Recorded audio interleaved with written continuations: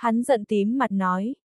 Quả nhiên là tới quấy rối, các ngươi là người nào, cút ngay. Vẻ mặt hai người cảnh giác, lấy binh khí ra phòng bị. Đoạn Việt cao mày nói. Tiểu tử ngươi thực sự có lòng dạ chơi đùa sao, trực tiếp xông vào là được, nói nhiều với tiểu lâu la canh cổng này làm cái gì.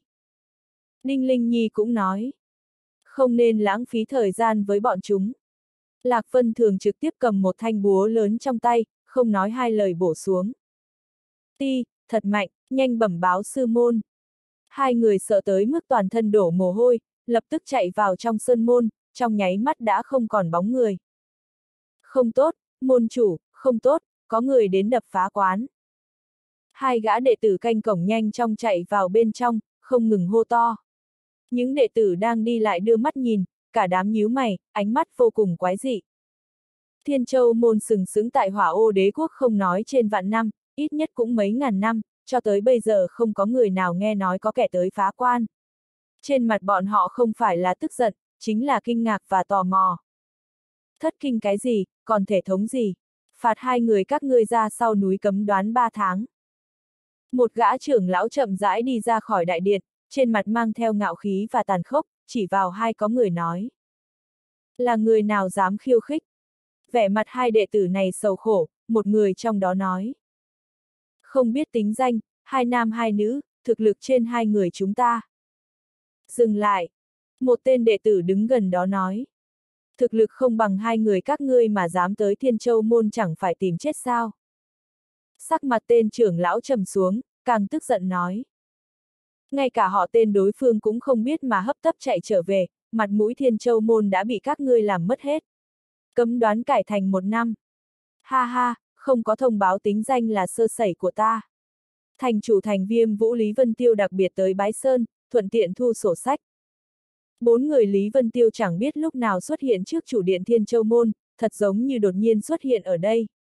Đệ tử bốn phía cả kinh nhao nhao lui ra phía sau. Đồng tử tên trưởng lão kia co rút lại, nội tâm trầm xuống. Làm cho bọn họ kinh hãi nhất không phải là bộ pháp xuất quỷ nhập thần của bọn họ, mà là cái tên như sấm bên tai, như sao trổi xẹt ngang trời, thành chủ thành viêm vũ lý vân tiêu. Tên trưởng lão kia đổ mồ hôi lạnh, tiến lên phía trước nói. Thì ra là vân tiêu thành chủ, không có tiếp đón từ xa, tại hạ thiên châu môn hứa hạo. Thành viêm vũ có bảy đạo phòng ngự tiếp được một quyền của vũ đế, đây là trận chiến kinh động thiên hạ, đã xâm nhập vào nội tâm của mỗi võ giả trong hỏa ô đế quốc. Mặc dù Lý Vân Tiêu vào lúc này biểu hiện ra thực lực chỉ là vũ vương, nhưng bất luận kẻ nào, kể cả ba đại môn chủ cũng không muốn chiến với hắn một trận. Huống chi còn có thiên cầm vũ đế lệ hoa chỉ chính miệng nói muốn bảo vệ thành viêm vũ, có trời mới biết quan hệ của Lý Vân Tiêu và lệ hoa trì là như thế nào, làm không tốt ngày nào đó phong hào vũ đế đến thăm, điểm một ngón tay cũng có thể diệt môn các ngươi. Lý Vân Tiêu ôm quyền cười nói. Dễ nói dễ nói, ta hôm nay tới đây chỉ thu sổ sách mà thôi, không có ý tứ gì khác. Thu sổ sách. Hứa hạo nhướng mày, sắc mặt trầm xuống, nói. Vân Tiêu thành chủ, Thiên Châu Môn không có quan hệ với các ngươi, sao lại nói thế? Lý Vân Tiêu ném hai giấy nợ tiền của Vương Cường ra, nói. Hứa trưởng lão tự xem đi. Ti, hai tỷ trung phẩm nguyên thạch. Hứa hạo đã giật mình, tức giận nói. Lý Vân Tiêu, người tới đây phá quán A. Cứ việc ra tay, thiên châu môn ta không phải dễ khi dễ. Lý Vân Tiêu cười nói. Hứa trưởng lão an tâm một chút chớ vội, tự mình xem kỹ đi, phiếu nợ này chính là thật đấy. Hứa hạo vẻ mặt không tin, nhưng vẫn cúi đầu nhìn kỹ một lần, cau mày nói. Nếu thật là phiếu nợ, vậy thì phải bẩm báo môn chủ xử lý, bốn vị xin chờ một chút. Thân ảnh hắn lóe lên, chạy vào trong đại điện. Rất nhanh, trong đại điện dường như truyền ra năng lực chấn động. Lúc này một đám người xuất hiện, khí thế ngập trời, ánh mắt lăng lệ, tu vị thấp nhất cũng là Vũ Tông.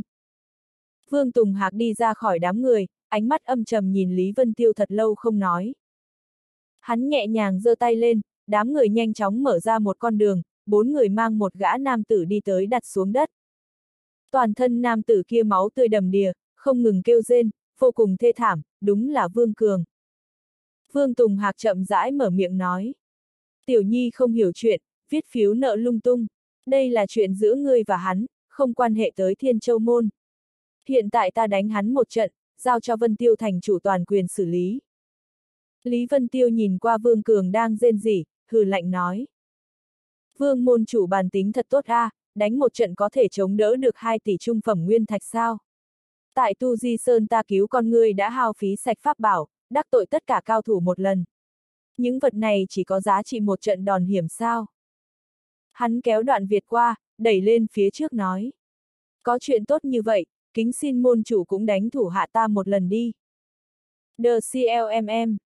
Đoạn Việt miệng mắng một câu, đẩy tay Lý Vân Tiêu ra sau đó đi trở về. Vương Tùng Hạc nhíu mày nói. Vân Tiêu thành chủ cảm thấy như thế nào cho phải. Số tiền kia không nói tới không có quan hệ với Thiên Châu Môn, cho dù có quan hệ thì Thiên Châu Môn cũng không cấp nổi. Nợ nần là do Tiểu Nhi thiếu nợ, người muốn tìm thì tìm hắn đi. Lý Vân Tiêu lạnh lùng nói. Vương môn chủ, ở trước mặt ta đừng giả nghèo, đây là ngươi không phải. Nếu quả thật không để nói, oan có đầu nợ có chủ, ta sẽ cầm mạng của Vương Cường để bù nợ. Hắn lấy tử dĩnh thanh tác kiếm ra, sát khí nổi lên bốn phía, dần dần điểm lên cổ họng Vương Cường. Trong mắt Vương Cường đầy sợ hãi, trong mắt như lồi ra, toàn thân run rẩy lợi hại. Vốn cho rằng mình ở Tu Di Sơn tăng thực lực lên một tinh, sau khi trở về đạt được Vương Tùng Hạc tán dương, còn ban thưởng một kiện lục giai huyền khí. Ai biết hứa hạo cầm phiếu nợ đi vào, liền lập tức bị Vương Tùng Hạc một trưởng đánh thổ huyết. Thời điểm ở trong tu di sơn hắn nằm mơ cũng không nghĩ tới Lý Vân Tiêu thật có can đảm cầm phiếu nợ đi tới Thiên Châu Môn. Đợi đến lúc tinh túc lão quái hàng lâm thành viêm vũ, dẫn tới hai đại phong hào vũ đế đều hiện thân thì nội tâm của hắn trầm xuống, biết rõ chuyện này không thể chạy thoát. Tha mạng, Vân Tiêu thành chủ tha mạng A. Vương Cường sợ tới mức nước mắt đều chảy ra, không ngừng run rẩy. Hắn cũng biết ý định của phụ thân, chính là đánh bạc Lý Vân Tiêu không dám thật giết mình ở trong Thiên Châu Môn, như vậy chuyện phiếu nợ 2 tỷ sẽ lừa dối qua. Nhưng Lý Vân Tiêu há có thể dùng lẽ thường mà suy đoán, nếu thật ra tay, mạng của mình. Lý Vân Tiêu vẻ mặt âm trầm, nói. Trong tu di sơn ta cứu ngươi một mạng, ngươi lại bắt bằng hữu của ta uy hiếp ta. Bây giờ còn có mặt mũi bảo ta tha mạng. Mặc cho Vương Cường cầu xin tha thứ thế nào, Vương Tùng Hạc vẫn điềm tĩnh, dường như thở ơ. Nội tâm Lý Vân Tiêu cười lạnh không thôi, thầm mắng một câu lão hồ ly. Nếu mình thật ra tay, chỉ sợ không thể ra khỏi Thiên Châu Môn. Thiên Châu Môn bây giờ hết sức kiêng kỵ mình, không chịu đắc tội, đó là bởi vì không có xung đột lợi ích. Nhưng nếu là mình thật giết con của hắn, chỉ sợ lão thất phu sẽ dốc toàn lực tông môn giết mình. Huống hồ lần này tới Thiên Châu Môn cũng có chuyện cần nhờ. Nghĩ vậy hắn lập tức cười thu hồi trường kiếm. Tuy Vương Tùng Hạc giả vờ bất động không quan tâm tới, nhưng trong đôi mắt hiện lên một tia kinh hỉ, thoáng qua tức thì, nhưng làm sao thoát được hai mắt Lý Vân Tiêu. Lý Vân Tiêu cười nói. Bất kể như thế nào, Vương Cường Huynh cũng là con của Vương Tông Chủ, ta suy nghĩ dù thế nào cũng không lấy mạng hắn, như vậy đi. Hắn xoay người nói. Lão đoàn, người đi làm cái lồng sắt cho ta, chúng ta cho Vương Cường Huynh phục dụng một chút xuân dược, nhốt hắn chung với vài con heo nái, sau đó đặt ở trong thành thượng dương thu phí quan sát, bao nhiêu cũng có thể tìm chút tổn thất phí trở về. Ha ha, tiểu tử ngươi thật độc, nhưng mà ta thích. Đoạn Việt cười lên ha hả, tiến lên muốn bắt Phương Cường. Sắc mặt Phương Cường lúc này trở nên tái nhợt. suốt cuộc Phương Tùng Hạc cũng không cách nào bình tĩnh, trầm giọng nói. Vân Tiêu thành chủ, sĩ khả sát bất khả nhục, người đừng quá phận. Ánh mắt Lý Vân Tiêu ngưng lại, cười nói. Vương môn chủ, làm người phải có tín dụng, mới vừa rồi còn nói xử trí thế nào là do ta, hiện tại lại đổi ý. Hắn thiếu tiền của ta, ta dùng hắn kiếm tiền đền bù cho mình, có cái gì không ổn sao? Ngươi! Vương Tùng Hạc chán nản, nói. Vân Tiêu thành chủ, rốt cuộc muốn như thế nào mới có thể buông tha tiểu nhi, ngươi nói điều kiện đi. Nhưng hai tỷ nguyên thạch quá khoa trương, thiên châu môn chúng ta tuyệt đối không xuất ra được. Lý Vân Tiêu cũng cười nói. Tất cả mọi người quen nhau như vậy, cùng tồn tại trong hỏa ô đế quốc này. Thiếu nợ ít tiền kỳ thật cũng không có gì, lần này ta tới là có chuyện cần nhờ vương môn chủ hỗ trợ. Như vậy đi, quý phái chỉ cần cho mượn truyền tống đại trận vượt qua vực cho ta dùng, tiền nhợ trừ 100 triệu, thế nào? Cái gì, người muốn chúng ta cho mượn truyền tống đại trận vượt qua vực? Vương Tùng Hạc sững sờ sau đó cười rộ lên, dường như rất vui vẻ, nói. Cả hỏa ô đế quốc cũng chỉ có tụ thiên tông và thiên châu môn có loại này truyền tống đại trận vượt qua vực, Vân Tiêu thành chủ đến đây là tìm đúng người rồi. Mỗi một lần truyền tống vượt qua vực hao phí nguyên thạch là con số trên trời. Như vậy đi, Vân Tiêu thành chủ tại Tu Di Sơn đã giúp Tiểu Nhi một chút, lần này miễn phí truyền tống thành chủ một lần. Về phần phiếu nợ, ha ha. Lý Vân Tiêu không nói hai lời, quay người muốn xuống núi, mặt không biểu tình nói. Lão đoàn, mang Vương Cường đi tụ thiên tông, lại làm thêm mấy cái lồng sắt. Vâng. Đoạn Việt lên tinh thần, lại đi về phía Vương Cường bắt hắn đi. Vương Tùng Hạc vội vàng nói. Chậm đã, Vân Tiêu thành chủ, có chuyện gì cứ từ từ mà bàn, nhưng mà... Đột nhiên hắn nói thì dừng lại, trong mắt hiện lên một đạo quang mang, dường như nghĩ đến cái gì, nói. Hai tỷ nguyên thạch chúng ta không xuất ra được, nhưng mà có vật cùng giá trị, không biết Vân Tiêu thành chủ có hứng thú. Lời này vừa ra, trưởng lão Thiên Châu môn chung quanh nhíu mày, không biết Phương Tùng Hạc có ý định ra sao. Đột nhiên hứa hạo kêu một tiếng, trừng lớn mắt nói. Môn chủ, người nói chẳng lẽ là... Hắn nói lời này lập tức làm cho một đám trưởng lão nhao nhao kịp phản ứng, sắc mặt mỗi người cổ quái, có nhíu mày, có cười quái dị, có ngạc nhiên. Thần sắc mọi người bị Lý Vân Tiêu nhìn vào trong mắt, nhàn nhạt nói ra. Vương môn chủ nói là vật có cùng giá trị, dường như có vấn đề a. Hình như các vị không có hảo ý. Khục khục. Vương Tùng Hạc ho khan hai tiếng, nói. Vân Tiêu thành chủ mời đi theo ta. Trong đám người lập tức nhường ra một con đường, Lý Vân Tiêu khẽ nhíu mày, bốn người liền theo Vương Tùng Hạc đi vào trong Thiên Châu Môn. Thiên Châu Môn ở hỏa ô đế quốc là nơi có linh khí dồi dào, trong núi mây mù miên man, hơn nữa khai phái đã mấy ngàn năm, trong núi đại thụ trực tiếp cắm rễ trong đá, cành cầu diệp đoàn, um tùm xanh um, mang cho người ta cảm giác xanh mát. Mọi người đi qua, đi vào trong một khe núi, thác nước từ trời rơi xuống, nước trắng xóa bắn tứ tung. Trên vách đá còn có khá chữ hữu lực, nhị thập tứ kiểu minh nguyệt dạ. Kiểu chữ long đằng hổ bộ, khỏe mạnh tiêu sái, ở trong nước bắn tinh quang, cho người ta cảm giác kỳ dị muốn cúng bái. Đồng tử Lý Vân Tiêu co rụt lại, ngưng giọng nói. Đây là nơi nào, cảm giác kỳ quái. Vương Tùng Hạc cười nói. Đây là thánh địa thiên châu môn, cũng có thể xưng là truyền thừa chi địa. Truyền thừa chi địa. Lý Vân Tiêu sững sờ, trên mặt lập tức thất vọng, lạnh nhạt nói. Ta còn tưởng rằng vật gì tốt, thì ra là nơi truyền thừa công pháp, thiên hạ vũ kỹ, muốn bao nhiêu ta có bao nhiêu. Vương môn chủ nói vật có giá trị ngang 2 tỷ, trong mắt ta không đáng một đồng. Khẩu khí thật là lớn. Trong lòng mọi người bất mãn, thiên hạ vũ kỹ muốn bao nhiêu có bấy nhiêu. Vương Tùng Hạc cũng sửng sờ, nhưng lập tức cười nói. Thế lực sau lưng Vân Tiêu thành chủ ngập trời, tự nhiên sẽ không để ý một ít công pháp vũ kỹ. Nhưng Thiên Châu môn có truyền thừa khác biệt, thực sự không phải truyền thừa vũ kỹ, mà là truyền thừa thần thể. Truyền thừa thần thể. Lý Vân Tiêu dường như nghĩ đến cái gì, sắc mặt cả kinh nói. Ý ngươi là, những thể chất đặc thù có thể truyền thừa. Vương Tùng Hạc tươi cười đắc ý, nói. Không sai, nghe nói Vân Tiêu thành chủ cũng am hiểu luyện thể chi thuật, tự nhiên nên biết những thể chất đặc thù cường đại ra sao. Nhưng mà đó chỉ là bẩm sinh, không cách nào cải biến thần thể. Mà minh nguyệt thần thể của Thiên Châu Môn thì có thể thông qua nơi này đạt được truyền thừa. Trừ người của Thiên Châu Môn vẫn lạnh nhạt ra, đám người Lý Vân Tiêu vẫn khiếp sợ khó nói nên lời. Trên đời này có ít người trời sinh có thiên phú cực kỳ cường đại, trong lịch sử thiên vũ đại lục xưng là thần thể. Đã được ghi lại trong sử sách, thần thể đã xuất hiện có hơn 10 loại. Mộng bạch có thiên địa độc thân cùng lạc vân thường cửu dương chi thân đều xem như một loại thần thể. Mỗi một chủng thần thể đều có uy năng vô cùng cường đại, sau này ít nhất cũng có thể trở thành bá chủ một phương. Mà các loại bí thuật luyện thể cũng xuất hiện đúng lúc, được các đại năng không ngừng đào móc, hy vọng có thể thông qua hậu thiên rèn luyện trở thành thần thể.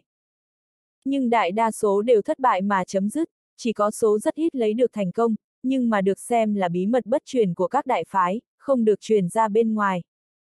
Lý Vân Tiêu có phách thiên luyện thể quyết là nổi bật trong số đó. Ngay cả hắn từng là cửu thiên vũ đế cũng không biết trên đời còn có chuyện thần thể truyền thừa. Nhưng rất nhanh, hắn liền tỉnh táo lại, cười lạnh nói. Thần thể truyền thừa, nếu như có chuyện thần kỳ như thế, sao Thiên Châu Môn chỉ có thể là một trong ba đại phái của hỏa ô đế quốc chứ?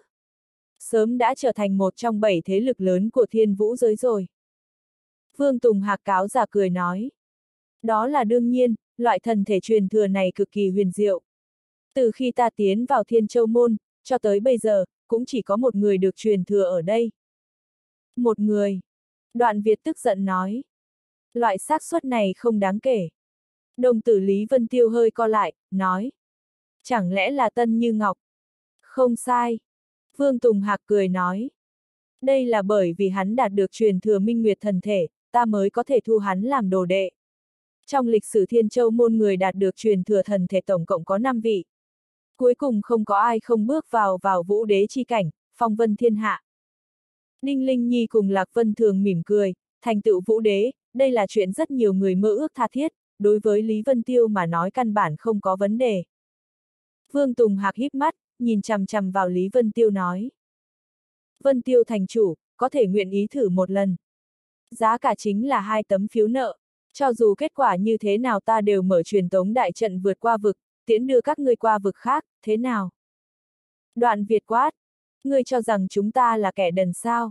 Cầm hai tỷ nguyên thạch cho ổn thỏa, đổi lấy cái xác suất mấy ngàn năm mới có một người thành công làm gì, nhanh giao nguyên thạch ra đây. Vương Tùng Hạc không để ý tới hắn, nhìn qua Lý Vân Tiêu, lặp lại nói. Vân Tiêu thành chủ, có nguyện ý thử một lần.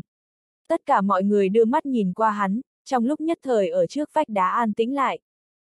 Lý Vân Tiêu nhìn qua bảy chữ nhị thập tứ kiều minh nguyệt dạ, thật lâu mới mở miệng nói. Vương môn chủ, người đúng là rất hiểu việc buôn bán. Vương Tùng Hạc cười cười, nói. Hai tỷ nguyên thạch đúng là rất nhiều, nhưng đối với nhân vật như Vân Tiêu thành chủ mà nói, chắc chắn sẽ không bỏ qua một tia cơ hội bước lên võ đạo đỉnh phong. Dù cho cơ hội này có là một phần vạn, có đúng không? Lý Vân Tiêu cũng nhẹ nhàng cười cười, bộ dáng kích động, nói. Nói đi, phương pháp truyền thừa thế nào? Ti, tiểu tử, người điên rồi.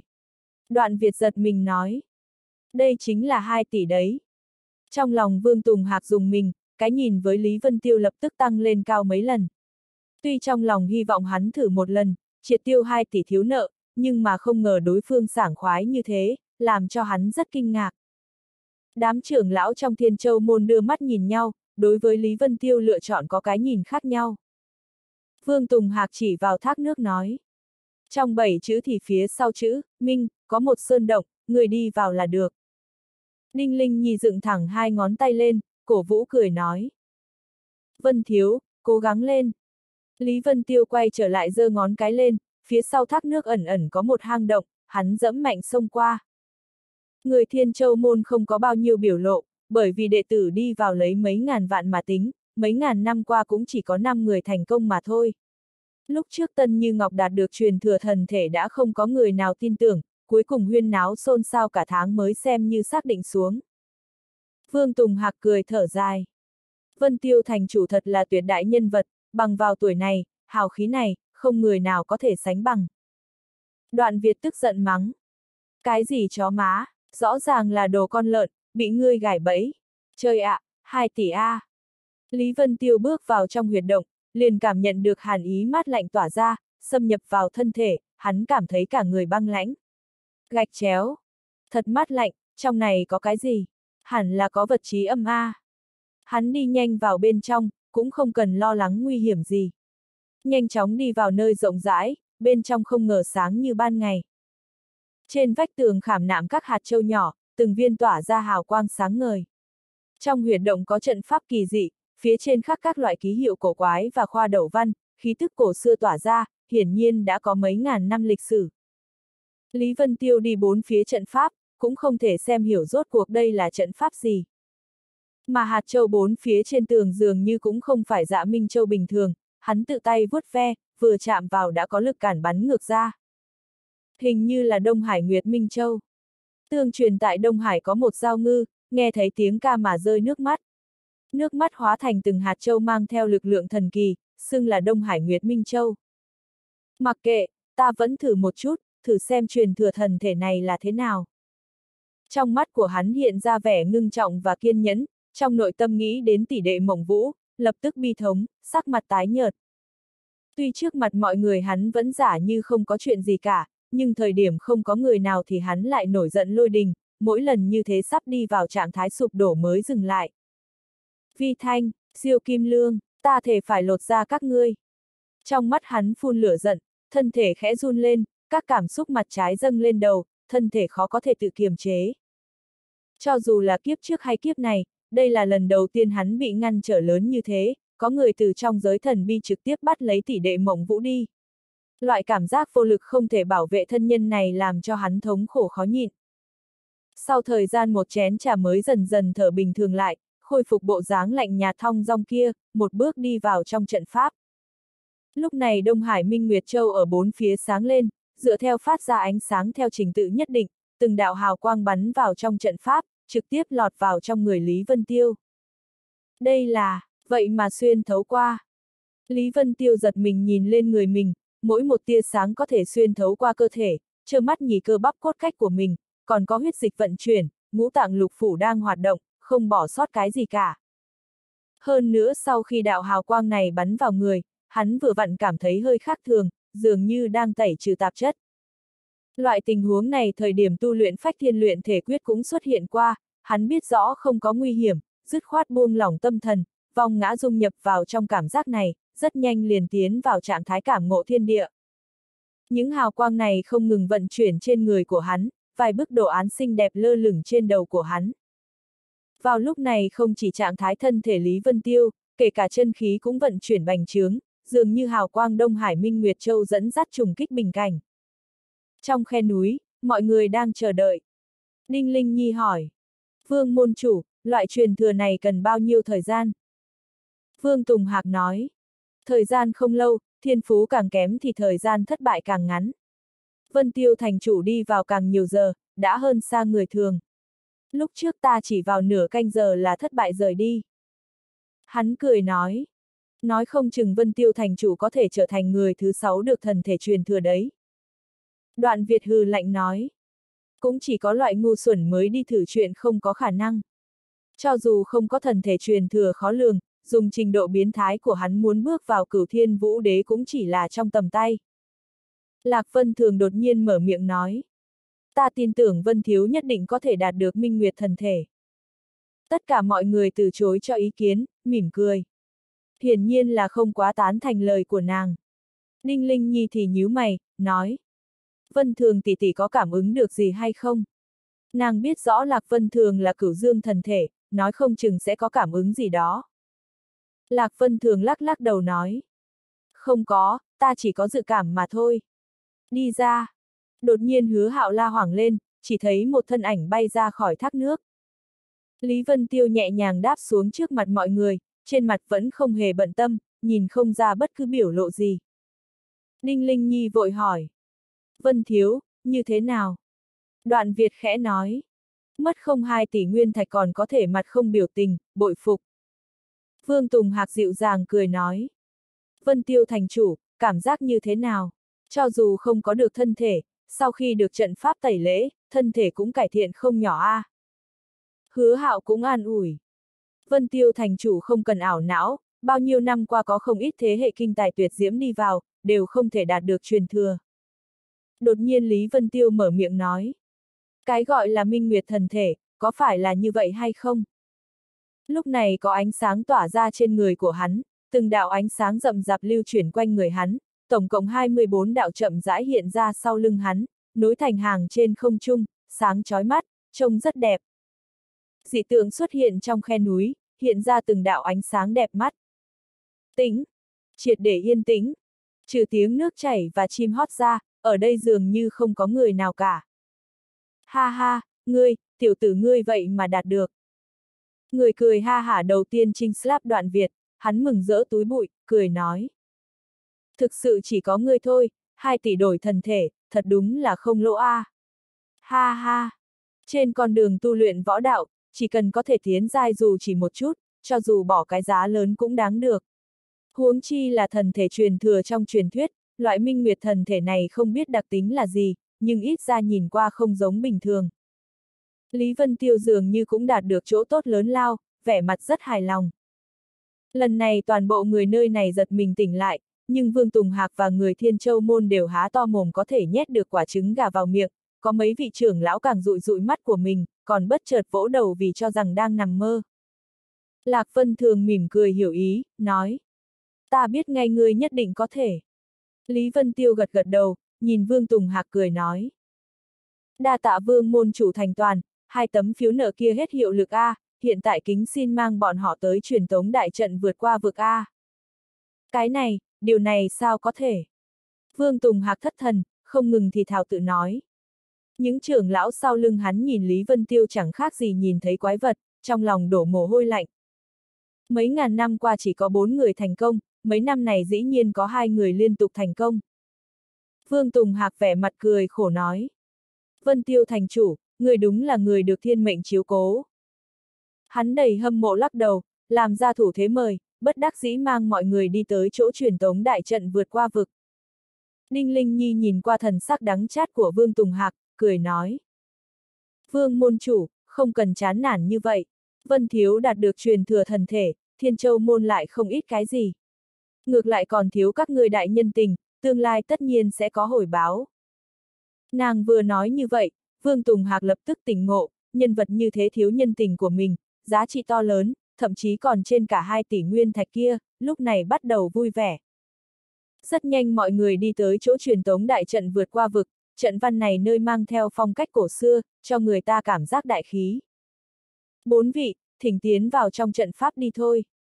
Vương Tùng Hạc cười nói. Truyền tống đại trận vượt qua vực này cả nam vực không cao hơn 10 cái. Lý Vân Tiêu gật gật đầu, cười nói. Làm phiền vương môn chủ, nhân tình hôm nay ta sẽ ghi nhớ. Hắn bước vào trung tâm trận pháp, sau lưng còn có Đinh Linh Nhi cùng Lạc Vân Thường, tăng thêm đoạn Việt. Những võ giả và thuật luyện sư trong giới thần bi, trừ nhạc cửu lâm còn đang bị vây khốn ra, những người còn lại được hắn an trí tại thành viêm vũ. Dù sao nơi đó là một trong những nơi có linh khí cao nhất đại lục, tiến bộ còn nhanh hơn lúc ở giới thần bi. Bốn người tiến vào trong trận pháp, truyền tống đại trận do Vương Tùng Hạc chủ trì mở ra, tiếng oanh minh vang lên, hào quang bảy màu bắn ra ngoài bao trùm bốn người. Hơn nữa mỗi lần truyền tống đều hao phí số lượng nguyên thạch vô cùng kinh người, rất nhiều linh thạch chung quanh bị hấp thu sạch linh khí, trực tiếp hóa thành bụi phấn, bụi bậm bay đầy trời. Hào quang truyền tống duy trì trong thời gian uống cạn chung trà, lúc này mới chậm rãi ảm đạm xuống. Lúc này trong trận pháp không còn bóng người nào cả, bốn người Lý Vân Tiêu đã được truyền tống đi. Trên một cánh đồng bát ngát, đột nhiên xuất hiện tầng tầng mây đen, không trung trực tiếp vỡ ra một lỗ hỏng, đám người Lý Vân Tiêu trước sau rơi xuống. Tuy rơi xuống từ hư không, bốn người dễ dàng tiếp đất, nhìn qua chung quanh thì kinh ngạc. Đoạn Việt há miệng liền mắng nói. Ở nơi này chính là rừng rậm, đây là địa phương quái quỷ gì thế? Lý Vân Tiêu cũng cau mày nói. Truyền tống đại trận của Thiên Châu môn quá đơn sơ, không ngờ độ lệch lớn như vậy. Phạm vi này không có người nào cả. Ninh Linh Nhi cười khổ nói. May mắn nơi này chính là Bắc Vực, chính mình tìm phương hướng thối. Nàng lấy một cái la bàn ra, bắt đầu đo đạc. Lý Vân Tiêu phóng thần thức ra ngoài, nói. Cách đây hơn ba dặm có một đội nhân mã đi tới, có thể hỏi đường. Ba người các ngươi nên tiến vào giới thần bi đi, ở trong đó có thể yên tâm tu luyện. Ninh Linh Nhi cùng Lạc Vân Thường đều lắc đầu. Đoạn Việt cười hắc hắc, nói. Tiểu tử, người diễm phúc sâu a, à, ta không có làm bóng đèn đâu. Đợi khi ra khỏi cánh rừng này thì gọi cho ta. Lý Vân Tiêu im lặng vung tay lên, thu hắn vào trong mi tâm. Rất nhanh, ở cuối cánh đồng bát ngát quả nhiên có một đội nhân mã, khoảng chừng hơn 10 người, trên lưng ngựa đầy hàng hóa, xem ra là một thương đội. Phía trước thương đội là hai con long mã to lớn, nghe nói loại yêu thú này có huyết dịch của long, trên người thể hiện đặc tính nhất định của long. Nhưng rất nhiều thuật luyện sư muốn thông qua máu của long mã chắt lọc long huyết nhưng không làm được, cuối cùng nhất mới nhận định, long huyết trong long mã mỏng manh tới mức không đáng kể. Nhưng bất kể như thế nào, long mã là tam giai yêu thú tiếng tăm lừng lẫy, không phải thế hệ bình thường có thể sử dụng. Thương đội phía trước cưỡi long mã là hai người dáng người uy mãnh, một người trong đó quát lớn. Phía trước là người nào? Hãy xưng tên ra. Bang bang. Người cả thương đội cảnh giác rút binh khí ra, hiển nhiên đều là người lão luyện. Lý Vân Tiêu cao giọng nói. Lạc đường, xin hỏi chư vị đại ca, khinh ca lâm địa đi thế nào? Không biết, nhanh chóng tránh ra cho ta. Một người cầm đầu sắc mặt trầm xuống, lập tức quát lớn, khí thế trên người vô cùng trầm ổn, ẩn ẩn có tu vị vũ tông. Trong lòng Lý Vân Tiêu thở dài không thôi, nam vực ở thiên vũ giới quả nhiên yếu không nói nổi, trong bắc vực này tùy tiện một người cưỡi ngựa cũng có tu vị vũ tông. Người này đặt ở nam vực chính là trưởng lão thế lực. Mấy vị cũng muốn đi khinh ca lâm địa sao? Đột nhiên trong thương đội có một âm thanh vô cùng nhỏ, là một thiếu niên. Người cầm đầu biến sắc, vội vàng nói. Thiếu ra, những người này lai lịch không rõ, chúng ta ngàn vạn không cần nhiều chuyện. Trong thương đội có 8 người đang kiêng cái kiệu, bên trong có tiếng thiếu niên truyền ra. Ta thấy mấy người bọn họ không phải người xấu, huống hồ trong yêu nguyên này vô cùng hung hiểm, nếu chúng ta không giúp bọn họ, bọn họ vô cùng có khả năng chết ở đây. Yêu nguyên. Ninh Linh Nhi cả kinh, trên mặt đầy kinh hãi, nói. Dĩ nhiên là nơi quái quỷ này. Lý Vân Tiêu cũng nhướng mày, yêu nguyên tuy không phải mấy cấm địa hữu tử vô sinh, nhưng cũng là nơi hung hiểm nổi danh trên thiên vũ đại lục. Quanh năm có rất nhiều võ giả chết ở đây, bởi vì nơi này tiếp giáp khinh ca lâm địa, có thể nói là khu vực phòng ngự của khinh ca lâm địa. Mà thành dòng binh khinh ca lâm địa cũng là nơi náo loạn nhất thiên vũ đại lục. Ngư long hỗn tạp, các đào phạm và hung đồ đều trốn vào nơi này, chỉ cần có thù lao, trên cơ bản những người này cái gì cũng làm, trên đại lục còn có tên khác là thành côn đồ. Đúng vậy, các người muốn đi khinh ca lâm địa, nhất định phải trải qua yêu nguyên này. Một thiếu niên vén rèm chiếc kiệu lên, lộ ra gương mặt tuấn tú trắng bệch, khẽ cười nói. Nơi này là nội địa yêu nguyên, các ngươi làm sao tiến tới? Chẳng lẽ là truyền tống đại trận trực tiếp mang các ngươi hàng lâm nơi này?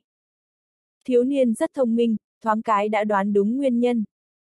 Lý Vân Tiêu nói.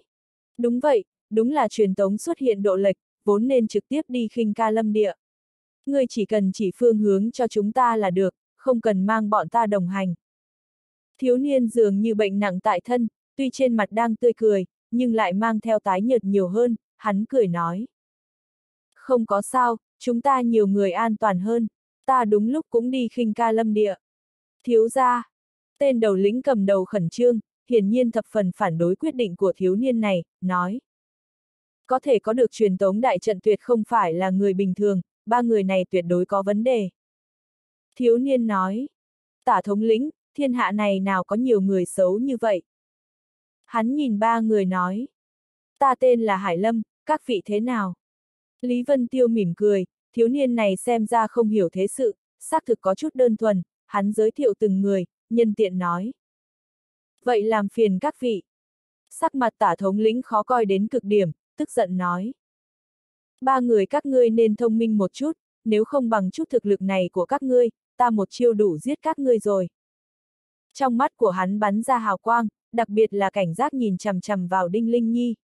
Ba người này thì nữ nhân này tu vị cao nhất, dường như mơ hồ còn trên mình. Ha ha, yên tâm đi, Hải Lâm huynh lương thiện như thế, chúng ta làm sao có ý đồ xấu được chứ? Lý Vân Tiêu khẽ cười nói, hắn cảm nhận được ánh mắt bất thiện của người bốn phía, xem ra những hộ vệ này vô cùng quan tâm an nguy của thiếu niên này. Không có là tốt nhất. Tả thống lĩnh lạnh lùng nói. Ba người các ngươi đi ở trước nhất. Hải Lâm nhướng mày, nói. Tả thống lĩnh, vì sao có thể như thế? Huống chi còn có hai nữ hài tử, ba người này sẽ ngồi chung kiệu với ta. Không thể. Tả thống lĩnh và tên thống lĩnh khác cùng kêu to lên, tất cả mọi người kiên quyết phản đối. Hữu thống lĩnh hai thớt long mã qua, nói. Ba người các ngươi cưỡi long mã. Lý Vân Tiêu cưỡi một thớt, Lạc Vân Thường cùng Đinh Linh Nhi cùng cưỡi một thớt, hơn nữa bốn phía có vài tên võ giả cấp bậc vũ vương bao quanh, lúc này mới tiếp tục đi về phía trước.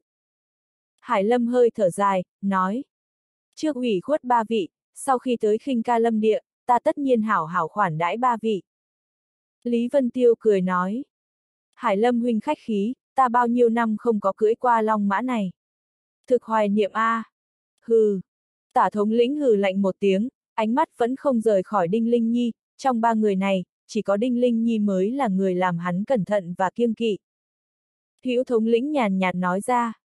Thiếu gia nhà chúng ta là đại thiện nhân có tiếng, nếu trong lòng các ngươi còn có ý đồ xấu, ta thể nhất định lấy tính mạng các ngươi. Lý Vân Tiêu híp mắt nói. Yên tâm đi, sẽ không đâu. Nhưng ta thấy sắc mặt thiếu gia các ngươi không tốt, giống như thân có bệnh. Tả thống lĩnh biến sắc, phẫn nộ quát. Liên quan gì tới ngươi? Cầm miệng cho ta. Ninh Linh Nhi nhìn không được nói. Vân Thiếu chính là thuật luyện sư, nói không chừng có biện pháp cứu thiếu gia nhà các ngươi. Cái gì, tiểu tử này là thuật luyện sư? Tất cả mọi người cả kinh, tả thống lĩnh sắc mặt kinh ngạc, thái độ dường như đỡ một ít, nhưng ngữ khí vẫn băng lãnh, nói. Thuật luyện sư tuy tôn quý, nhưng phóng nhãn thiên hạ cũng nhiều lắm. Thiếu gia nhà chúng ta đã mời lục giai thuật luyện sư xem qua, cũng thúc thủ vô sách. Ninh Linh Nhi dường như còn muốn nói gì, nhìn thấy Lý Vân Tiêu nháy mắt, lúc này mới ngậm miệng không nói. Sau khi biết rõ Lý Vân Tiêu là thuật luyện sư thì thái độ người bốn phía mới đỡ một chút. Lúc này Hải Lâm cho Kiệu đi tới trước, vẻ mặt vẻ hâm mộ nói. Không thể ngờ Vân Thiếu còn trẻ hơn ta lại là thuật luyện sư, thật khó lường. Hữu thống lĩnh mở miệng nói. Thiếu ra, ngài cần gì tự xem nhẹ mình. Nếu ngài không có bệnh, thành tựu chắc chắn hơn xa cùng thế hệ. Mặc dù hiện tại có bệnh quấn thân, trong cùng thế hệ vượt qua ngài cũng không có bao nhiêu người cả. Hải Lâm cười khổ nói. Ta có thành tựu gì chứ, quả thực là sống không bằng chết. Trong mắt Lý Vân Tiêu bắn ra một tia kim quang, nhìn qua sắc mặt Hải Lâm sau đó mỉm cười. Hải Lâm dường như phát giác được ánh mắt Lý Vân Tiêu đang nhìn hắn, xấu hổ nói. Làm cho Vân Thiếu chê cười. Lý Vân Tiêu cười nói. Nếu ta không nhìn lầm, trong người Hải Lâm huynh có huyết mạch vô cùng bá đạo, lúc này mới khiến thân thể suy nhược. Dừng. Tả thống lĩnh vội vàng cho Long Mã dừng lại, trong mắt hiện lên vẻ khiếp sợ, nói.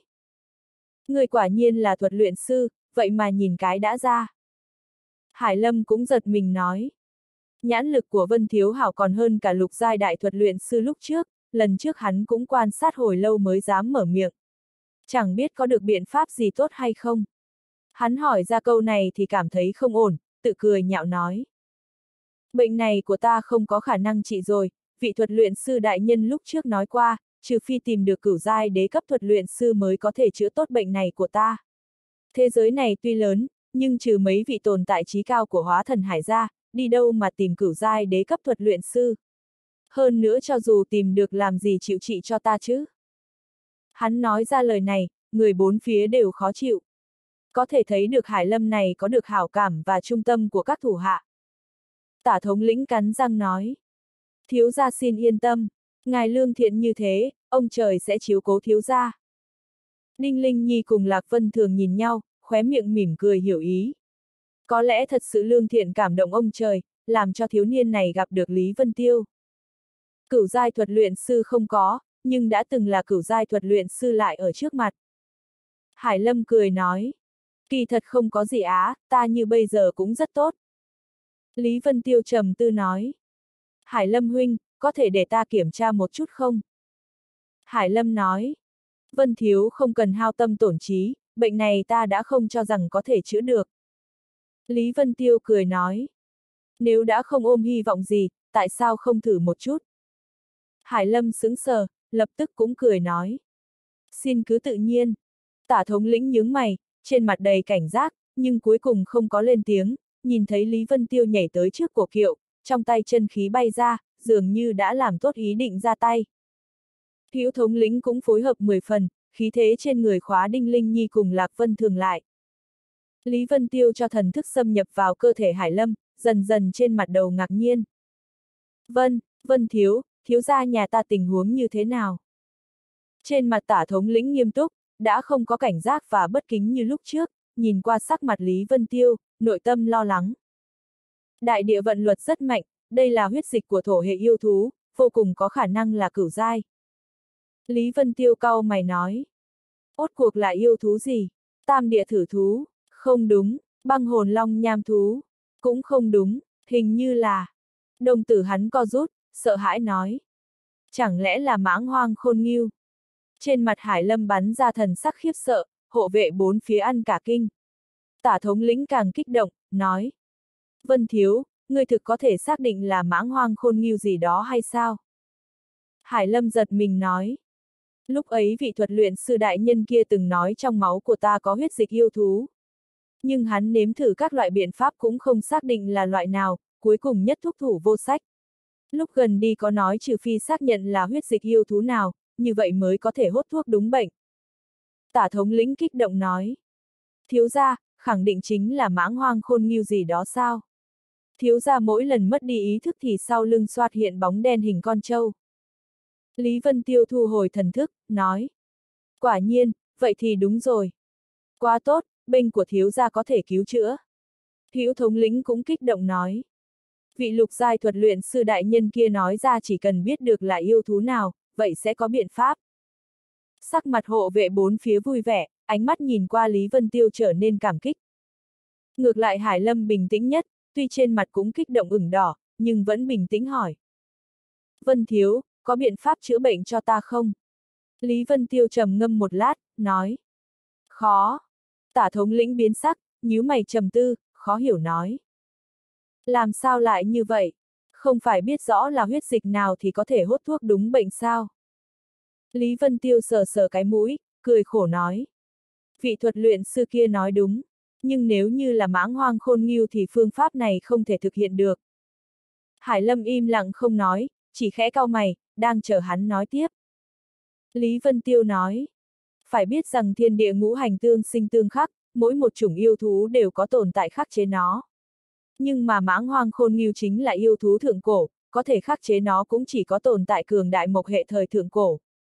Thiên hạ hôm nay, người đi đâu tìm một đầu yêu thú cửu giai mộc hệ đỉnh phong khắc chế huyết mạch chi lực đây. Thần khống vũ đế diêu kim lương có đầu táng niên thú cũng chỉ là thủy hệ mà thôi. Những lời này lập tức nói mọi người á khẩu không trả lời được, hy vọng vừa mới có đã bị dập tắt. Hải Lâm cũng ngây người, kinh ngạc nói. Nói như vậy, dù bệnh của ta tìm được cửu giai đế cấp thuật luyện sư cũng không thể cứu. Lý Vân Tiêu nói. Đây cũng không phải, ta chỉ nói là phương pháp này không thể thực hiện được mà thôi. Sắc mặt tả thống lĩnh trầm xuống, thập phần không vui nói. Người có thể nói một lần cho xong hay không? Thiếu gia nhà ta bệnh này có chưa được hay không? Lý Vân Tiêu cười nói. Đương nhiên có biện pháp cứu chữa, ta biết ít nhất ba biện pháp cứu hắn. Nhưng mỗi một chủng so ra còn khó hơn tìm một gã cửu giai thuật luyện sư nhiều. Hắn nhìn Hải Lâm nói. Trên người của ngươi có lẽ có đeo một hệ huyền bảo A, nếu không dùng tình huống thân thể của ngươi không thể nào ngăn cản yêu lực của mãng hoang khôn nghiêu. Hải Lâm lấy một hạt châu đầy linh quang ra, nói. Vân Thiếu quả nhiên là đại sư, đây là một quả mộc linh châu.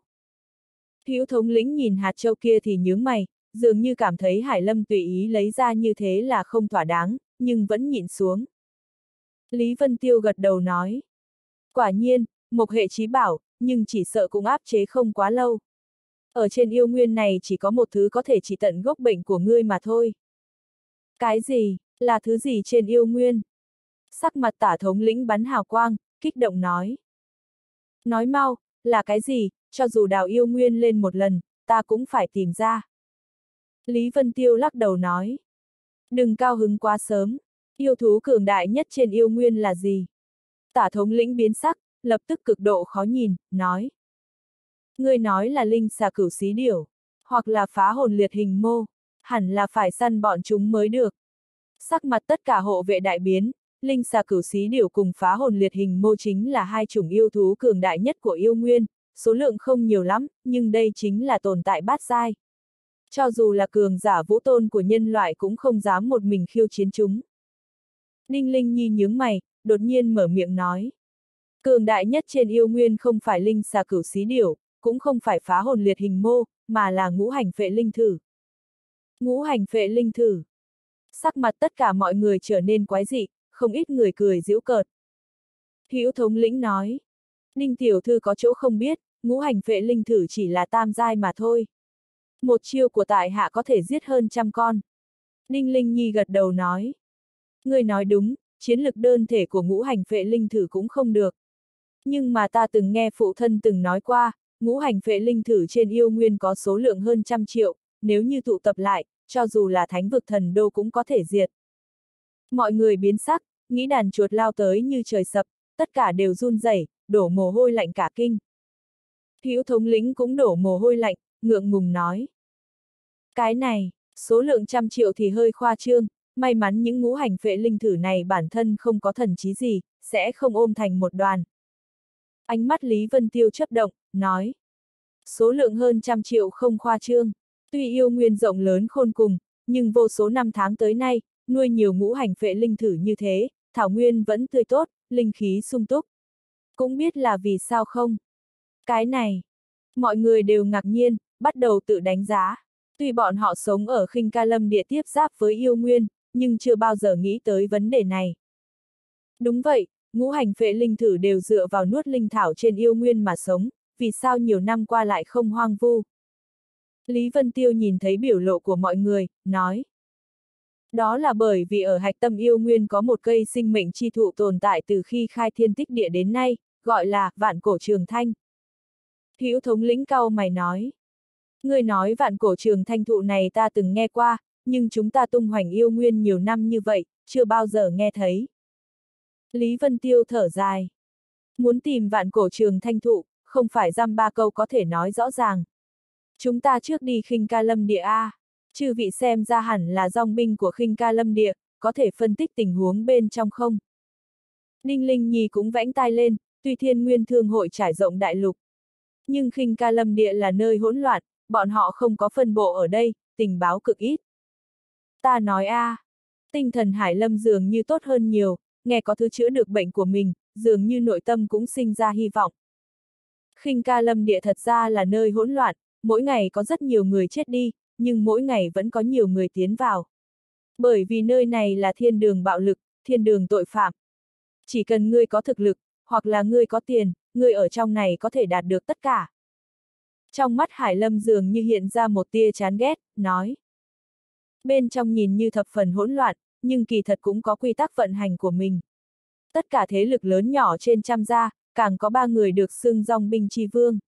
Ai cũng không phục ai, thường xuyên sống mái với nhau, tử thương vô số. Hải Lâm dừng lại, thở dốc vài tiếng, tiếp tục nói. Ba người này là đoàn trưởng ba thế lực dòng binh lớn nhất khinh ca lâm địa, theo thứ tự là khô lâu dòng binh đoàn đoàn trưởng Trầm Phong, bạo vũ dòng binh đoàn đoàn trưởng Trần Truyện Cửu cùng thái điểu dòng binh đoàn đoàn trưởng Hắc Liên Thiếu Hoàng. Đôi mắt Lý Vân Tiêu co rụt lại, Đinh Linh Nhi cùng Lạc Vân Thường nhìn hắn, mỉm cười. Sắc mặt tả thống lĩnh lộ ra vẻ nghiêm nghị, nói. Thiếu ra, người nói như vậy nếu phó đoàn trưởng đại nhân biết rõ, tất nhiên sẽ trách phạt. Tại khinh ca lâm địa, chỉ có một dòng binh chi vương, đó chính là hắc liên đoàn trưởng đại nhân. Lý Vân Tiêu hồ nghi nói. Ngươi là... Hải Lâm mỉm cười, nói. Gia phụ là Thái Điểu Dòng binh đoàn phó đoàn trưởng Hải Bắc Phi. Trong nội tâm Lý Vân Tiêu có cảm xúc quái dị, nói như vậy cũng là người một nhà. Mọi người vừa đi vừa nói chuyện, đi mấy dặm thì truyền tới tiếng động quái dị.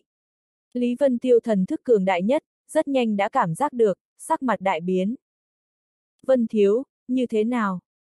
Hải Lâm phát giác thần sắc của hắn, ngạc nhiên hỏi.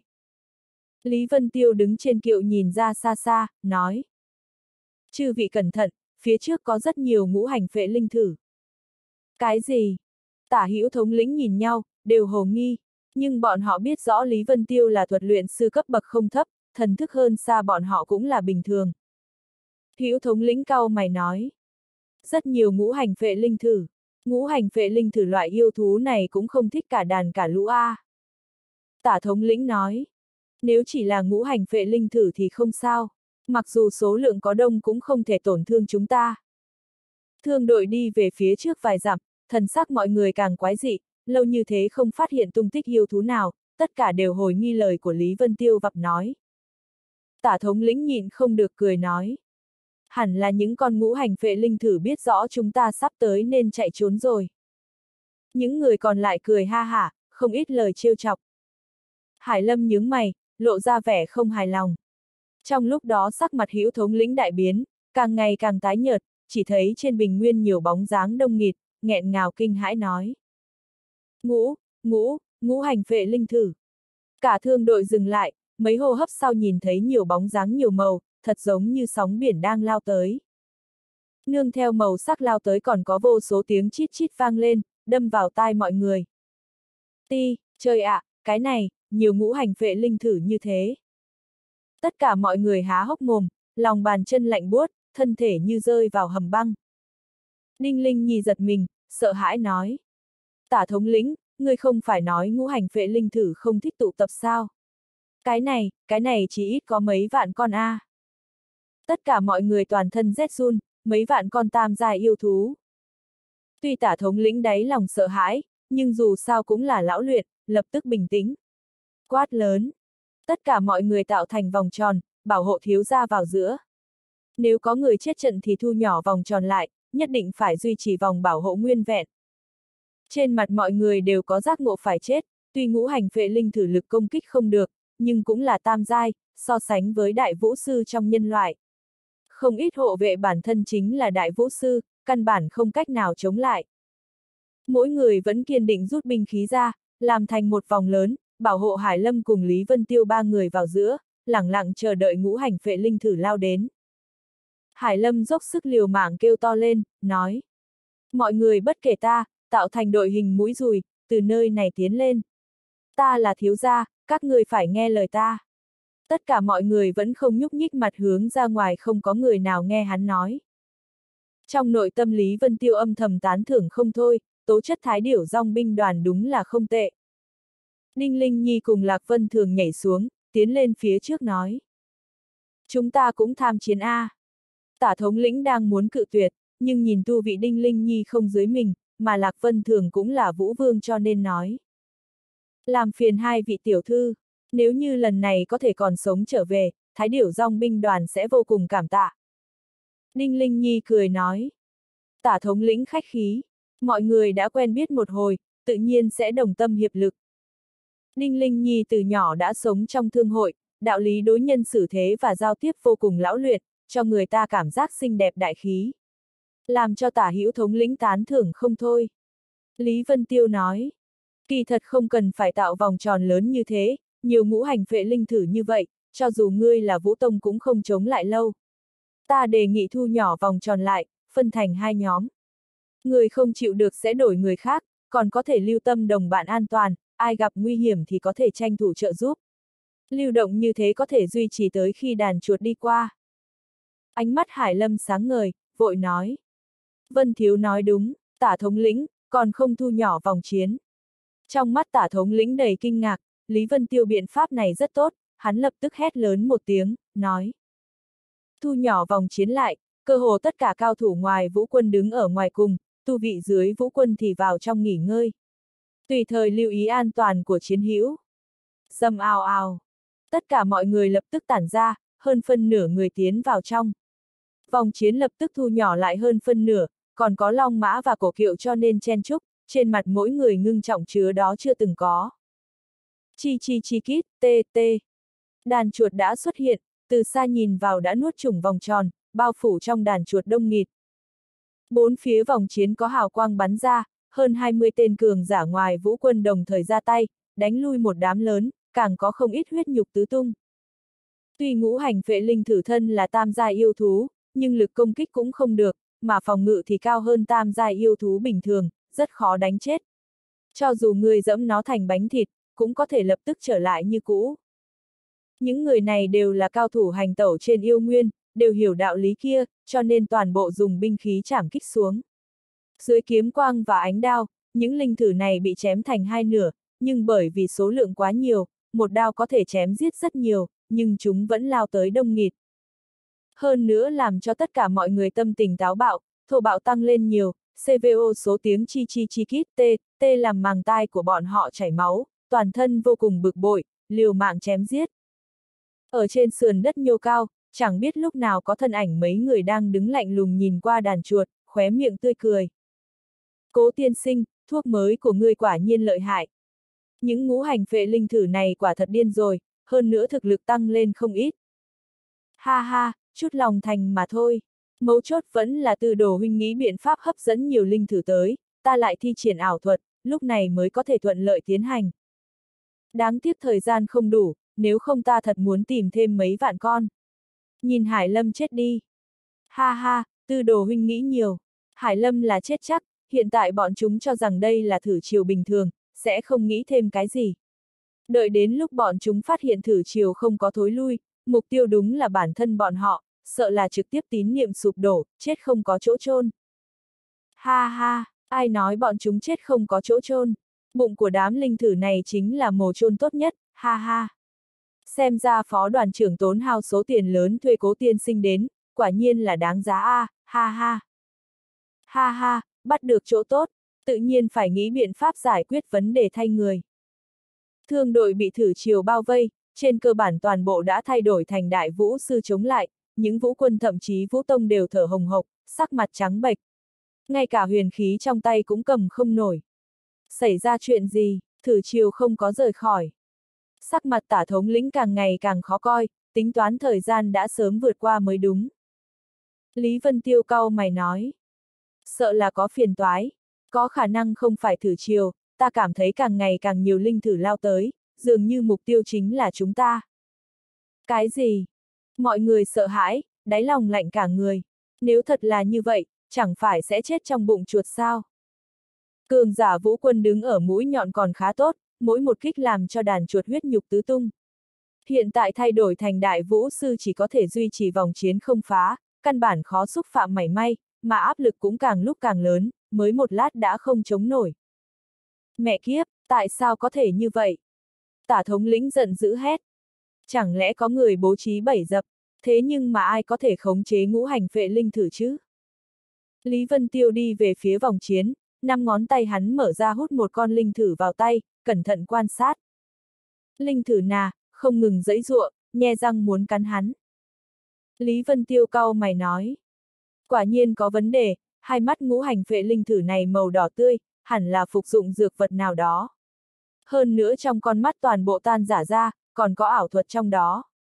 Dược vật cùng ảo thuật điệp ra cùng một chỗ, xem ra là có người cố ý nhắm vào chúng ta. Tại sao có thể như vậy? Tất cả mọi người trầm xuống, nếu Lý Vân Tiêu đã đoán ra bệnh. Như vậy những linh thử này không chết sạch thì bọn họ cũng khó sống. Nhưng mà ở đây có tới mấy vạn con chuột. Vân Thiếu, có biện pháp gì hay không? Trong nội tâm Hải Lâm sinh ra cảm giác kỳ quái, hắn nhìn thấy vẻ mặt Lý Vân Tiêu bình tĩnh, dường như không có chút gợn sóng nào, cái loại cảm giác kỳ quái này nói cho hắn biết, người này nhất định có biện pháp giải quyết. Lý Vân Tiêu cau mày nói. Linh thức của đám chuột này bị thần thức cường đại đánh sơ sát, hiện tại chỉ có ảo thuật trước khi đánh tan linh thức trèo chống tấn công chúng ta. Chỉ cần chúng ta có thể kéo dài tiếp, bọn chúng sẽ dần dần chết đi. Nhưng ta xem linh thể của chúng rồi rào, sợ là không có nhanh như vậy. Hải Lâm cả kinh nói. Cần bao lâu chúng mới có thể chế? Lý Vân Tiêu nói. Đại khái ba thời thần. 45 phút. Ba thời thần. Hải Lâm lắc đầu liên tục nói. Làm sao có thể kéo dài lâu như thế, còn có biện pháp nào khác hay không? Lý Vân Tiêu nói.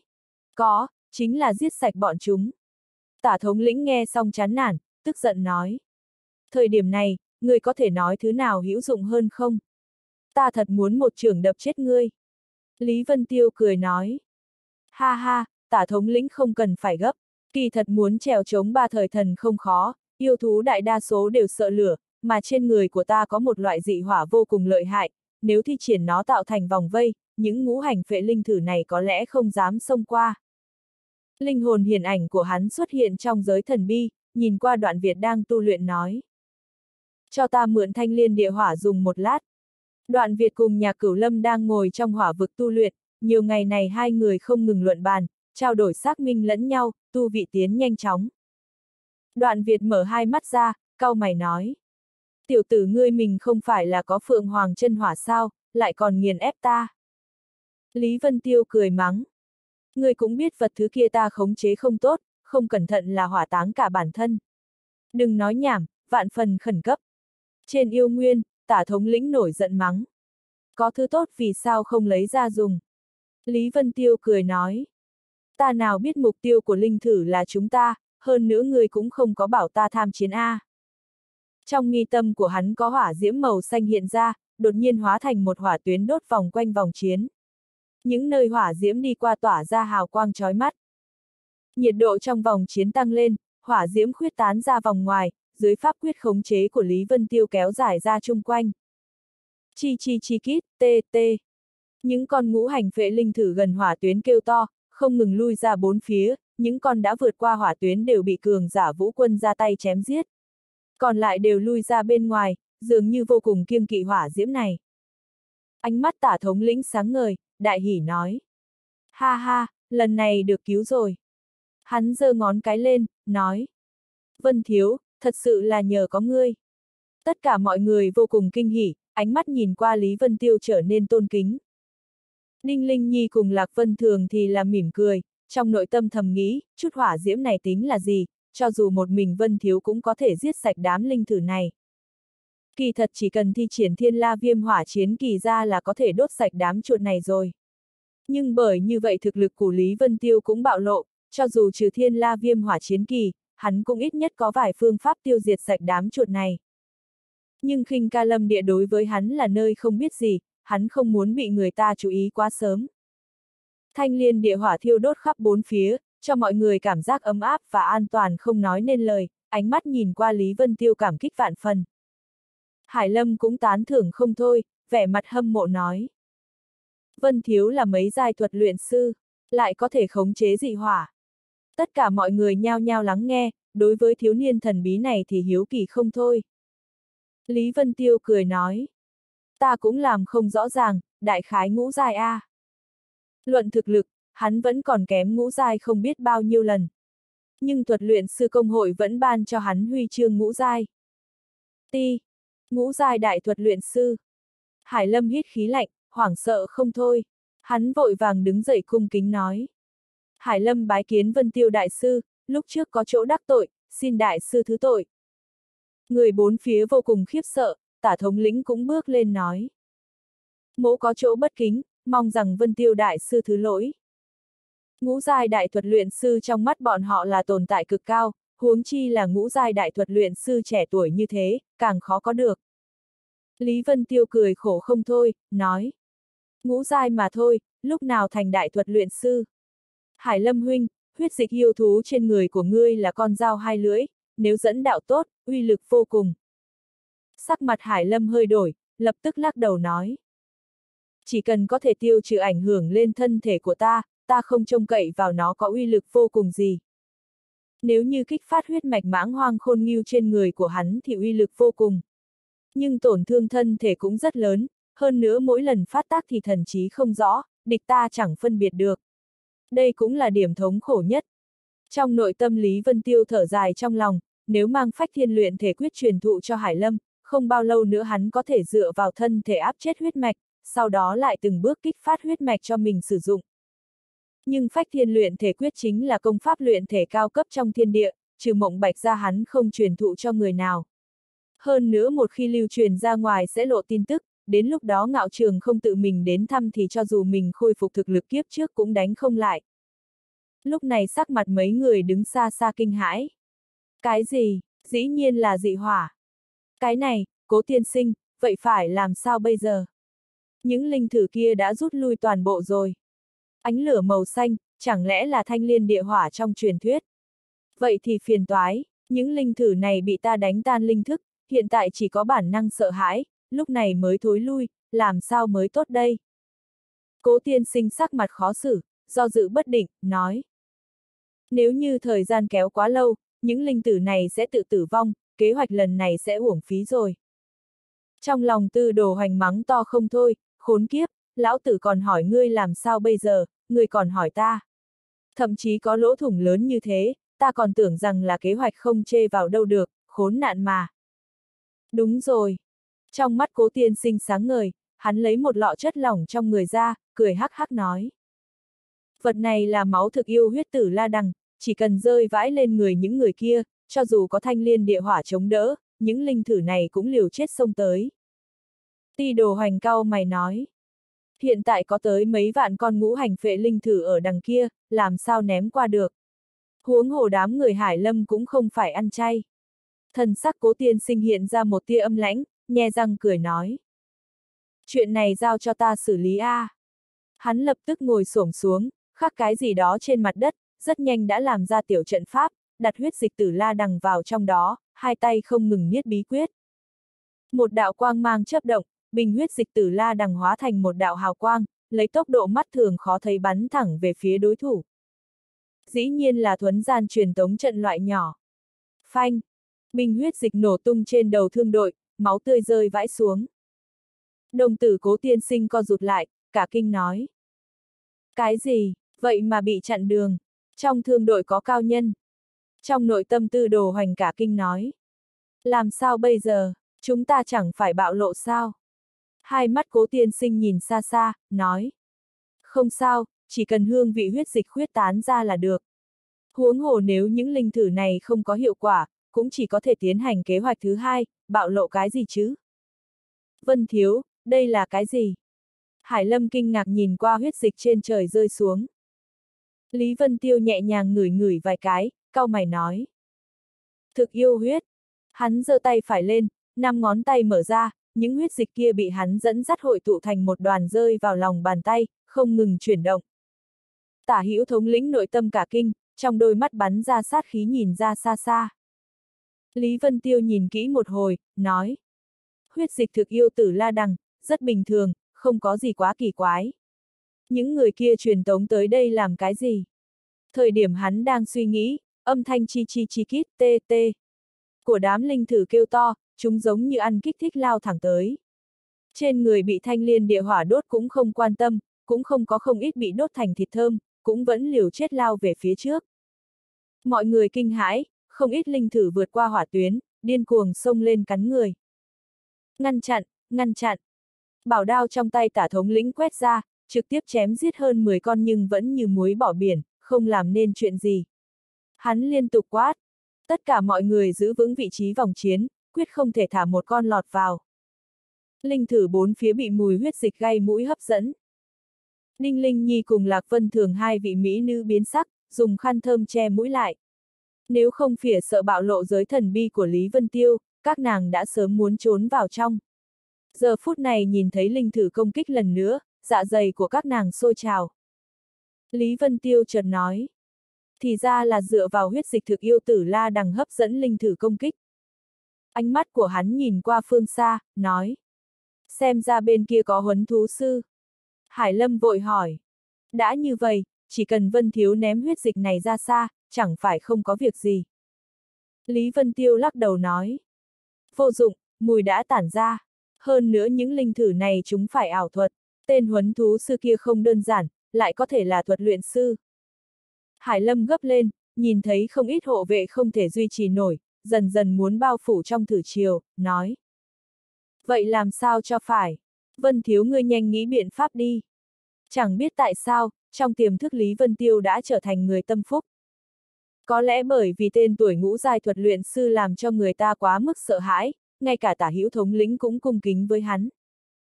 Lý Vân Tiêu nói, triệt để giải quyết sợ là khó, dù cho hai vị thống lĩnh lao tới giết bọn chúng, đám linh thử này vẫn công kích chúng ta. Nhưng mà giảm bớt vấn đề vẫn có thể. Hắn cầm huyết dịch đánh ra một trường, kình phong thổi qua thảo nguyên, đám huyết dịch xoay tròn, mùi huyết dịch nồng đậm tỏa ra, máu tươi vẫy ra, lập tức ngũ hành phệ linh thử cải biến phương hướng, lao thẳng về phía huyết dịch. Nhưng vẫn có không ít lưu lại đây. Lý Vân Tiêu nói, đợi cho bọn chúng cắn nuốt huyết dịch không còn, sẽ tiếp tục xông tới. Thanh liên địa hỏa sợ rằng không thể ủng hộ thời gian quá dài, đợi lát nữa ta sẽ mang hỏa diễm khuyết tán ra ngoài, nhưng chỉ có thể duy trì mấy hô hấp. Sau đó mọi người chuẩn bị sẵn sàng xung phong liều chết sông ra ngoài, chỉ cần tập trung lực lượng, giết ra vài dặm thì đám linh thử sẽ không đuổi theo đâu. Mọi người đều là biến sắc, biết rõ quyết định sinh tử thời điểm đến. Tả thống lĩnh quát lớn. Vận dụng toàn bộ tinh lực, thái điểu dòng binh đoàn chúng ta là dòng binh đoàn mạnh nhất thiên vũ giới, tất cả mọi người nuốt các loại linh đan vào đi, đợi lát nữa nghe hiệu lệnh của ta tạo thành hình mũi rùi thoát ra ngoài. Hồng Vũ, đợi lát nữa ngươi mở đường, ta ở lại bên cạnh thiếu gia, bảo hộ thiếu gia cùng Vân Tiêu đại sư. Hồng Vũ là hữu thống lĩnh, tả thống lĩnh tên là Chu Lôi, hai người tình như huynh đệ, đã sớm ăn ý với nhau. Hải Lâm dãy dụa nói. Tả thống lĩnh, ngươi và hữu thống lĩnh cùng mở đường, ta tự mình có thể chiếu cố bản thân, cũng chỉ là tam gia yêu thú mà thôi, đây là mệnh lệnh. Sắc mặt Chu Lôi trầm xuống, hoàn toàn không nghe lời hắn nói. Lý Vân Tiêu cười nói. Tả thống lĩnh, người cũng đi phía trước mở đường A. Có hai gã vũ tông ở phía trước có thể lao ra nhanh hơn. Hải Lâm huynh nơi này có ta cùng Linh Nhi, Vân Thường bảo hộ, không có việc gì. Hải Lâm đại hỉ nói. Đúng rồi, Linh Nhi tiểu tỷ cũng là Vũ Tông, còn có Vân Thiếu cùng Vân Thường tiểu thư đều là Vũ Vương cả.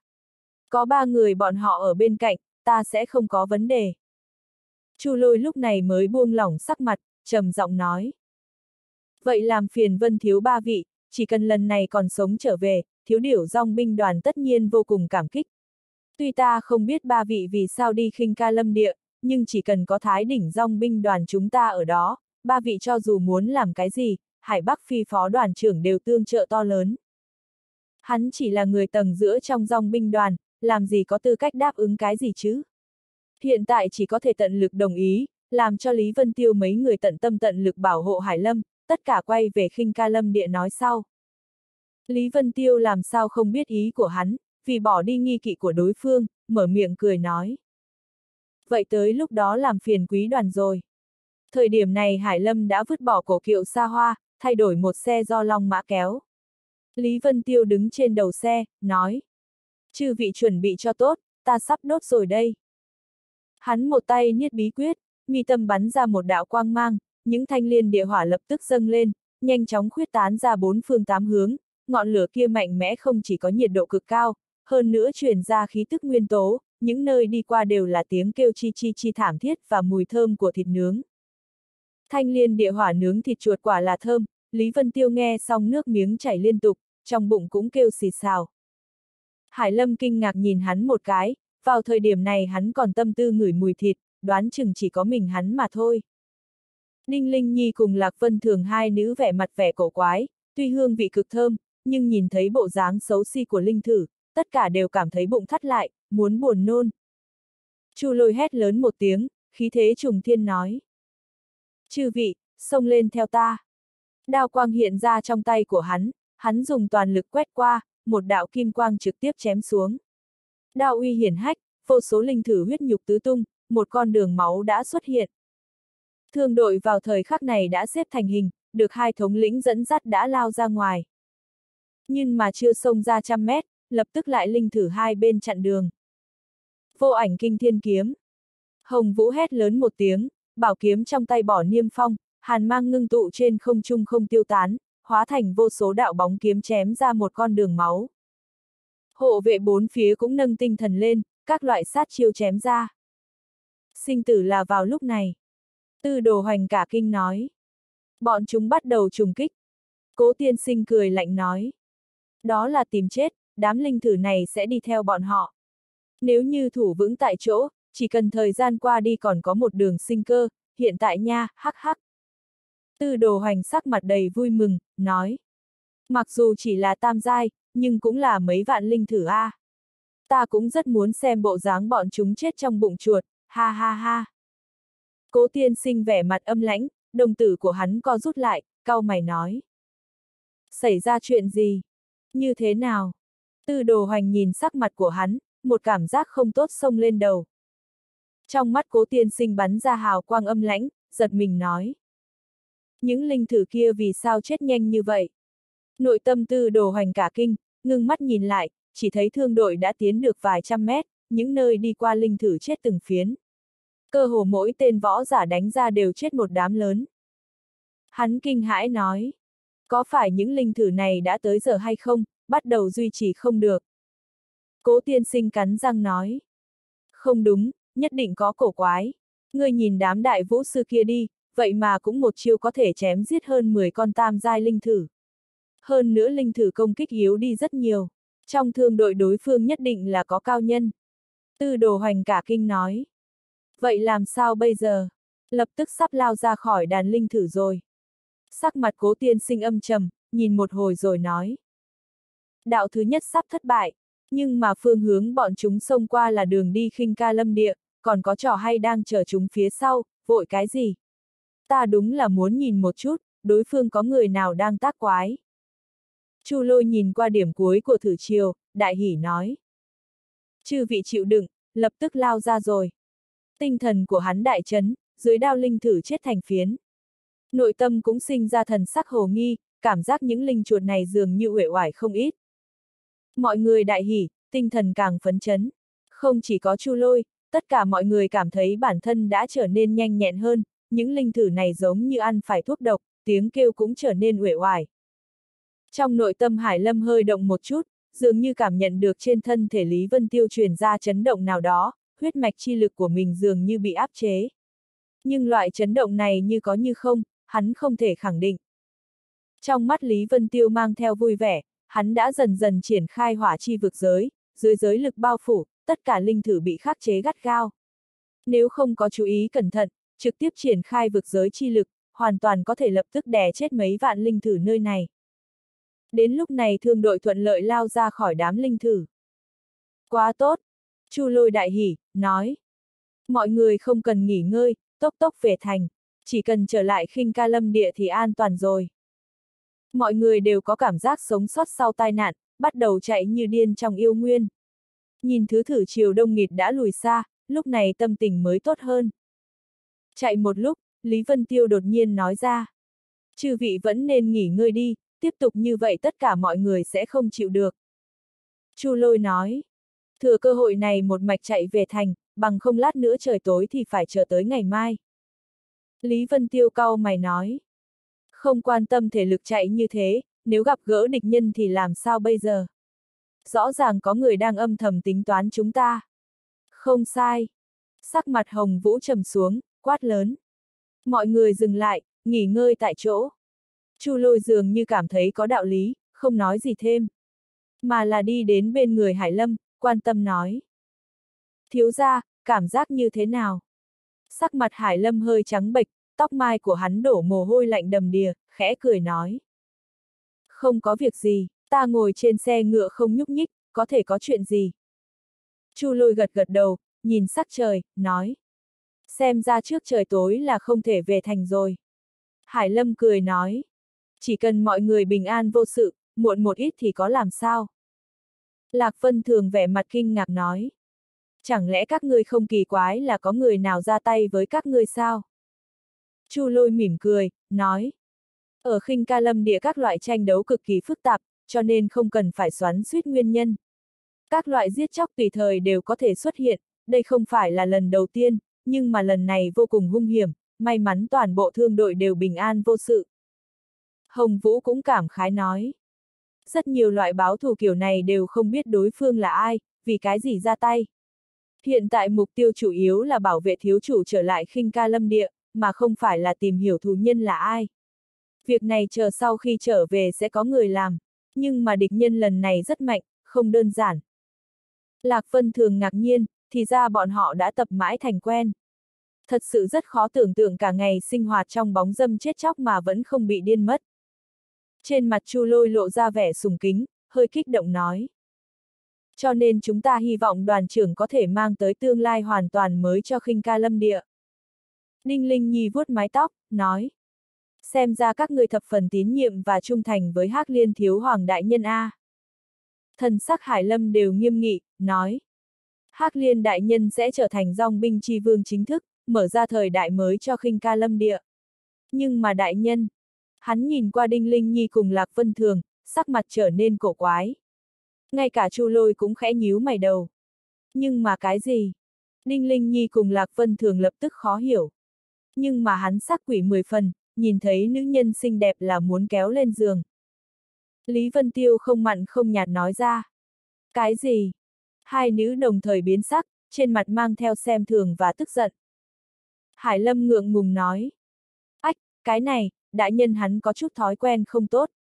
Nhưng mà hai vị yên tâm, các người cứu thương đội chúng ta, là ân nhân của Thái Điểu Dòng binh đoàn, đại nhân hắn sẽ không thế nào với hai vị. Lạc Vân thường cảm thấy hơi chóng mặt, nói. Nếu như không cứu các ngươi thì sao? Chu lôi cười nói. Hắc hắc, vậy phiền toái. Ninh Linh Nhi tức giận, mắng.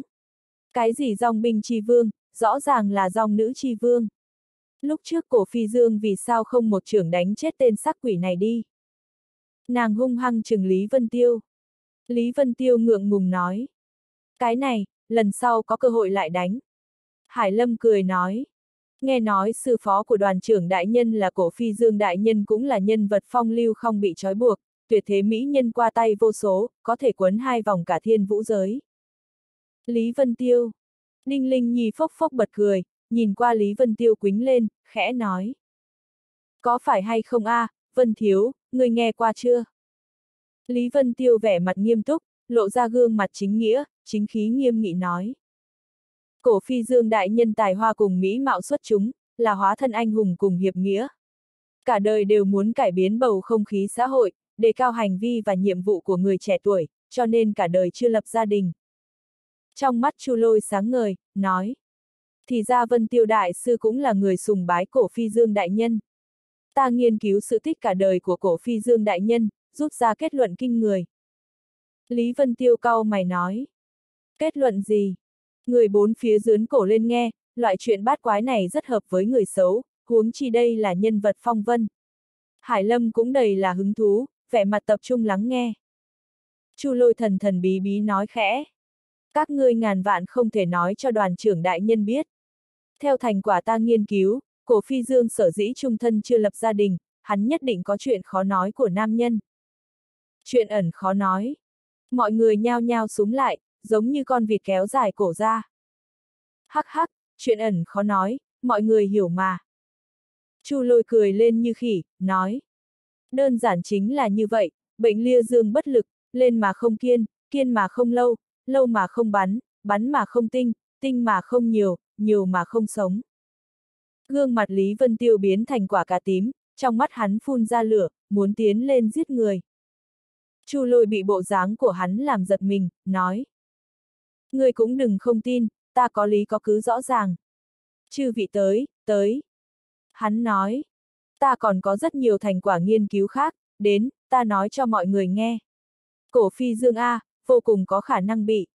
Một đám người lập tức hứng thú, nhao nhao gom góp lại, ngay cả Hải Lâm cũng từ trên xe ngựa bò xuống chen vào. Ninh Linh Nhi nhìn qua Lý Vân Tiêu, cười nói. Vân Thiếu, thật như thế không? Vậy ngươi có biện pháp chữa đấy?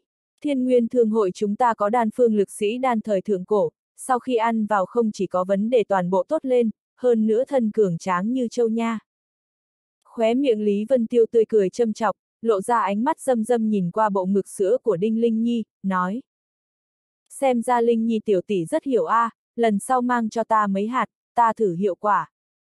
Đinh Linh Nhi thấy Lý Vân Tiêu cao thấp dò xét mình một lần, còn có nụ cười tà tà, lập tức mắc cỡ đỏ mặt. Nàng dù sao cũng là nữ hài tử, làm sao bằng kẻ lão luyện như Lý Vân Tiêu. Cả đám người cười rộ lên trong yêu nguyên, thỉnh thoảng còn cười vang. Một chút cũng không có cảm giác vừa thoát ly khỏi chém giết sinh tử. Mấy người giám sát ở xa vẻ mặt trầm xuống, ánh mắt đầy lo lắng. Tư đồ hoành xem một hồi, nói. Cố tiên sinh, bọn chúng dừng lại, làm sao bây giờ? Cố tiên sinh chán ghét nhìn hắn một cái, mắng. Người giàu gì cũng là cao thủ, vì sao suốt ngày hỏi vì sao thế? Ta bố trí ở phía trước, cho dù bọn chúng khôi phục thể lực cũng đừng mong xông qua. Ta đúng là muốn nhìn, cao nhân trong thương hội làm sao tiếp chiêu này của ta. Hai mắt của hắn có hào quang chấp động, trong mơ hồ có chút kích động. Tư đồ hoành bị khiển trách một câu, sắc mặt tức giận tái nhợt. Nhưng người trước mặt là cấp trên bỏ cái giá lớn mời tới, hắn cũng đắc tội không nổi, đành phải nuốt tức giận vào trong bụng, nội tâm an ủi ra phả của đối phương vài lần. Hừ, mặc ngươi có thủ đoạn thông thiên gì, cố nguyệt sinh ta đã bố trí thất chuyển nguyên linh trận, đương kim trần thế người có thể phá giải rác không có mấy. Trên mặt cố nguyệt sinh đầy cao ngạo, lạnh lùng nhìn chằm chằm vào phía trước. Thương đội nghỉ ngơi một lúc, bắt đầu chậm rãi tiến lên, đã không cách nào đi trong trời tối về nội thành, cho nên cũng không vội. Càng đi về phía trước chính là rừng cây, cũng là nơi địch nhân có khả năng mai phục. Không bằng nghỉ ngơi và khôi phục ở đây, sáng sớm ngày mai trực tiếp tiến lên. Thương đội đi qua khu đất bằng rộng lớn, Chu lôi ngắm nhìn qua xa xa, nói. Lại tiến lên ba dặm chính là khu vực nghỉ ngơi. Lý Vân Tiêu nhìn qua phía trước, đột nhiên nói ra. Ta ngược lại cảm thấy tiến vào trong rừng sẽ an toàn hơn, trên cánh đồng bát ngát này địch nhân sẽ ở chỗ sáng, chúng ta ở trong tối. Một khi cùng tiến vào rừng cây, dưới tình huống có hiểm hộ, tất cả mọi người sẽ không phát hiện lẫn nhau, đây là công bằng. Chu lôi sững sờ, trên mặt lộ ra vẻ cổ quái, cười nói. Ha ha, Vân Tiêu Đại Sư tuy thuật đạo kinh người, võ đạo cũng không tầm thường. Nhưng mà chuyện đánh cướp chỉ sợ ngươi không thường làm. Loại chuyện này có thể dùng bất cứ thủ đoạn tồi tệ nào, chỗ càng bí mật càng dễ ra tay. Thần sắc Lý Vân Tiêu hờ hững, không nói thêm gì nữa. Dùng thực lực của hắn bây giờ, trừ phi là đại cao thủ trong vũ hoàng, nếu không căn bản không làm gì được hắn. Mặc dù thật sự gặp tồn tại này, hắn cũng có đầy đủ lực bảo vệ mình. Cho nên cũng không thèm quan tâm. Rất nhanh, một khu rừng xuất hiện trước mặt mọi người. Chu lôi làm thủ thế dừng lại, nói. Hạ trại ngay chỗ này. Thương đội nhanh chóng dừng lại, dựng lên mấy lều vải, hơn phát đống lửa bốn phía phòng ngừa kẻ địch. Bọn họ quả nhiên dừng lại trước rừng cây. Tư đồ hoành, người dự tính quả nhiên hữu hiệu. Xa xa trong mắt cố nguyệt sinh sáng ngời. Tư đồ hoành cười hắc hắc, đắc ý nói. Hai con cá tạp chu lôi cùng hồng vũ này tuy tứ chi phát triển, nhưng đầu óc có hạn, ta tùy tiện suy nghĩ là có thể khám phá ý đồ của chúng. Cố Nguyệt Sinh không nói cái gì nữa, hắn nhìn qua chân trời xa xa, ánh mắt vẫn không nhúc nhích. Đột nhiên tư đồ hoành cảm thấy mất mặt, mấy lần muốn mở miệng hỏi thăm, lại sợ đối phương răn dậy, vẻ mặt nhàm chán đứng ở đó, dần dần dứt khoát nhắm mắt lại dưỡng thần. Đến. Đột nhiên cố Nguyệt Sinh nói ra, trong mắt của hắn xẹt qua một tia khác thường. Đột nhiên tư đồ hoành mở hai mắt, dọc theo ánh mắt của hắn nhìn lại, chỉ thấy dưới ánh mặt trời có ánh sáng, vốn là chỉ có một ngôi sao, sau đó chậm rãi nhiều lên, trong chu thiên tinh thần đột nhiên có một ngôi sao mày tím đong đưa, rốt cục thoát ly vị trí ban đầu rơi xuống. Thương đội đang hạ trại, Đinh Linh Nhi đột nhiên nhìn bầu trời, kinh hỉ nói. Mau nhìn, có sao băng. Trong thương đội đều là võ tu, không ít đã bắt đầu nhắm mắt tu luyện, không có người nào rãnh rỗi ngắm sao băng như nữ hài tử. Huống chi trên cánh đồng bát ngát này, lưu tinh mỗi ngày đều có, sớm đã xem buồn nôn rồi.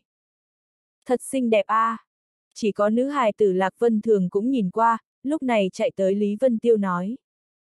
Vân Thiếu, người mau nhìn, cảnh đêm thật mỹ lệ. Lý Vân Tiêu cười khổ một tiếng, hắn cũng muốn tĩnh tâm tu luyện, bị đẩy không có biện pháp, đành phải đưa mắt nhìn lên.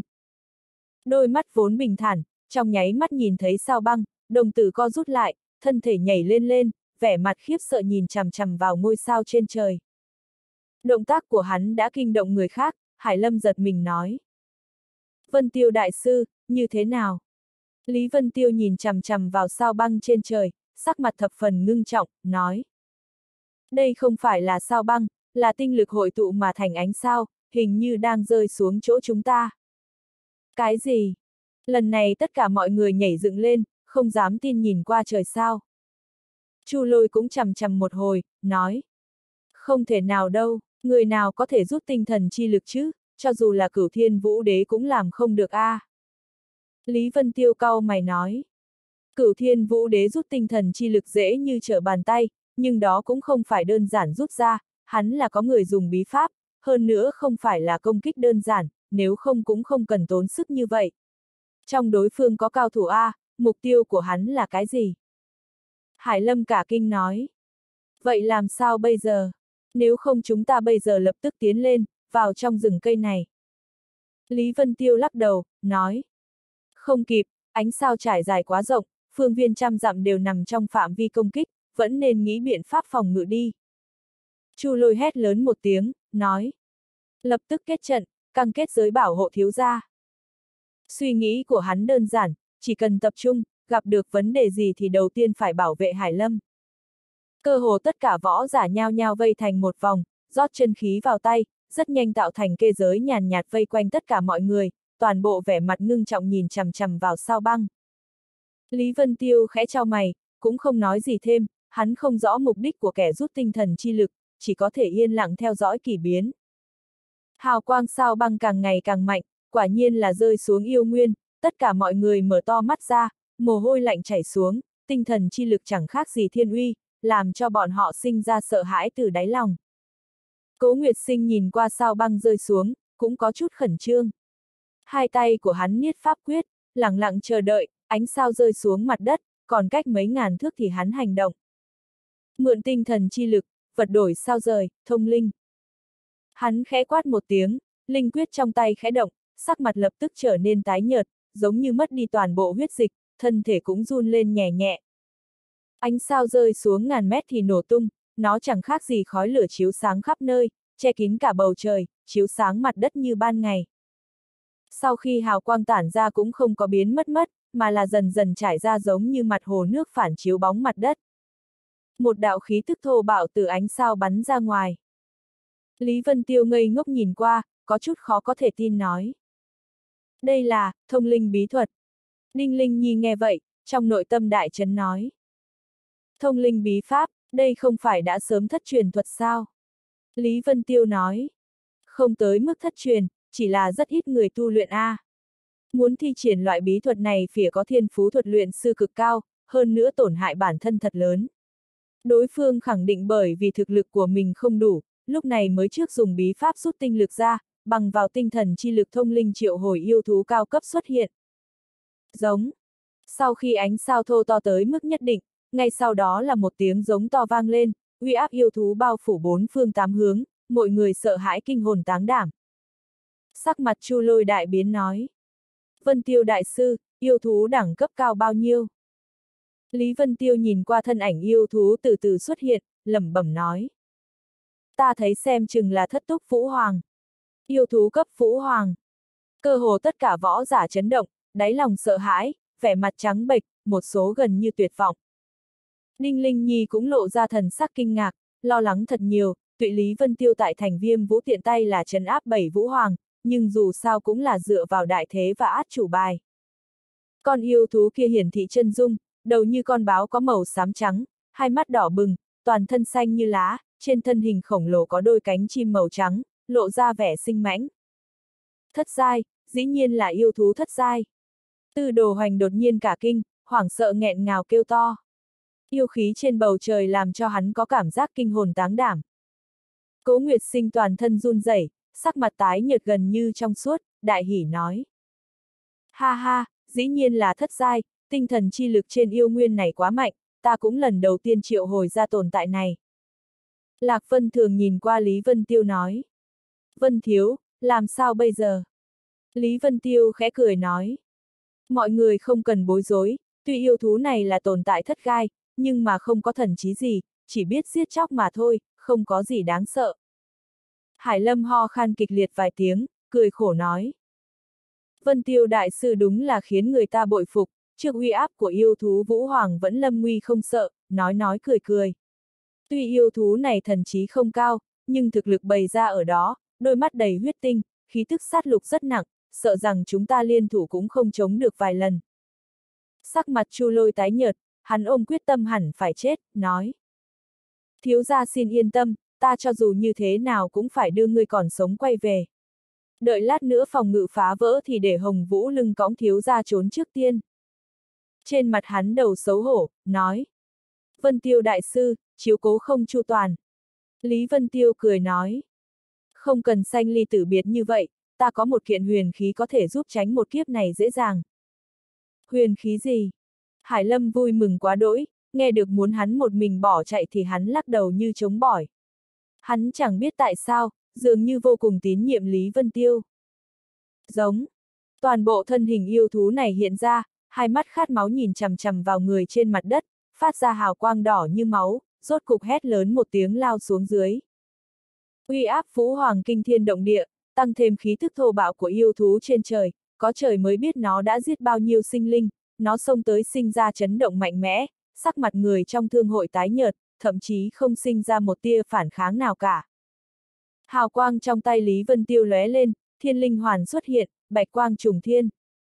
Hắn điểm ngón tay một cái, thiên linh hoàn bay ra ngoài, trực tiếp bay ra khỏi kết giới phòng hộ, nó mở lớn trên không trung, mở rộng vô hạn, hoàn toàn trải rộng song song với ánh sao trên trời, giống như hai mặt nước phản chiếu nhau. Ánh mắt yêu thú đỏ tươi mang theo thần thái miệt thị, hai vuốt của nó mang theo lực lượng to lớn, gầm thét giống như muốn đánh nát mặt nước. Tư đồ hoành ở xa xa cả kinh nói. Đó là huyền khí gì? Từ khí vận thì đó là thất giai huyền khí. Cố Nguyệt Sinh cũng nhướng mày, lập tức cười nhạo nói. Hừ, thất giai huyền khí thì như thế nào? Có thể chống được yêu thú vũ hoàng hay sao? Hắn vừa nói xong đã nhìn thấy yêu thú nhảy vào trong thiên linh hoàn, cả thân ảnh hoàn toàn biến mất không thấy gì nữa. Cùng yêu thú biến mất còn có yêu khí và uy áp ngập trời kia, sau mấy hô hấp đã không còn gì nữa. Sau đó nhìn thấy thiên linh hoàn biến thành nhỏ như nắm tay, bay vào trong thương đội.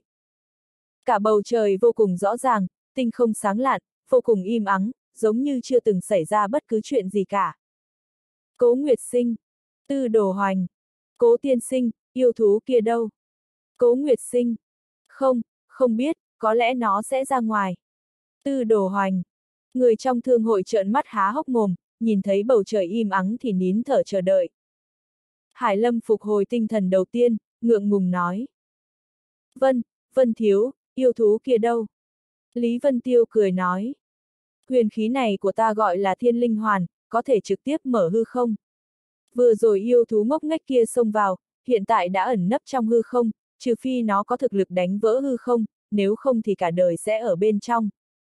Chu lôi cũng phục hồi tinh thần lại, há hốc mồm, nói. Một yêu thú thất giai vũ hoàng cứ như vậy đã xong. Lý Vân Tiêu lườm hắn một cái nói. Nếu ngươi ngại chưa đã ghiền, ta có thể mở hư không lần nữa, cho ngươi đi vào so chiêu với nó. Chu lôi lập tức biến sắc, liên tục khoát tay.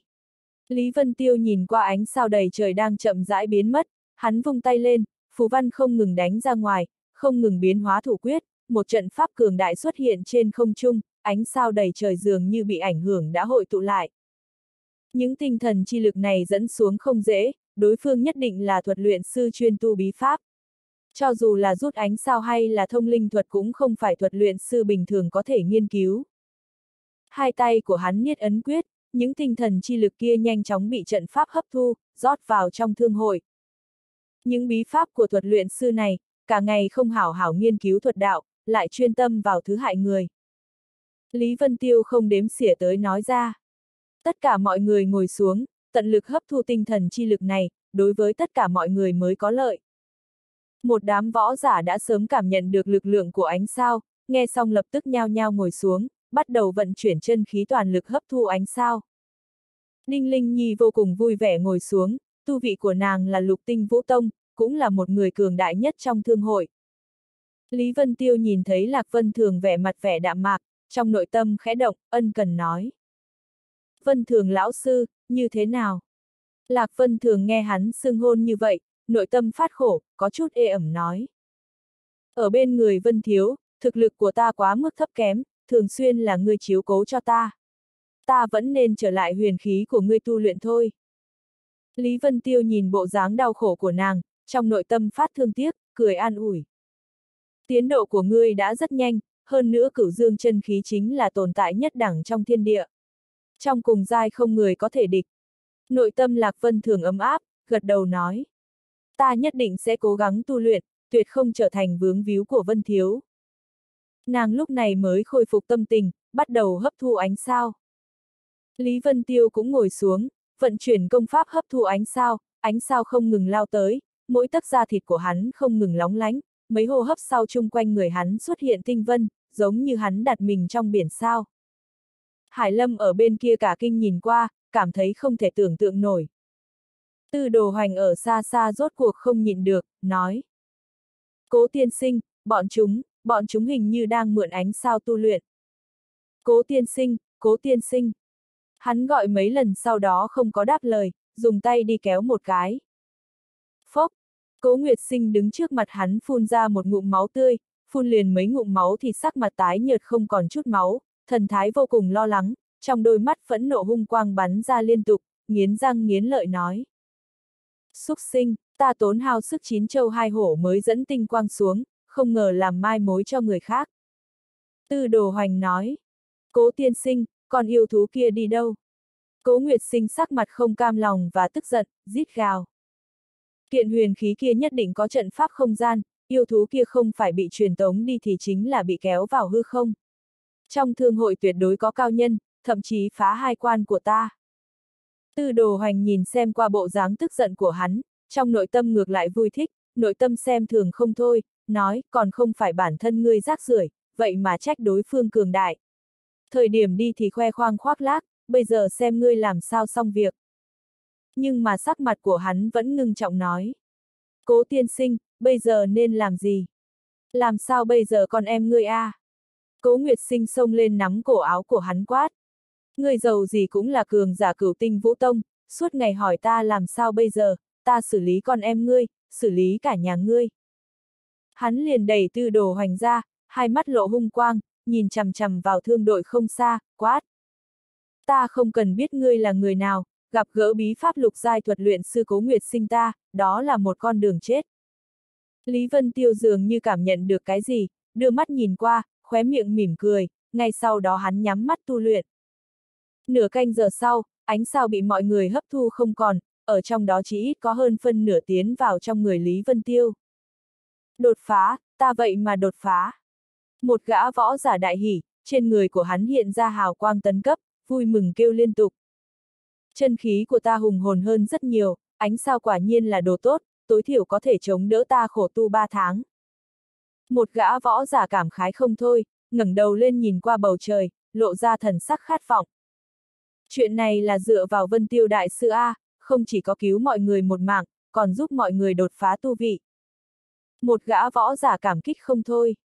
Lời này lập tức khiến cho mọi người cộng minh, nhao nhao nhìn qua Lý Vân Tiêu, chỉ thấy trên người của hắn xuất hiện hào quang tấn cấp. Vân Tiêu Đại Sư cũng đột phá. Vẻ mặt Hải Lâm hâm mộ nói. Vân Tiêu Đại Sư thật sự là tuyệt thế thiên tài, thuật võ song đạo đều không tầm thường. Chu lôi cũng nheo mắt nhìn qua, trong lòng nghiêm nghị thầm nghĩ, 15 tuổi tam tinh vũ vương, hơn nữa còn là ngũ giai đại thuật luyện sư, thật sự là thiên phú dị bẩm.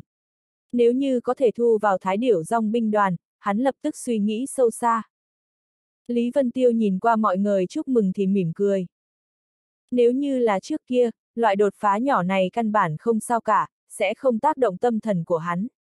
Nhưng hiện tại hắn khát vọng khôi phục thực lực lớn nhất kiếp trước, một bước tiến nhỏ cũng làm hắn mừng rỡ. Lý Vân Tiêu nhìn Chu Lôi nói. Tả thống lĩnh, chúng ta còn tiếp tục chạy đi a, à, thừa lúc còn sớm đi tới khinh ca lâm địa. Đêm tối với đối phương mà nói chính là chướng ngại đi đường. Chu lôi cao mày nói.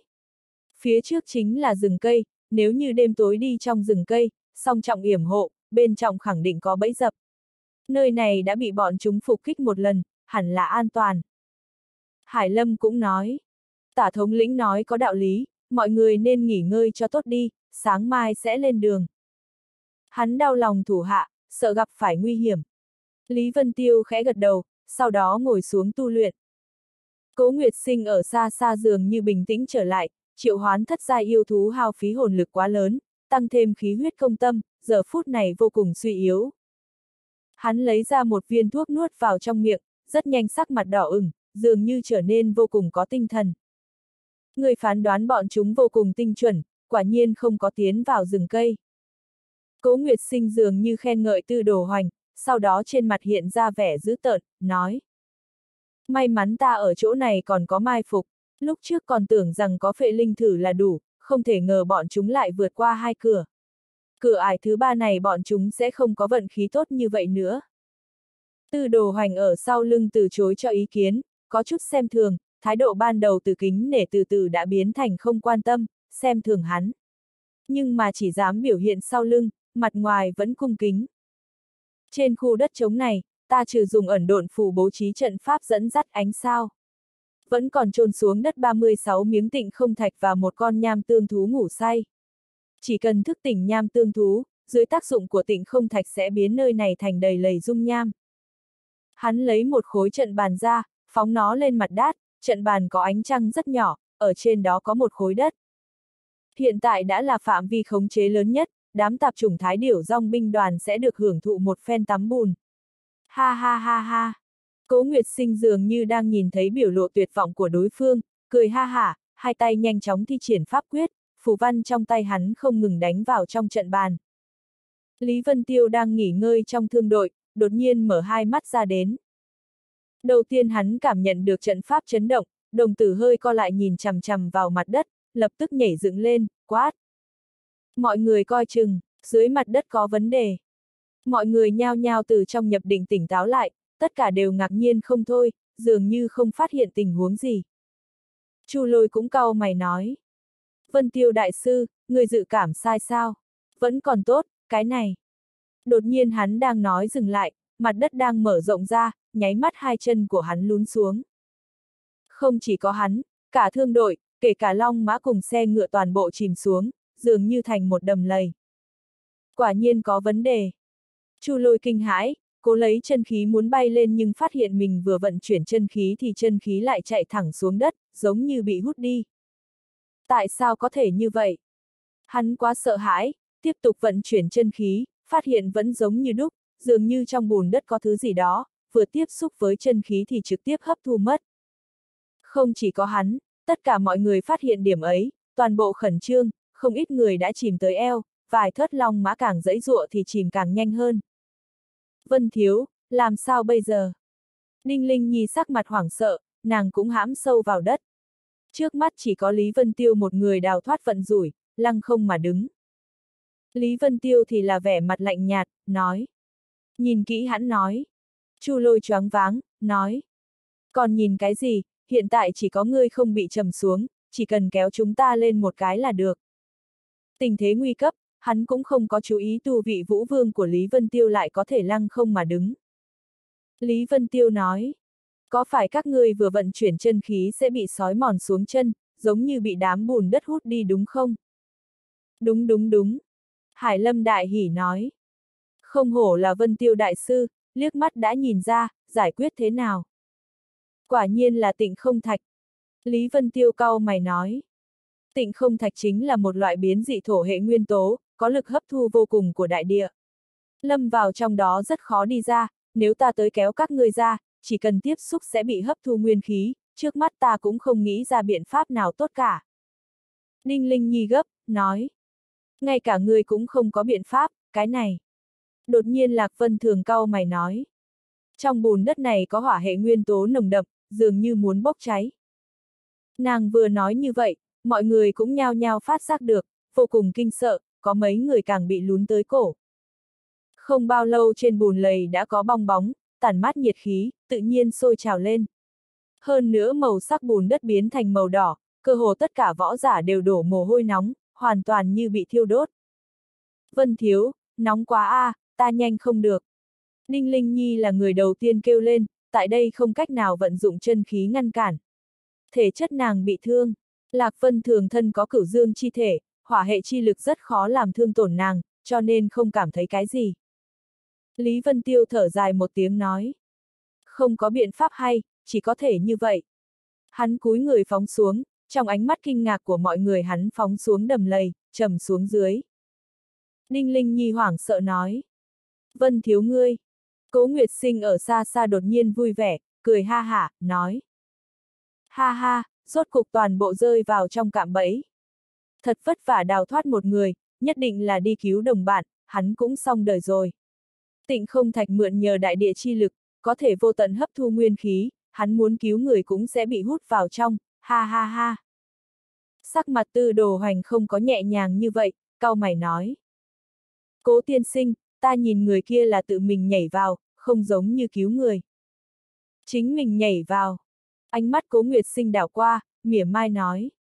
Tư đồ đại nhân quả nhiên rất thông minh, nếu không ngươi cũng nhảy xuống thử xem. Chơi rất tốt đấy. Tư đồ hoành hừ lạnh một tiếng, mặt âm trầm không nói thêm gì nữa. Tốt, có thể qua đi thu thập chiến lợi phẩm. Cố Nguyệt Sinh thu hồi trận bàn, muốn đi qua. Vẫn chờ một chút đi, chờ bọn chúng bị nướng chảy thì đi qua cũng không muộn. Tư đồ hoành dường như có chút băn khoăn. Cố Nguyệt Sinh khinh thường nói. Hừ, khô lâu dòng binh đoàn đều là thế hệ sợ chết sao. Dưới tác dụng của tỉnh không thạch thì không có kẻ nào đào thoát được cả. Hắn chạy về phía trước. Tư đồ hoành nghĩ một lát, cũng hiểu được có lẽ vấn đề không lớn, lập tức theo sát phía sau. Sau lưng còn có năm đạo thân ảnh cùng bay lên trời, giống như năm bóng dáng. Ha ha, quả nhiên đều chìm xuống. Cố Nguyệt sinh bảy người rất nhanh nổi trên không trung đầm lầy, lạnh lùng nhìn qua dung nham bọt khí bên dưới, nhiệt khí bức người và cũng không còn người nào. Đáng tiếc, không biết chút nào về tên cao nhân trong thương đội này. Nhưng mà dù là cao nhân, gặp phải cố nguyệt sinh ta cũng chỉ có vẫn lạc mà thôi. Tốt, nhiệm vụ chấm dứt, chúng ta trở về phục mệnh A. Tư đồ hoành nói. Cái này, cố tiên sinh, cấp trên nói muốn mang Hải Lâm về A, cho dù chết cũng phải thấy thi thể. Hừ, thi thể. Cố Nguyệt Sinh không vui nói. Phía dưới là dung nham, hơn nữa có tịnh không thạch, không cách nào vận chuyển chân khí, ngươi cho rằng sẽ có thi thể sao? Tư đồ hoành nhíu mày, dường như thập phần khó xử, nói. Trước khi đi Vũ Đại Nhân đã thông báo, cho dù như thế nào cũng phải mang thi thể trở về, chuyện này làm cho ta giải quyết thế nào cho phải. Có thể lấy đám tịnh không thạch ra, ta xuống xem thử. Cố Nguyệt Sinh không kiên nhẫn, nói. Tịnh không thạch điểm nóng chảy không cao, đoán chừng nửa ngày sau sẽ tiêu tan sạch. Nhưng mà khi đó những người này hài cốt cũng không còn. Không phải chỉ là tên thiếu gia phế vật sao? Muốn thi thể làm gì vậy? Xác nhận hắn chết là được. Đúng vậy a, à, muốn thân thể Hải Lâm làm gì vậy? Chẳng lẽ là vì huyết mạch trong người của hắn? Đột nhiên một giọng nói không hài hòa từ trong dung nham truyền tới. Mọi người đều hoảng hốt, nhao nhao mở to mắt ra, nhìn thấy cảnh không tưởng tượng nổi. Chỉ thấy trong dung nham đang nóng chảy bắt đầu xuất hiện vòng xoáy nhỏ, lập tức chậm rãi mở rộng ra, một đạo thân ảnh từ trong đó chậm rãi bay lên, thật sự là Lý Vân Tiêu, hắn tươi cười sáng lạn, híp mắt nói. Các ngươi vừa mới nói Vũ Đại Nhân, có phải là muốn tinh luyện huyết mạch chi lực? Chi, ngươi là ai? Bảy người toàn bộ hoảng sợ lui về phía sau, sắc mặt tư đồ hoành đại biến, sát khí lạnh thấu xương thoát thể mà ra, trực tiếp tập trung đối phương. Hành động lần này vô cùng bí mật, cấp trên yêu cầu là đạt được thi thể Hải Lâm, nếu như không cách nào hoàn thành nhiệm vụ, ít nhất phải làm không bạo lộ hành tung. Hiện tại không chỉ có thân thể không có được, hành tung cũng bộc lộ ra. Mà ngay cả khô lâu dòng binh đoàn cực kỳ thần bí Vũ Tiên Sinh cũng bị đối phương biết rõ, như vây. Chỉ có toàn bộ giết chết. Nếu không trở về tất nhiên không thoát khỏi trọng trách. Sắc mặt cố tiên sinh âm trầm xuống, lạnh lùng nói. Ngươi chính là người phá hoại hai quan của ta. Ngươi bao nhiêu tuổi, là mấy giai thuật luyện sư. Từ hồn lực chấn động của đối phương truyền ra, tuyệt đối là thuật luyện sư không thể nghi ngờ. Nhưng làm cho nội tâm của hắn khiếp sợ là, hắn vậy mà nhìn không ra đẳng cấp của đối phương, chỉ có thể nhìn thấy tuổi, mà đối phương mới 15 tuổi. Hai quan. Lý Vân Tiêu mỉm cười chỉ vào phía dưới nói. Lần này có tính là một quan không? Cố tiên sinh tức giận dâng trào, hắn bị tổn thương tự tôn cực lớn, tức giận nói. Tiểu tử, ngươi là môn phái nào, sư thừa ở đâu? Lý Vân Tiêu lãnh đạm nói. Sư thừa của ta là ai ngươi không cần biết rõ, nhưng mà ta lại cảm thấy hứng thú với ngươi đấy. Thiên phú coi như không tệ, ngũ giai thuật đạo, nhưng mà một lòng nghiên cứu bí pháp nhàm chán, nếu không thành tựu quả quyết không chỉ như vậy. Nhìn tổ của ngươi không tới 30 nha, chật chật, coi như không tệ. Lời này nếu như là những người khác nói nghe thật thoải mái. Nhưng từ một tên ngũ giai thuật luyện sư 15 tuổi nói ra, lọt vào trong tai cố nguyệt sinh chính là châm chọc cực lớn. Tiểu tử, muốn chết. Hắn giận tím mặt, quát. Đừng tưởng rằng có chút thiên phú thì có bộ dáng lão tử đệ nhất thiên hạ, ta hôm nay sẽ giáo dục ngươi tôn trọng tiền bối thuật đạo thế nào. Ngũ chú, kính hoa. Đột nhiên trên người của hắn bắn ra một đạo tà thuật, làm cho không gian chấn động, dường như trong vặn vẹo còn có lực phá hoại. Lý Vân Tiêu bật cười khanh khách. Tinh thần công kích. Hắn cười nói. Tinh thần công kích đúng là không tệ, nhưng làm sao lại có tà khí như thế? Hảo hảo chính đạo không đi, lại đi chui vào con đường tà đạo. Hắn vươn tay ra, năm ngón tay mở ra đẩy về phía trước. Không gian vặn vẹo chậm lại, đã bị lực cản lớn lao, lập tức lui về, nháy mắt khôi phục trạng thái bình thường. Chi? Cố Nguyệt sinh hoảng sợ la thất thanh. Hồn lực chấn động thật mạnh, ngươi rốt cuộc là mấy giai. Hắn dốc sức liều mạng lắc đầu, nói. Không có khả năng, ngươi mới 15 tuổi, sao có thể nghịch thiên như thế? Ta không tin. Thần lực hiện. Hắn giống to một tiếng, trên người bắn ra hào quang màu xanh xoay tròn quanh người, hóa thành một đồ án, tầng tầng trải ra. Sắc mặt cố nguyệt sinh dưới ánh sáng xanh càng trở nên yêu dị. Huyết mạch chi lực. Lý Vân Tiêu khiếp sợ nhìn biến hóa trên người của hắn, lập tức lắc đầu nói. Không đúng, mặc dù có chút yêu dị nhưng không phải huyết mạch chi lực. Lúc này mắt trái cố nguyệt sinh bắt đầu phồng lên, chậm rãi lồi ra, trở nên cực kỳ khủng bố, vậy mà chiếm cứ non nửa gương mặt, chung quanh ánh mắt gân xanh nổi lên che kín cả đầu lâu. Đám người tư đồ hoành sau lưng biến sắc, dường như cảm nhận được không khỏe, lại lui ra mấy chục bước đứng nhìn. Lý Vân Tiêu mới ngạc nhiên, cả kinh nói. Ngươi, ánh mắt của ngươi, thái cổ thiên mục. Toàn thân cố nguyệt sinh mồ hôi lạnh đầm đìa, loại biến hóa này dường như cực kỳ khó chịu, nhưng hắn vẫn không nhịn được cất tiếng cười to, nói. Ha ha, không tệ, ngươi quả nhiên có kiến thức, chính là thần nhãn thái cổ thiên mục nhất tộc, bị ta đoạt được. Ta nhìn ngươi làm sao đấu với ta. Con mắt của hắn tỏa ra hào quang vô cùng yêu dị, trong lúc này đồng tử co rút lại, dần dần thu nhỏ biến thành yêu nguyệt màu đen. Chi, chiêu này phải. Tâm thần Lý Vân Tiêu đại chấn, một đạo tinh thần lực rất mạnh từ bốn phương tám hướng áp tới, hắn thật giống như hãm sâu vào trong thủy triều, thức hải bắt đầu bị áp lực thật lớn trùng kích, tùy thời sẽ bị phá vỡ. Ha ha! Cố Nguyệt Sinh ngửa mặt lên trời cười to, tuy trên mặt của hắn vẫn thống khổ, nhưng hiển nhiên rất vui vẻ, nhe răng cười nói. Xem ra thân phận của ngươi đúng là không tầm thường, thậm chí ngay cả chiêu thức của ta cũng nhận ra. Không tệ, chiêu này chính là cổ phi dương năm đó. Đồng thuật Nguyệt khuyết A. Nhìn thấy vẻ mặt Lý Vân Tiêu kinh hãi thần sắc, cố Nguyệt sinh dương dương đắc y nói. Trong thập đại vũ đế ai cũng có sở trường riêng, mà cổ phi dương chính là người có tinh thần công kích đệ nhất thiên vũ giới, ta có được thái cổ thiên mục, còn có đồng thuật của cổ phi dương, ta nhìn ngươi làm sao đấu với ta. Lý Vân Tiêu vội vàng vận chuyển đại diễn thần quyết, thức hải của hắn từ từ ổn định lại, trên tinh thần của hắn có kim quang bao phủ, ngăn cách tinh thần lực này ra. Đây là lần đầu tiên hắn bị đồng thuật của mình công kích, lúc này mới biết được đồng thuật của mình khủng bố và đáng sợ như vậy, nếu không có đại diễn thần quyết, trong nháy mắt thất thần vừa rồi, nếu không phải đối phương nói nhảm thì hắn đã chết, trong khi võ giả chém giết, đây tuyệt đối là chí mạng. Hơn nữa mặc dù vận chuyển đại diễn thần quyết cũng cảm thấy đối kháng tinh thần công kích này vẫn cố hết sức. Thái cổ thiên mục sinh ra chấn nhiếp cực kỳ cường đại, cơ hồ muốn tan giã thần quyết chi lực của hắn. Thái cổ thiên mục nhất tộc, quả nhiên đáng sợ. Tư đồ hoành sau lưng sắc mặt ngưng trọng, tuy hắn không nhìn ra sắc mặt cố nguyệt sinh biến hóa, nhưng mà ý cảnh cổ xưa truyền ra làm hắn sợ hãi. Lý Vân Tiêu biết không thể kéo dài, mình nhất thời chủ quang bị tinh thần công kích đối thủ chiếm thượng phong, hiện tại hắn cực kỳ bị động. Phải vội vàng chấn áp hắn, nếu không một lúc sau thức hải bị đối phương công phá, vậy đó là vạn kiếp bất phục. Hào quang trong tay lóe lên, một kiện cổ trung xuất hiện trong tay của hắn. Hoàng chiêu trung, nhất chiêu nhất thế kỷ. Đang, g. Một tiếng chuông từ hư vô viễn cổ truyền tới, phong cách viễn cổ truyền ra từng hồi quấy dày sóng tinh thần của thái cổ thiên mục, trong không gian xuất hiện tiểu linh áp, hai chủng lực lượng đang thôn phệ lẫn nhau. Cố Nguyệt sinh biến sắc, hoảng sợ nhìn chằm chằm vào cổ trung, cả kinh nói. Ngươi, ngươi vậy mà ngăn cản đồng thuật nguyệt khuyết của ta. Đây là huyền khí gì? Đang, gờ. Lại có tiếng trung vang lên, đạo âm truyền tới, giống như sóng biển từ bốn phương tám hướng lan tới, trên đường đi đẩy lùi tất cả lực lượng ngăn cản.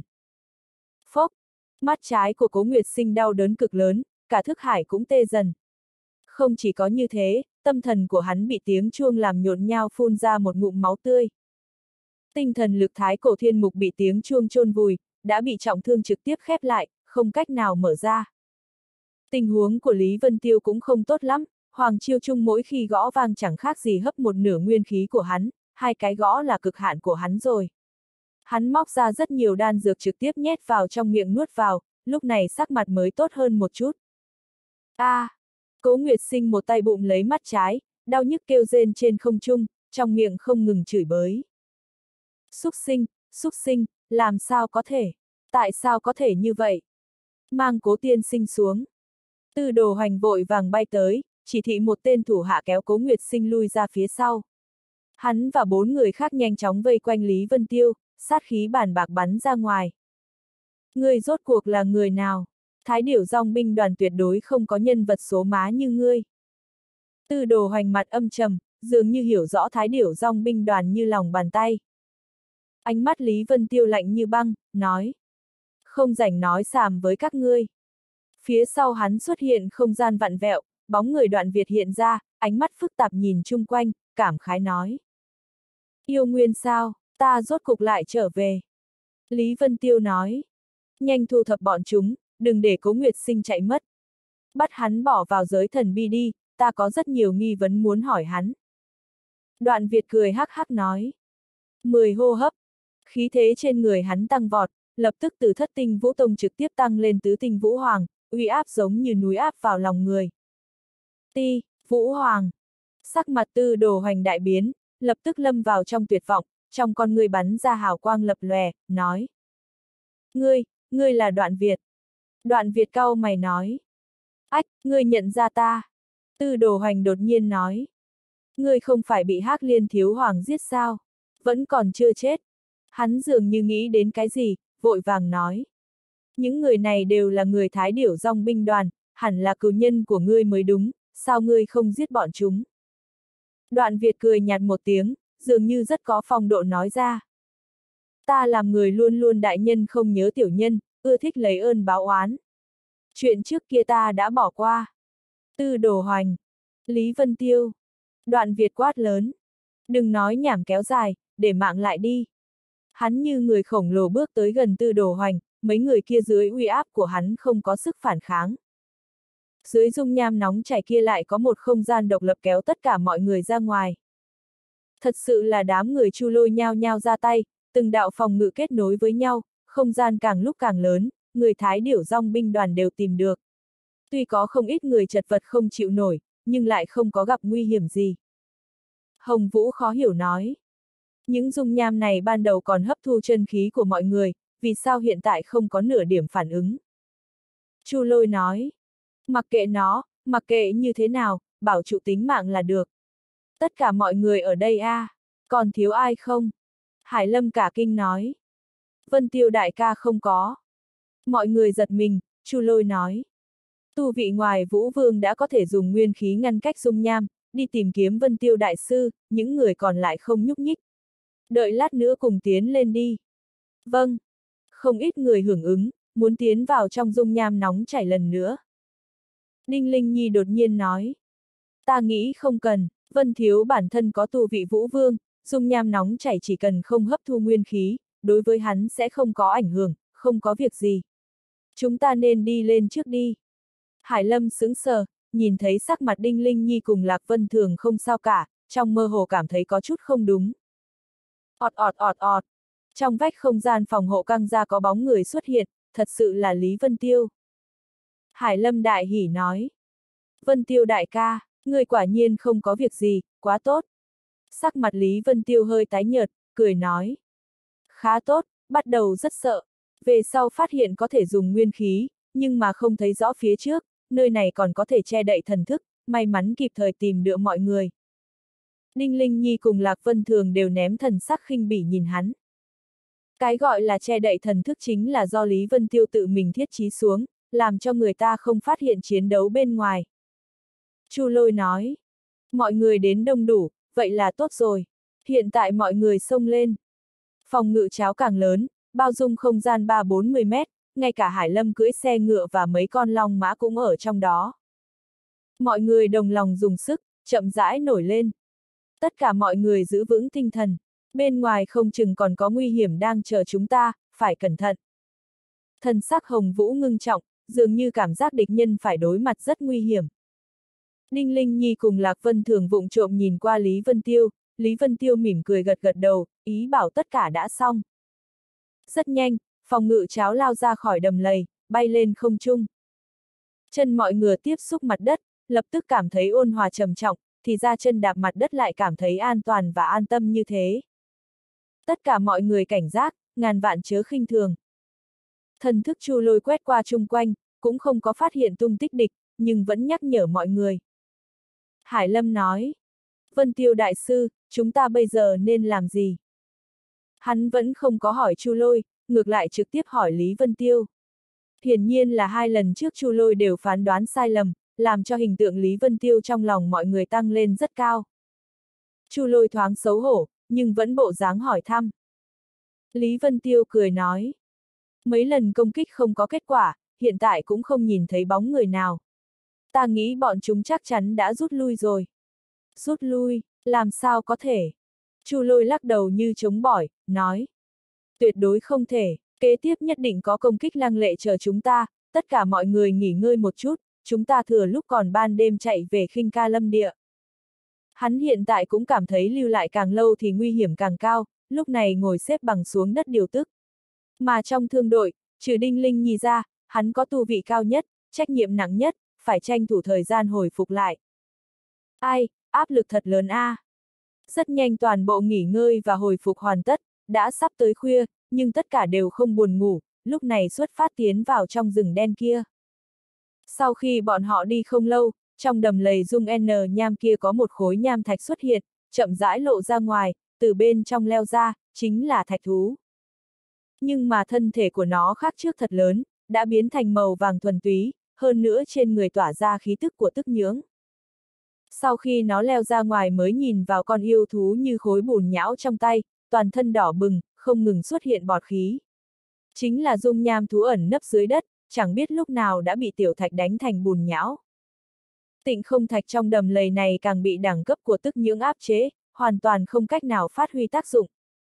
Đại địa tức nhưỡng chính là đại địa chi mẫu, tồn tại ở thời điểm khai thiên tích địa, diễn hóa vạn vật.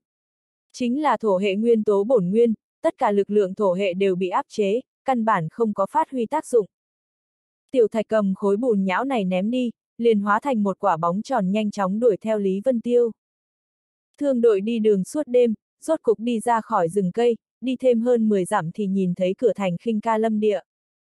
Dọc theo con đường này trừ một ít yêu thú cấp thấp dễ dàng bị đổ sát ra, thật sự không gặp phải bất cứ nguy hiểm gì. Vân Tiêu đại ca quả nhiên lợi hại, bọn chúng thật sự biết khó mà lui. Hải Lâm vẻ mặt sùng bái, nhưng càng nhiều hơn chính là vui mừng. Rốt cục trở lại khinh ca lâm địa. Hải Lâm đứng trên đầu xa, hô to đầu tiên, chẳng khác gì tiểu hài tử vừa xa nhà, hắn hưng phấn nhìn Lý Vân Tiêu nói ra. Sau khi vào thành, Vân Tiêu đại ca nhất định phải tới nhà của ta làm khách. Chu lôi vui vẻ, nói.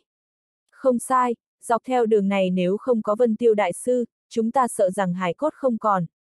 Sau khi vào thành, phó đoàn trưởng chắc chắn sẽ cảm tạ Vân Tiêu đại sư. Lý Vân Tiêu nói. Vậy làm phiền. Hộ vệ cửa thành nhìn thấy thương đội, lập tức nhận ra Chu Lôi, vội vàng mở cửa thành ra cho đi vào. Đám người nhanh chóng tiến vào trong thành. Bên trong hối hả, vô cùng náo nhiệt, mỗi người trên mặt đang tươi cười, dường như hoàn toàn khác với cái tên thành của tội ác. Hải Lâm cười nói. Vân Tiêu đại ca, Linh Nhi tỷ tỷ, Vân Thường tỷ tỷ, các ngươi đừng nhìn đám người này bộ dáng vô hại, tâm địa thiện lương, kỳ thật tất cả đều là đại ác ma. Ngươi nhìn lão thái bà bán trứng gà kia đi, đừng tưởng rằng bà ta bộ dáng rất lương thiện, trên cả con đường này bà ta là độc nhất, võ giả chết trong tay bà ta không một vạn cũng tám ngàn. Trong lòng Đinh Linh Nhi dùng mình, nhưng mà vẫn lạnh nhạt. Thân là người phụ trách thương hội một phương, đủ loại nhân vật nàng đã tiếp xúc qua, cũng thấy mà không thể trách. Lạc Vân thường thì đơn thuần hơn nhiều, như thế nào cũng không tin. Liếc nhìn thấy lão thái bà tóc trắng xóa, thân thể suy yếu mà nhỏ gầy, giống như một cơn gió thổi qua là có thể quét bay, đang dùng bàn tay khô gầy run run như cây khô cầm cái rổ, trứng gà bên trong chẳng khác gì bảo bối của bà ta. Lão thái bà dường như phát giác có người nghị luận về mình, gương mặt đầy nếp nhăn nhìn qua, hướng về phía Lạc Vân Thường cười cười, cảm giác lạnh cả người lan tràn toàn thân Lạc Vân Thường, nụ cười kia làm tâm thân của nàng run rẩy, vội vàng vận chuyển cửu dương chân khí xua tán sợ hãi này, thuận thế quay đầu đi không dám nhìn nữa. Trong mắt lão thái bà rất kinh ngạc, dường như đang giật mình. Lúc này nhìn thấy một tiểu nam hài đeo cái yếm ngồi xổm ở xóm nhỏ, không ngừng đá cục đá. Lạc Vân Thường mỉm cười, nói. Tiểu nam hài này chắc không phải người xấu a. À. Tiểu nam hài bộ dáng 7-8 tuổi, quay đầu nhìn Lạc Vân Thường, trên mặt của hắn cười dâm đáng không xứng với tuổi của hắn, dùng ngữ khí dâm tục nói. Hắc hắc, cô nàng từ nơi nào tới, thật là xinh đẹp, để lão phu hưởng thụ trước.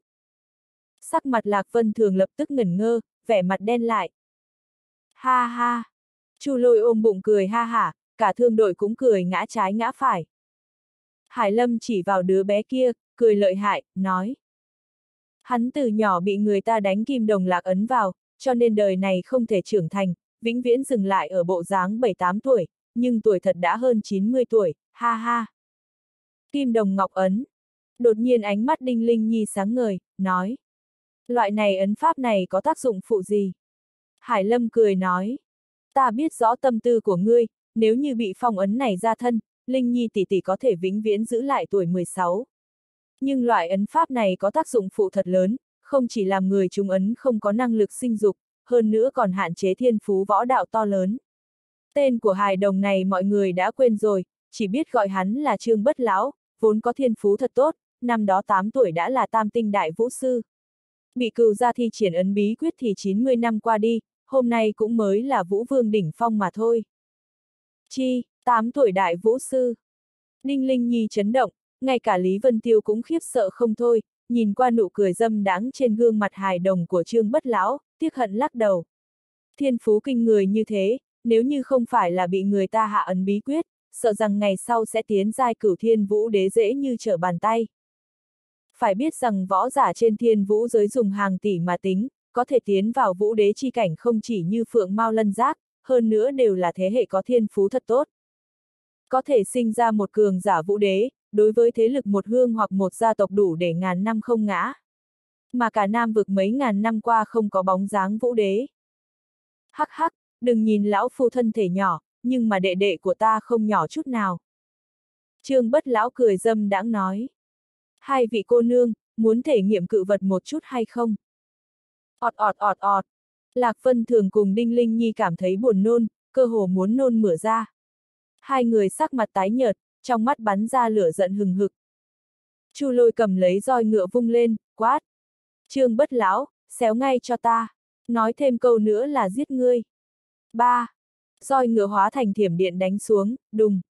Trương bất lão kinh hãi, vội vàng lui về phía sau. Nhưng hắn vẫn bị roi đánh vào tay, đau quát to một tiếng, nhanh chóng chui vào trong đám người, biến mất không thấy gì nữa.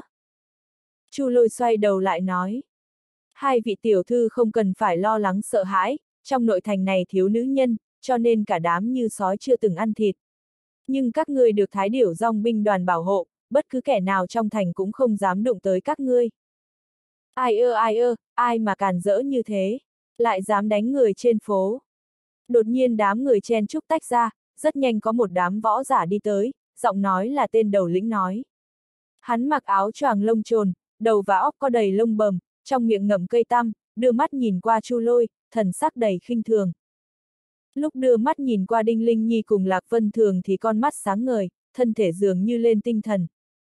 Thì ra là Chu Lôi Thái Điểu Dòng binh đoàn, các người thật lớn mật. Dám ở trên phố đánh người bạo vũ Dòng binh đoàn. Ánh mắt nam tử lông bầm lăng lệ, quát. Người rõ ràng muốn khơi mào hai binh đoàn đại chiến mà, hôm nay không cho ta một câu trả lời, toàn bộ các ngươi lưu lại, để hắc liên thiếu hoàng đến lĩnh người. Đám võ giả sau lưng hắn tách ra, thoáng cái vây quanh đoàn người vào giữa. Đám dân chúng trên đường phố ngạc nhiên, nhưng mà cũng không có người nào tránh đi, mà là tiếp tục làm chuyện của mình. Bán đồ ăn tiếp tục thét to, cò kè mặc cả tiếp tục nhao nhao, tán tỉnh tiếp tục đàm tiếu, ngay cả những người thảo luận sách trong quán cơm cũng chẳng quan tâm tới quái sự. Còn có tên công tử ca mang chim đi dạo như chỗ không người, trong tay giơ lồng chim lên, miệng không ngừng huyết sáo đi ngang qua đám người. Ngay ở trong góc còn có một đám người đang vây quanh một phụ nữ hèn mọn bị ổi bán mình chôn cất hài tử. Tiếng cười dâm đáng và tiếng kêu khóc cầu khẩn vang lên không ngừng, vậy mà cũng không có ai liếc mắt nhìn. Đột nhiên Lý Vân Tiêu sinh ra hứng thú, cười nói. khinh ca lâm địa quả nhiên thú vị, thật không giống người thường A. Nam tử lông bờm nhìn qua Lý Vân Tiêu, hai mắt phun ra lửa, quát. Con mẹ nó ngươi tính toán là cái gì? Lão tử đang nói chuyện với chu lôi đội trưởng các ngươi, làm gì tới phiên ngươi xen miệng vào. Lý Vân Tiêu còn không nói chuyện, Hải Lâm tức giận, nói. Tả thống lĩnh, hắn lại dám vũ nhục Vân Tiêu đại ca, giết hắn. Người trong thương đội đáy lòng căm phẫn, nếu không có Lý Vân Tiêu, bọn họ đã sớm chết ở yêu nguyên rồi, giờ phút này kính nể hắn như thần min. Vào lúc này cả đám lửa giận ngút trời, các loại huyền khí lộ ra, sát khí lập tức hình thành gió lốc quét qua đường phố. Ti! Nam tử lông bầm hít khí lạnh, trong mắt tràn đầy vẻ khiếp sợ. Thái điều thương hội trong khoảng thời gian này làm việc cực kỳ ít xuất hiện, dường như có chút đổi tính. Vốn tưởng rằng đối phương dễ khi dễ, bản thân mình mượn nháo sự tìm việc, có lẽ có thể chiếm chút tiện nghi, không nghĩ tới đối phương lại không sợ nháo sự, ngược lại có bộ dáng liều mạng. Đã xảy ra chuyện gì? Đầu óc của hắn phát mộng, thoáng sừng sốt, nhưng trong miệng vẫn kêu gào. Làm gì làm gì, các người định làm gì? Muốn đánh nhau phải không? Đông Thành chính là địa bàn của bạo vũ dòng binh đoàn, có tin ta cho cả đám vạn tiễn xuyên tim, thiên quân vạn mã đến tương kiến. Chu lôi lạnh lùng theo dõi hắn, sát khí dâng trào, nói.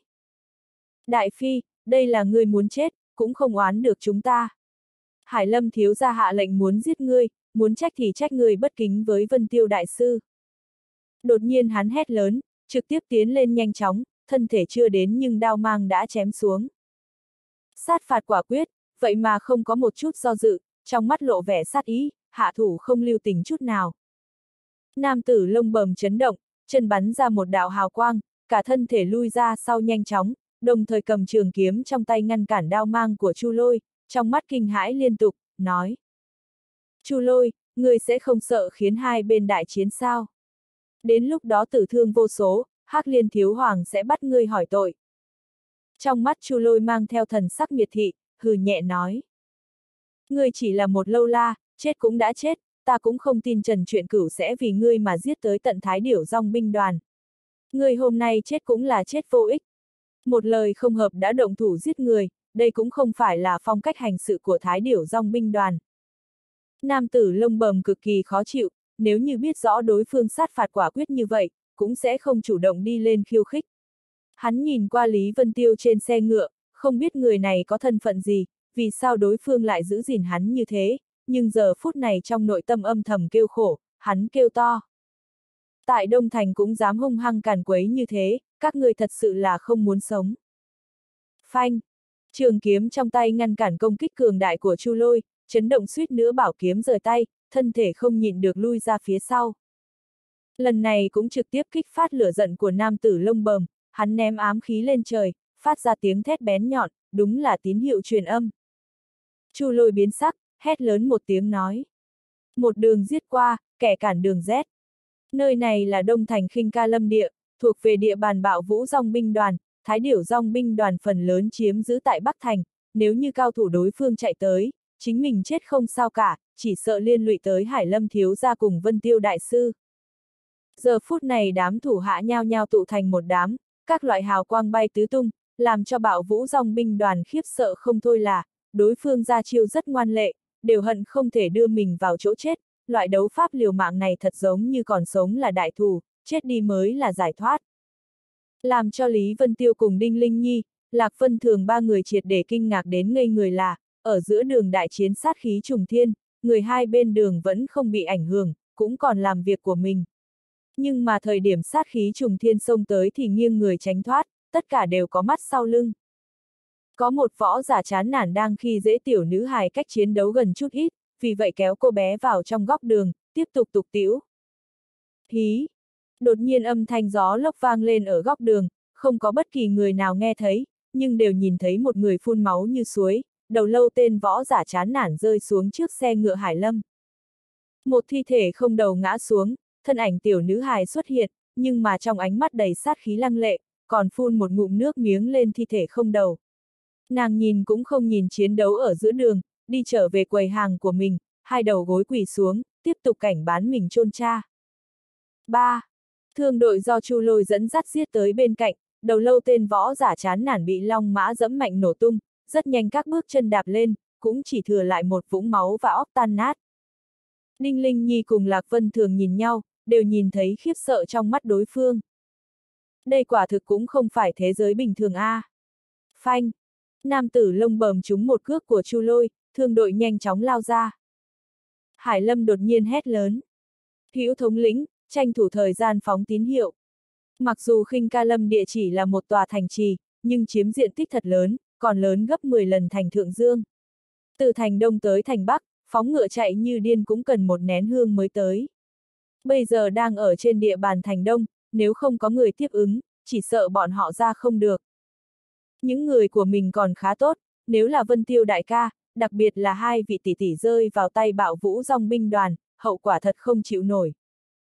Hồng Vũ cũng hiểu rõ, vội vàng xuất ám khí màu hồng nhạt, trực tiếp kéo ra, một mũi tên ánh sáng nổ tung trên không trung.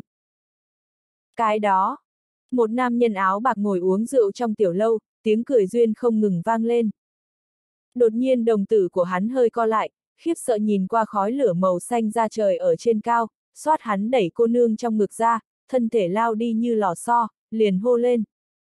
Tranh thủ thời gian tập hợp, mau đi tới thành đông. Là Hải Lâm thiếu gia trở về, còn phát tín hiệu cầu cứu. Một đám võ giả trong tiểu lâu đứng lên, vội vàng chạy ra ngoài, không ít người càng trực tiếp nhảy xuống lầu tập kết.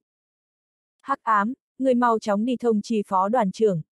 Ở thành đông cầu cứu, nhất định là người bạo vũ dòng binh đoàn. Nam tử áo bạc cắn răng nói. Tạp chủng bạo vũ dòng binh đoàn, nếu như Hải Lam thiếu ra có việc, Hắc Kiên ta sẽ cắt đầu các ngươi. Hắn quát. Tất cả mọi người cho dù đang làm cái gì, toàn bộ dừng lại tiến tới thành đông cứu người. Các lầu nhỏ gần đó chấn động, sóng âm truyền ra xa xa. Mà chính hắn đã ở cách đó ngàn mét, hóa thành một đạo quang mang lao tới thành đông. Giết đám bạo vũ tạp chủng này. Khí thế chu lôi như cầu vồng, một đao đánh bay mấy tên võ giả bạo vũ dòng binh đoàn, tiếp tục mang theo đội ngũ vượt lên phía trước. Trong mắt nam tử lông bầm đầy sợ hãi, vài lần đánh nhau đã chết hơn 10 người, trên đường đầy máu.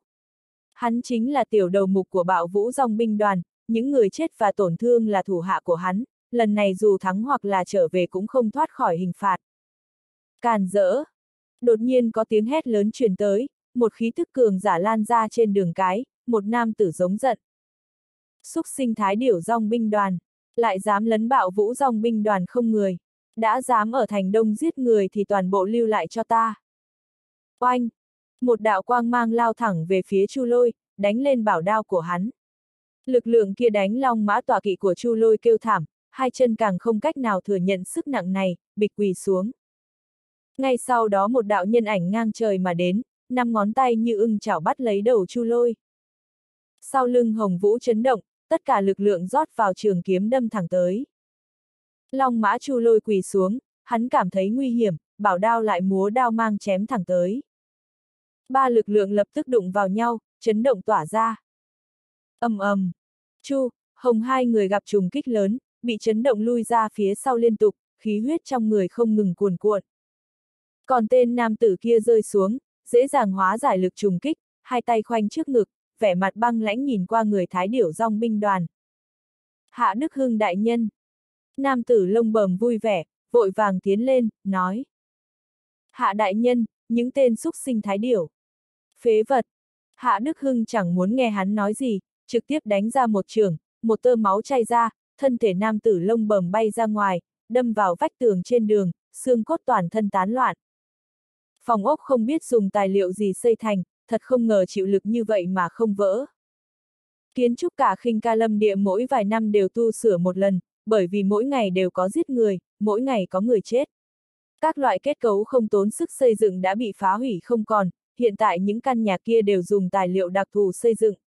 Một kích toàn lực của võ giả bình thường chỉ lưu lại dấu vết mà thôi. Hạ Đức Hưng. Sắc mặt Chu Lôi cùng Hồng Vũ đại biến, vội vàng lui về sau đi vài bước, hiển nhiên hết sức kiêng kỵ. Thần thức Lý Vân Tiêu đảo qua, Hạ Đức Hưng cũng chỉ là lục tinh vũ tông mà thôi. Nhưng một tinh một thiên địa, lục tinh vũ tông cũng đủ để trấn áp Chu Lôi cùng Hồng Vũ hai người. Ánh mắt Hạ Đức Hưng quét qua Đinh Linh Nhi hai người một chút, lập tức cười lạnh nói. Khó trách lại liều chết chém giết, là muốn đưa hai mỹ nhân tuyệt sắc cho Hắc Liên Thiếu Hoàng hay sao? Chật chật, đám thủ hạ các ngươi thật sự trung thành và tận tâm, hai nữ nhân này tìm được chỗ nào? Mình có nên nếm thử trước hay không? Sắc mặt Chu Lôi âm trầm nói. Đã biết là cho đoàn trường, còn không tránh ra. Ninh Linh Nhi cùng Lạc Vân thường biến sắc, lộ ra vẻ giận dữ. Ninh Linh Nhi càng tức giận quát. Chu lôi, miệng của ngươi sạch sẽ một chút cho ta. Chu lôi khẩn trương, cuống quyết đánh mắt cho nàng, mí mắt lập tức nháy vài chục cái. Ninh Linh Nhi mặt âm trầm nói. Đừng nháy mắt với ta, dám lấy chuyện này ra vui đùa, mặc dù là ngươi cũng hẳn phải chết không thể nghi ngờ.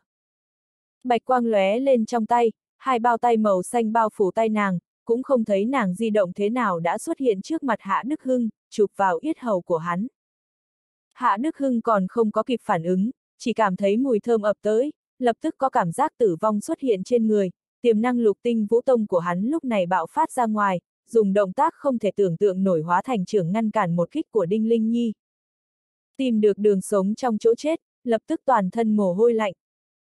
Hai người ra chiêu đếm không rõ, nhanh tới mức người ta hít thở không thông.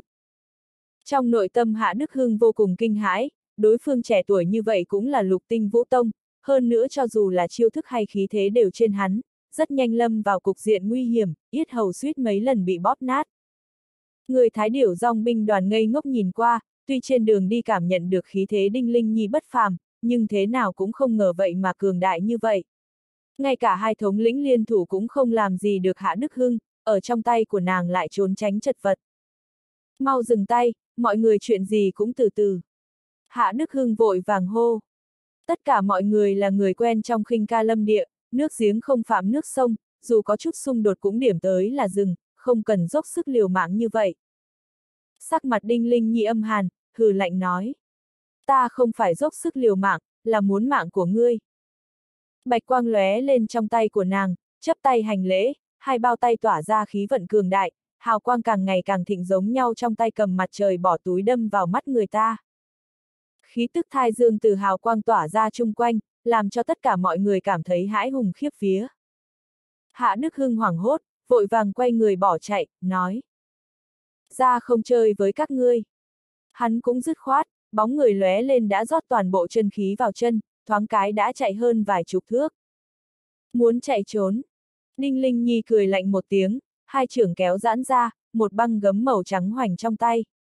Nàng làm thủ thế dương cung, một đạo hào quang bay ra ngoài, cả đầu đường thoáng cái bị hào quang bao phủ. Nàng nói, lưu quang tiễn.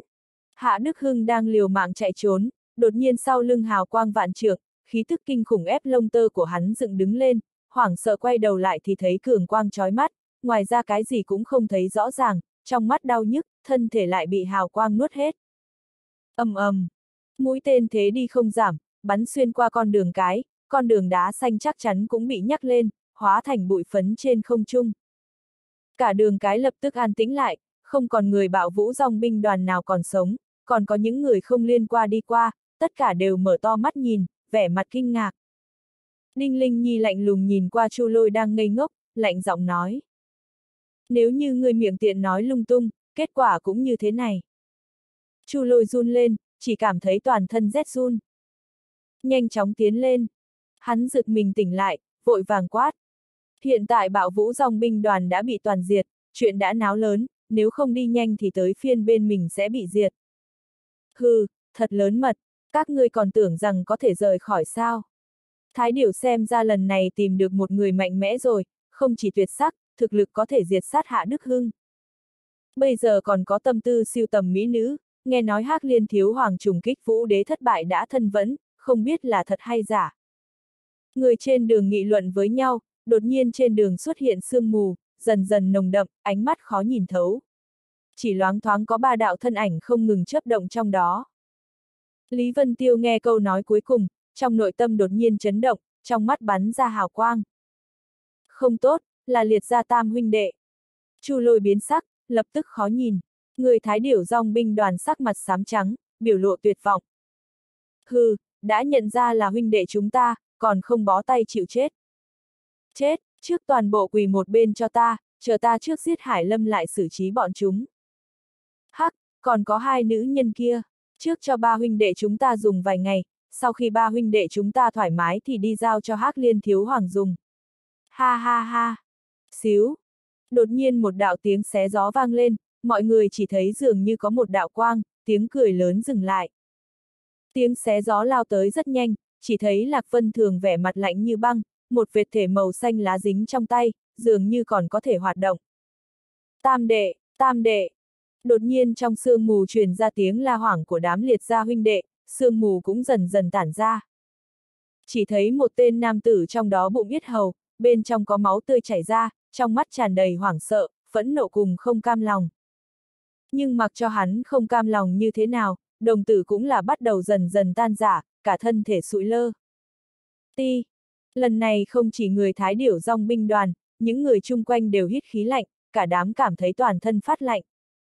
Liệt gia huynh đệ là cường giả vũ tông đỉnh phong nổi danh, tam đệ yếu nhất cũng là bát tinh vũ tông, vậy mà chết đi không một tiếng động, thậm chí nguyên nhân chết cũng không rõ. Tuy khinh ca lâm địa mỗi ngày đều có người chết, nhưng cũng không phải là chết uất ức kiểu này. Chu lôi cũng ngốc trệ, hai nữ nhân này là ai mà mạnh như thế, một so với một còn biến thái hơn.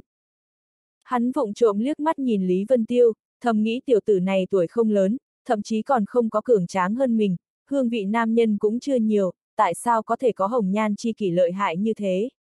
Chính mình lớn lên đẹp trai như vậy, khí phách huy mãnh như vậy, vì sao không có một nữ nhân nào chứ? Vào lúc này nội tâm kinh hãi của hắn từ từ biến thành uể oải, cảm thán ông trời bất công. Nhưng rất nhanh đã bị tiếng giống giận của liệt gia tam huynh đệ làm tỉnh lại. Giết huynh đệ của ta, các ngươi đáng chết a! À. Hai tên nam tử còn lại sắc mặt đỏ bừng. Ba người từ nhỏ cùng lớn bên nhau, cùng nhau luyện võ, cùng đi tán gái, bây giờ tam đệ bỏ mạng tại chỗ, trong lúc nhất thời làm thế nào cũng không cho rằng đây là sự thật. Ánh mắt Lạc Vân thường lạnh như băng, nàng nhìn lướt qua bốn phía, lạnh lùng nói. Ta không quản các ngươi là khinh ca lâm địa hay ở đâu, còn lấy ta và Linh Nhi muội muội ra khinh thường, tất cả phải chết. Người bốn phía biến sắc, hoảng sợ câm miệng, sợ mình nói sai cái gì. Tên nam tử lông bờm càng hoảng sợ biến sắc, toàn thân huyết nhục mơ hồ lẫn vào trong đám người, không dám xuất hiện. Lão đại liệt diễm trong mắt muốn nứt ra, nhưng vẫn cưỡng ép khắc chế lửa giận của mình, dù sao lão tam chết quá không minh bạch. Ba người bọn họ có thể ở khinh ca lâm địa lăn lộn tới địa vị trước mắt chắc chắn không đơn giản, bằng vào vũ lực thì cho dù là vũ tông đỉnh phong thì cũng chết từ lâu chẳng ai biết tới. Trên tay ngươi là vật gì? Lão đại liệt diễm nghiến răng nghiến lợi, hai mắt đỏ bừng nhìn tiểu yêu màu xanh, nó không ngừng hoạt động trên tay Lạc Vân Thường. Tiểu yêu màu xanh chính là cấp bậc vũ tông, tuy lực công kích không được, nhưng tốc độ nhanh kinh người. Lúc trước ngay cả Chu Tử Nguyên cũng chỉ có thể trốn chạy để khỏi chết. Hơn nữa yết hầu là bộ phận yếu nhất trên thân thể, lão tam khinh thường nên bị mất mạng tại chỗ. Lạc Vân thường đặt tay phải ra sau lưng, lại quay vào trong xe ngựa ngồi, không rãnh mà để ý. Tốt, tốt, tốt. Liệt diễm liên tiếp nói ra ba chữ tốt, chậm rãi đặt thi thể lão tam qua một bên, nhìn qua người thái điểu rong binh đoàn, trên mặt đầy dữ tợn. Lão nhị liệt phong càng đi phía sau, chậm rãi rút huyền binh ra, bỏ niêm phong ra, sát khí tỏa ra ngoài. Liệt diễm biến sắc, một cái xiên thép đầy hỏa diễm xuất hiện trong tay hắn, nhiệt độ bốn phía tăng cao, đám người không liên quan biến sắc lui ra bốn phía, xuất ra một khu đất lớn. Hai gã cường giả vũ tông đỉnh phong một khi động thủ sẽ có tai bay vạ gió. Chu lôi cùng hồng vũ bị khí thế này ép lui liên tục, sắc mặt trắng bệch. Bốn người thực lực chênh lệch như ngày và đêm, thậm chí còn không thể tiếp chiêu. Hải Lâm vội hỏi. Linh Nhi tỷ tỷ, Vân Thường tỷ tỷ, hai người này các ngươi đánh lại không? Hai người đều lắc đầu, Đinh Linh Nhi bĩu môi nhìn qua Lý Vân Tiêu, Hải Lâm lập tức ngây ngốc, bắt đầu hiểu ý. Hắn dường như tìm được cứu tinh, nhìn Lý Vân Tiêu nói. Vân Tiêu đại ca, phiền toái ngươi ra tay đuổi hai người này đi. Hắn cũng không hỏi phải chăng đánh thắng được không, mà là trực tiếp khẩn cầu ra tay, Lý Vân Tiêu cười khổ một tiếng nói. Ta cảm giác được có mấy khí tức cường đại từ phía bắc bay tới, có lẽ chính là người của các ngươi, nhưng ít ra còn phải qua thời gian uống cạn một chung trà. Chúng ta tiến lên thôi. Lý Vân Tiêu đứng dậy, hét to nói. Chu thống lĩnh, mọi người cùng nhau cầm binh khí xông lên phía trước. Chu lôi lập tức há hốc mồm, cầm binh khí lao lên phía trước, nói đùa gì vậy? Đối phương hai gã vũ tông đỉnh phong đứng ở đó, tiến lên chẳng phải tìm chết sao? Ánh mắt hắn khẩn cầu nhìn qua Đinh Linh Nhi cùng Lạc Vân Thường, hy vọng hai người có thể ra tay, nhưng hai người sắc mặt lạnh nhạt, không quan tâm tới hắn cầu cứu.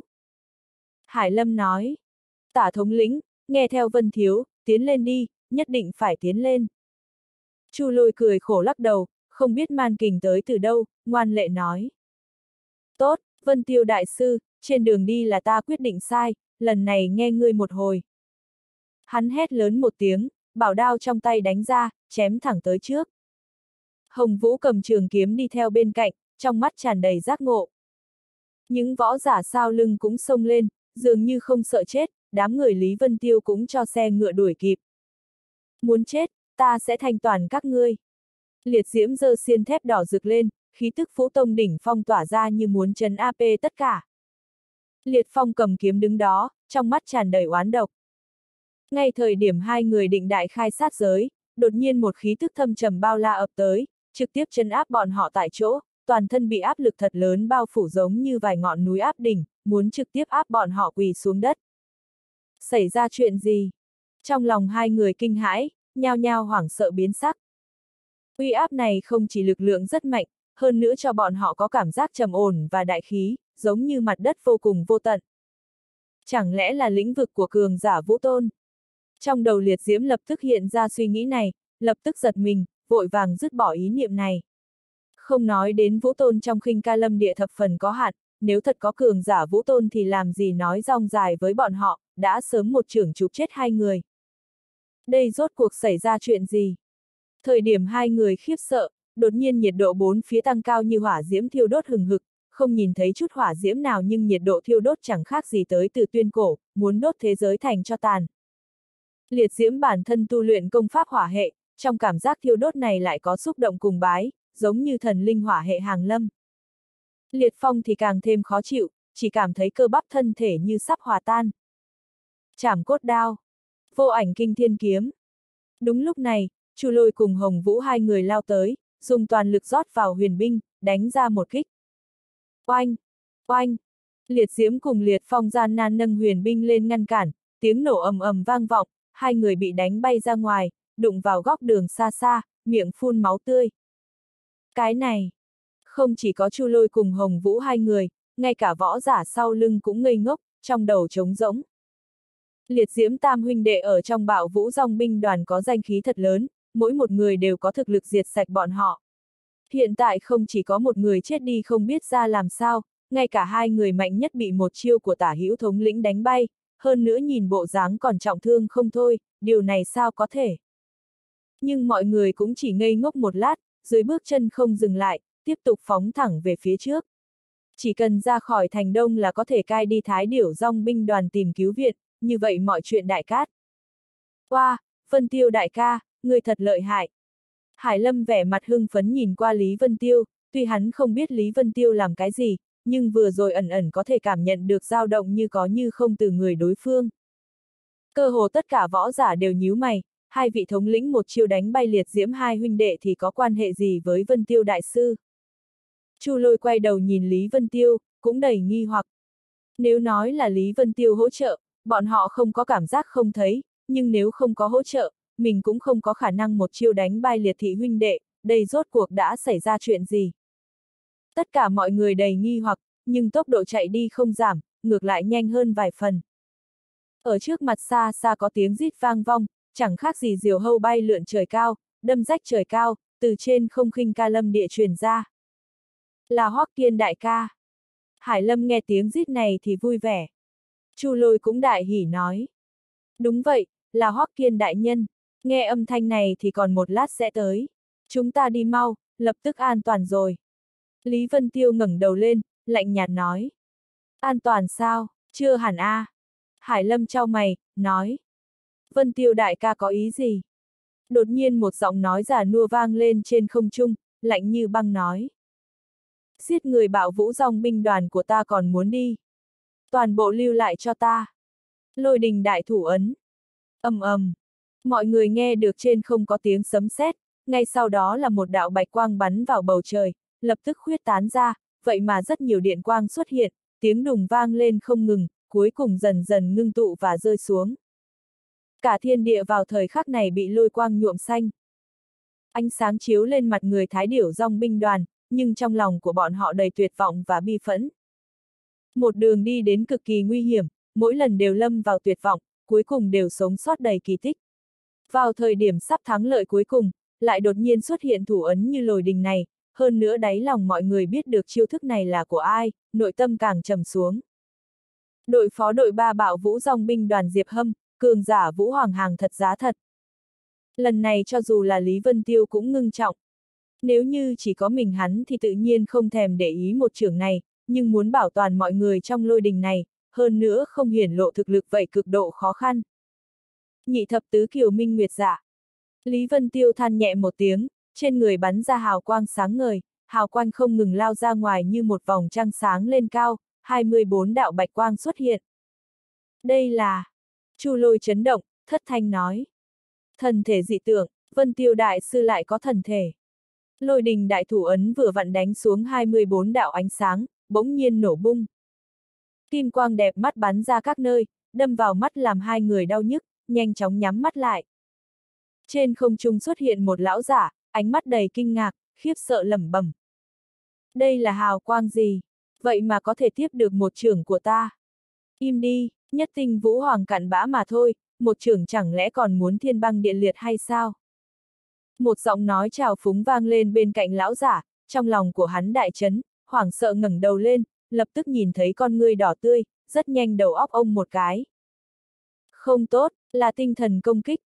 Đầu óc của hắn mất đi chi giác, nhưng cũng đầy đủ cho Lý Vân Tiêu xông lên, hắn trực tiếp kéo hắn vào trong giới thần bi. Đây cũng là do hai người khoảng cách tương đối gần, còn do đối phương không cẩn thận chúng tinh thần công kích của hắn, cũng như lúc giao đấu với nhạc cửu lâm, nếu không làm gì dễ dàng như vậy. Hắn một chiêu đắc thủ, trong nội tâm lập tức buông lỏng, liền trực tiếp đáp xuống. Nếu như chiêu vừa rồi thất bại, muốn hàng phục đối phương quá khó khăn. Cả quá trình rất nhanh, lôi quang dần dần tan hết, tất cả mọi người chậm rãi mở mắt ra, chỉ thấy bầu trời im lặng, lão giả kia dĩ nhiên đã biến mất không thấy đâu nữa. Hoắc Kiên ở xa lao tới, nhìn thấy phía trước đai đai nhi quang chấp động, trong nội tâm khẩn trương, gào thét nói. Sở lão quái, nếu dám đả thương một cọng tóc của Hải Lâm thiếu gia, ta giết sạch cả nhà ngươi. Điện mang hiện lên sau đó biến mất.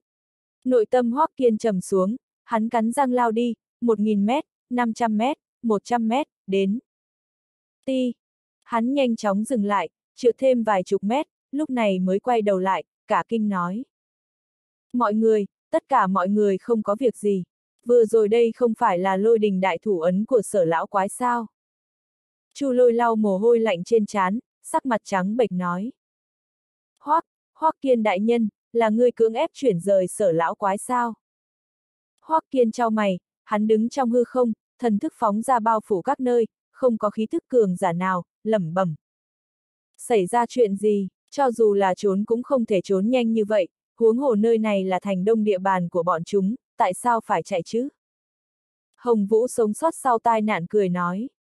Vẫn là Hoắc Kiên đại nhân uy vũ, sở lão quái nhất định là từ xa cảm nhận được khí thức của ngài liền trực tiếp trốn chạy mất. Đám võ giả còn lại khôi phục huyết sắc, cả đám cảm thấy may mắn, lớn tiếng khen ngợi. Hoắc Kiên nhíu mày không nói, đột nhiên nhìn thấy mấy người trong xe ngựa, hai mắt tỏa sáng, đại hỉ nói. Chu lôi, tìm ở đâu ra hai cực phẩm như thế, đoàn trưởng đại nhân tất nhiên sẽ ban thưởng lớn. Hắn nói cho hết lời, người của Thái Điểu Dòng binh đoàn biến sắc, đổ mồ hôi lạnh như mưa. Vèo.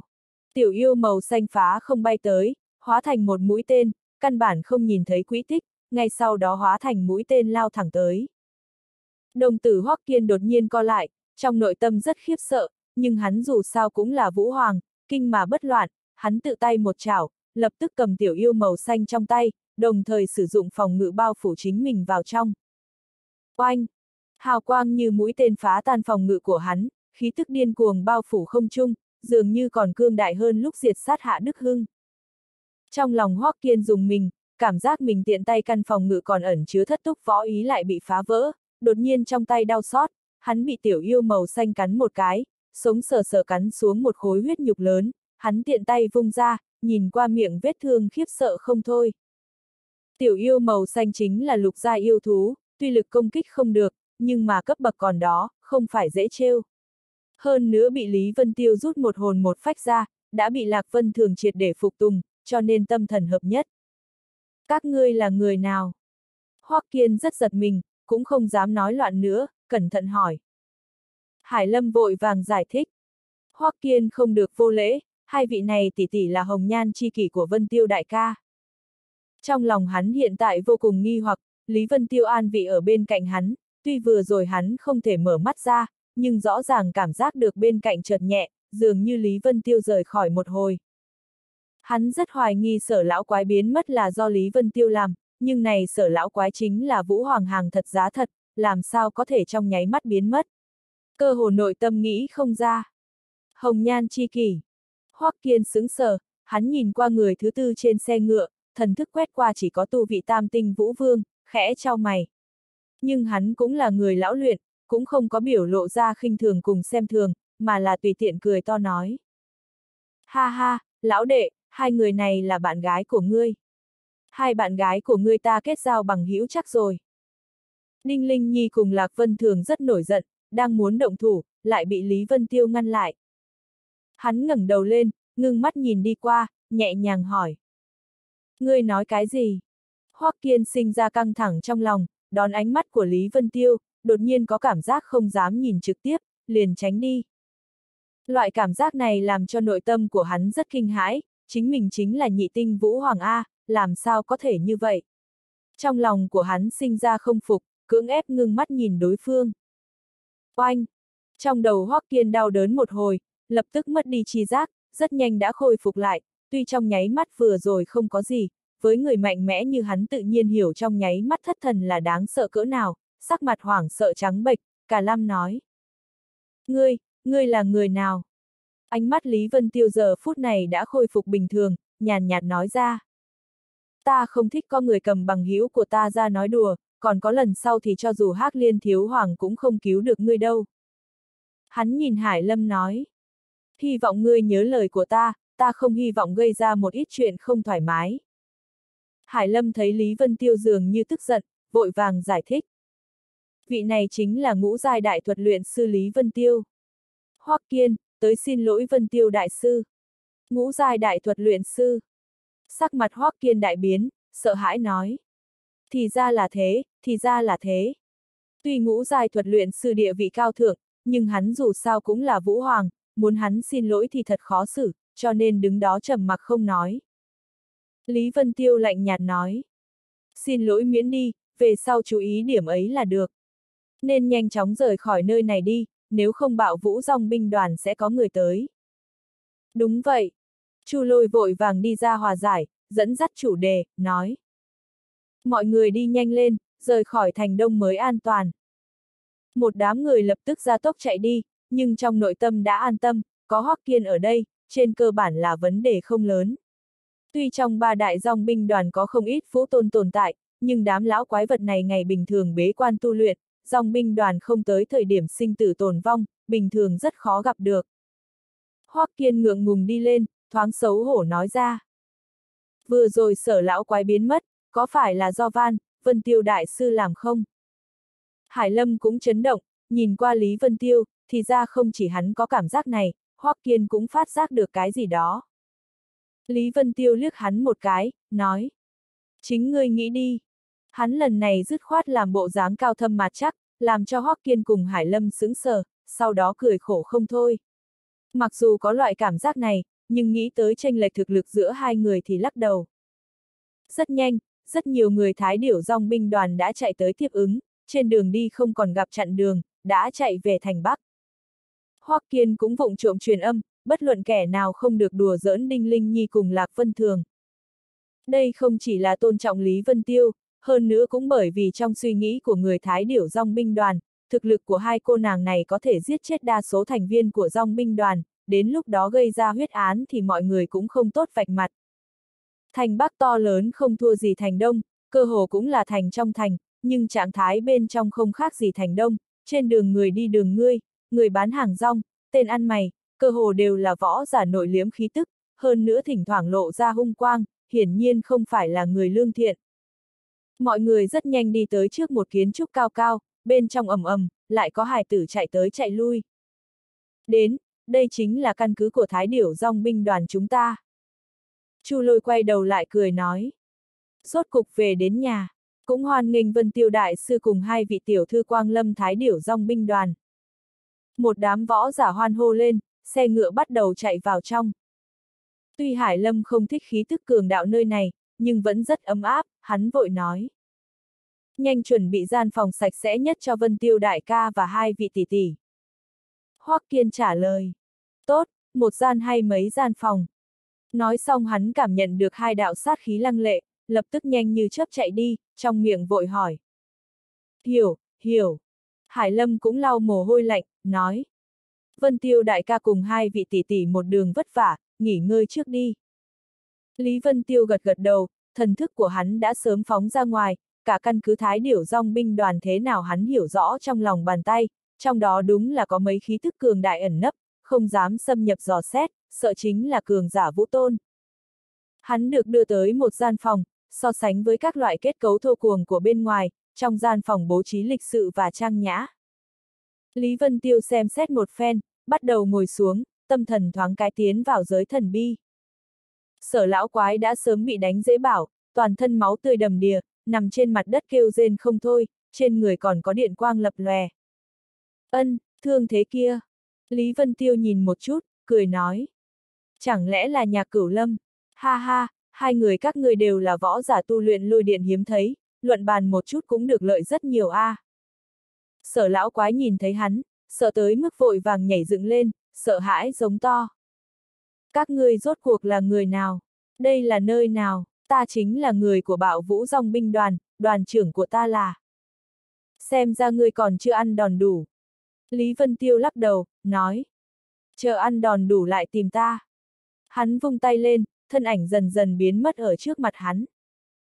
Đồng tử sở lão quái đột nhiên co lại, vị trí Lý Vân Tiêu vừa đứng có một khối nham thạch xuất hiện, nó dần dần hòa tan ra, chậm rãi trồng chất lên, tạo thành một quái thú đá, hai mắt đen nhánh bắn ra tinh quang lập lòe, đi từng bước về phía hắn. Linh hồn hiển ảnh của Lý Vân Tiêu biến mất trước mặt Hạ Đức Hưng, sau một khắc xuất hiện ở nơi khác, nơi này có hai nam tử vết thương chồng chất đang nằm, đúng là Cố Nguyệt Sinh cùng Tư Đồ Hoành. Về phần vài tên thủ hạ khác đã tan thành mây khói rồi. Tuy hai người vô cùng chật vật, nhưng tinh thần cũng không hỏng bét như vậy. Cố Nguyệt Sinh cũng khôi phục lại, nhưng mà mắt trái của hắn đã sưng lên, trong lúc nhất thời khó có thể tiêu trừ. Sắc mặt của hắn âm trầm như nước, nói. Ngươi đến cùng là người nào? Đây là nơi nào? Lý Vân Tiêu cười nói. Vì sao người nào cũng hỏi vấn đề giống nhau thế? Những chuyện này ngươi không cần biết rõ, bởi vì trong thời gian ngắn ngươi không ra được. Nơi này linh khí còn mạnh hơn bên ngoài, đối với hai vị mà nói đây là nơi tốt. Ngươi đạt được thái cổ thiên mục từ nơi nào? Cố Nguyệt sinh biến sắc, vội vàng bụn mắt trái cảnh giác, nói. người mơ tưởng đánh chủ ý lên ánh mắt của ta. Ha ha, đúng là xem mình rất cao đấy. Lý Vân Tiêu khinh thường nói. Vật đó là có người cưỡng ép cắm vào trong cơ thể ngươi, ngươi căn bản không cách nào dung hợp. Mỗi khi sử dụng một lần sẽ tạo thành tổn thương vĩnh cửu với thân thể, loại tổn thương này càng để lâu càng nhiều, đến cuối cùng tất nhiên sẽ lấy mạng của ngươi. Sắc mặt cố nguyệt sinh đại biến, hiển nhiên là đâm vào uy hiếp của hắn, nhưng vẫn cường chống nói. Hừ, nghĩ tới ta kỳ tài ngút trời, ngày sau tự nhiên sẽ tìm được biện pháp giải quyết. Lý Vân Tiêu cười gật gật đầu, nói.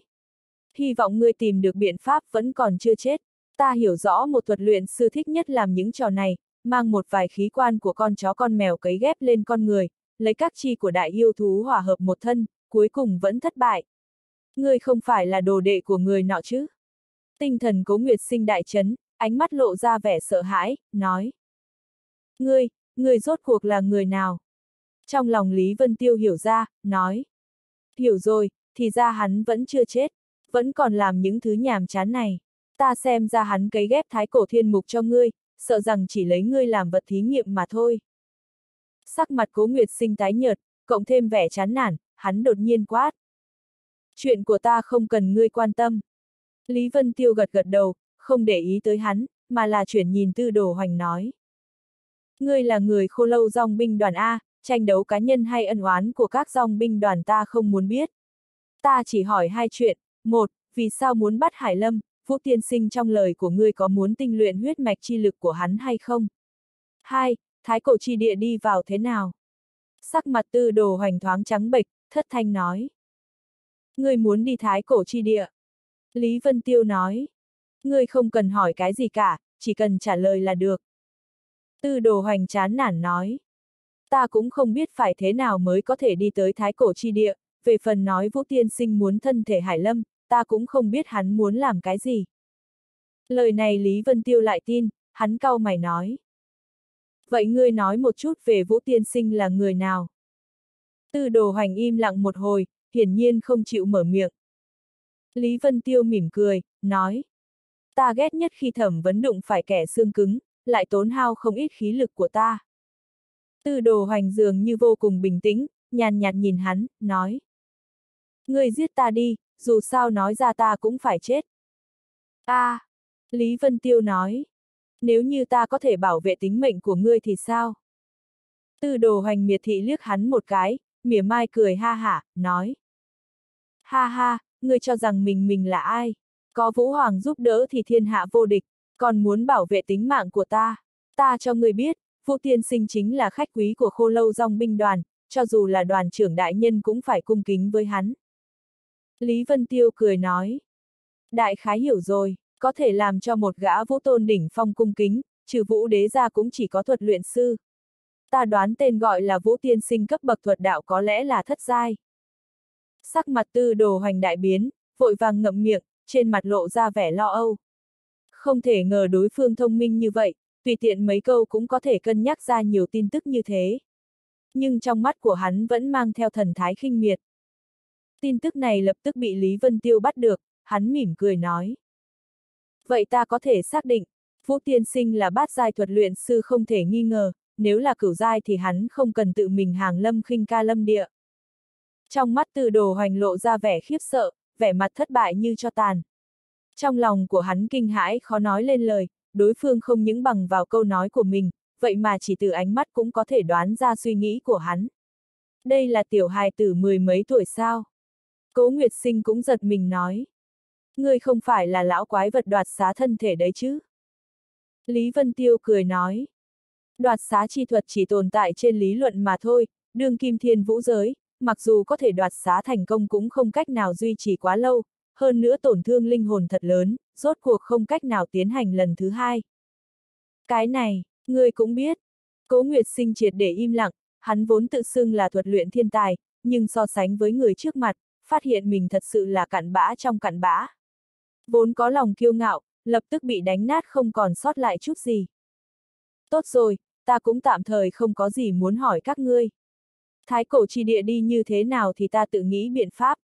Các ngươi an tâm ở chỗ này một hai năm, cũng có lẽ là cả đời. Lý Vân Tiêu nói xong mỉm cười nói cái thời hạn, dần dần biến mất trước mặt hai người. Cả, cả đời. Hai người mở to mắt ra, vẻ mặt vẻ ngạc nhiên. Thần thức trở vào thân thể, Lý Vân Tiêu có chút mở mắt ra, hồ nghi nói. Thái cổ trì địa nghe nói nằm ở giao lộ giữa khinh ca lâm địa, chẳng lẽ còn có che giấu gì hay sao? Hắn đang nghĩ ngợi, cánh cửa két, một tiếng bị đẩy ra, là Chu Lôi đi tới, nói. Vân Tiêu đại sư, phó đoàn trưởng cho mời. Trong lòng Lý Vân Tiêu hơi động một chút, Chu Lôi nhìn hắn với thần sắc cổ quái, giống như phát sinh chuyện chuyện gì đó.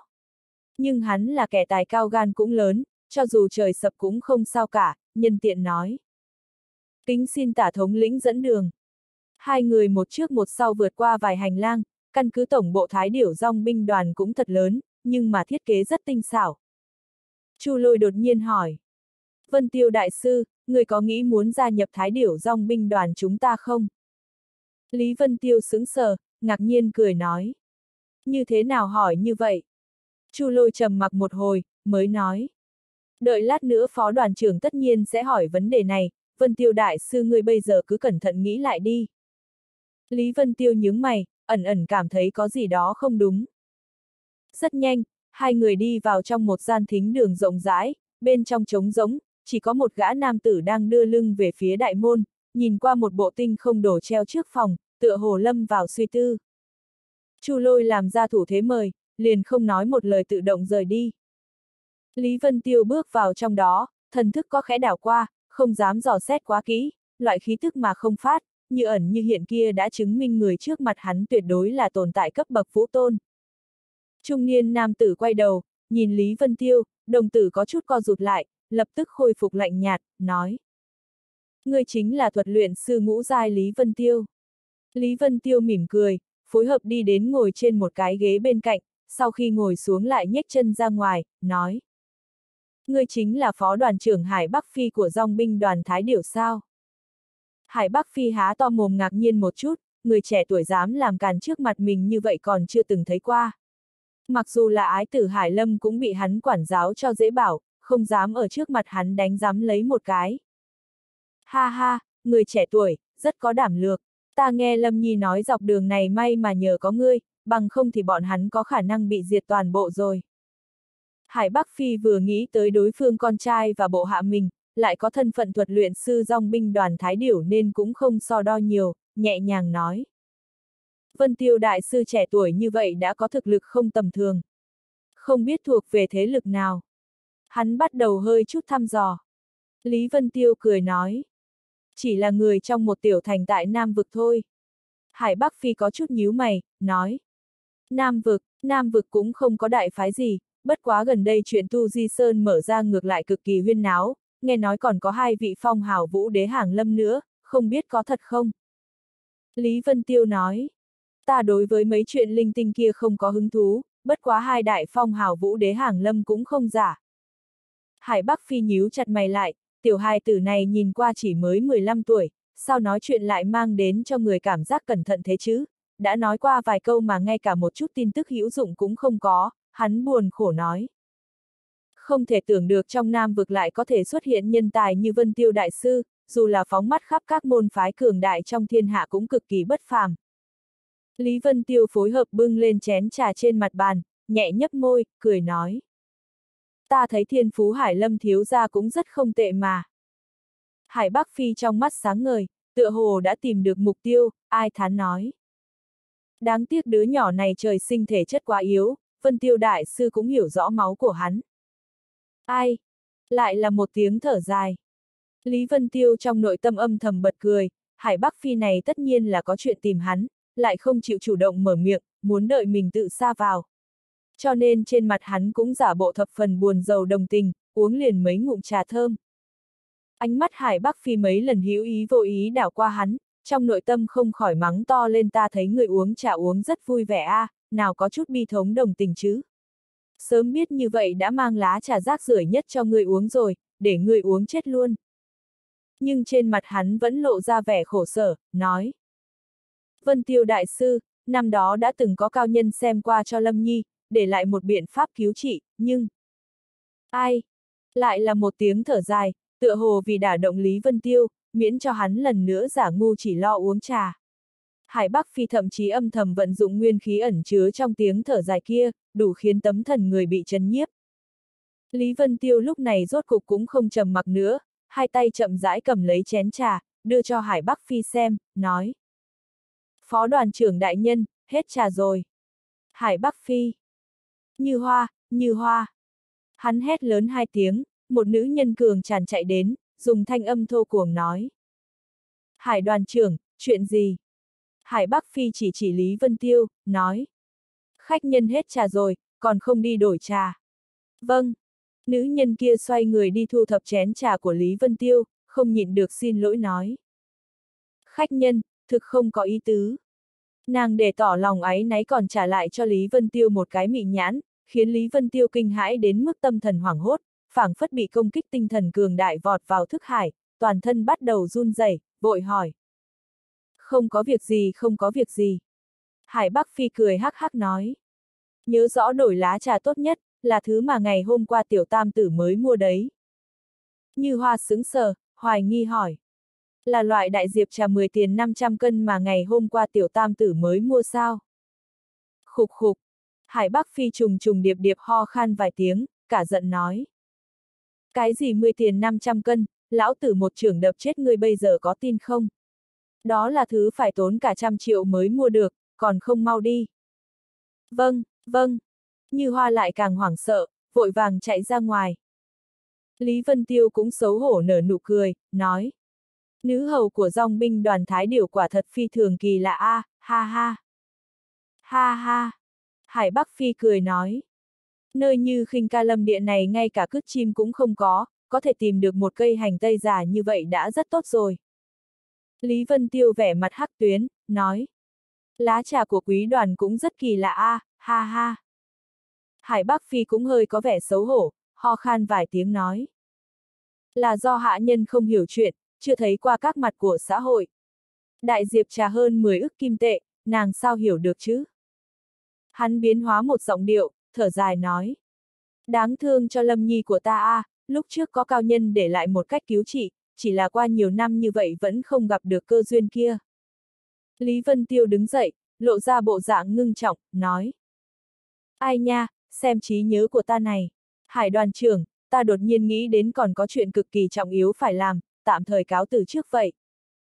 Này, này, chớ đi a. À. Hải Bắc Phi vội vàng ngăn lại hắn, nói. Nơi này là căn cứ của dòng binh đoàn Thái Điểu, Vân Tiêu Đại Sư có thể có chuyên quan trọng gì chứ? Ha ha, chúng ta vẫn nên trò chuyện một chút đi. Lý Vân Tiêu lười biếng nhìn hắn một cái, nói. ta cũng không có tâm tư uống đại diệp trà của quý đoàn đâu. Hải Bắc Phi cười cười, hét to nói. Tiểu hoàn, mau mang cực phẩm tuyết chân ta chân tàng ra đây. Một tiểu nha đầu xinh xắn kiều nộn chạy tới, liên tục gật đầu sau đó lại lui xuống, rất nhanh một bình trà tản ra mùi hương thấm vào ruột gan được bưng ra. Lý Vân Tiêu sau khi nếm qua một ngụm, lúc mới lộ ra vẻ hài lòng. Hải Bắc Phi cười nói. Vân Tiêu Đại Sư, sao hả? Đây chính là cực phẩm tuyết chân mà ta chân tàng A, ngay cả bản thân cũng không nợ uống đấy. Lý Vân Tiêu từ chối cho ý kiến, nói.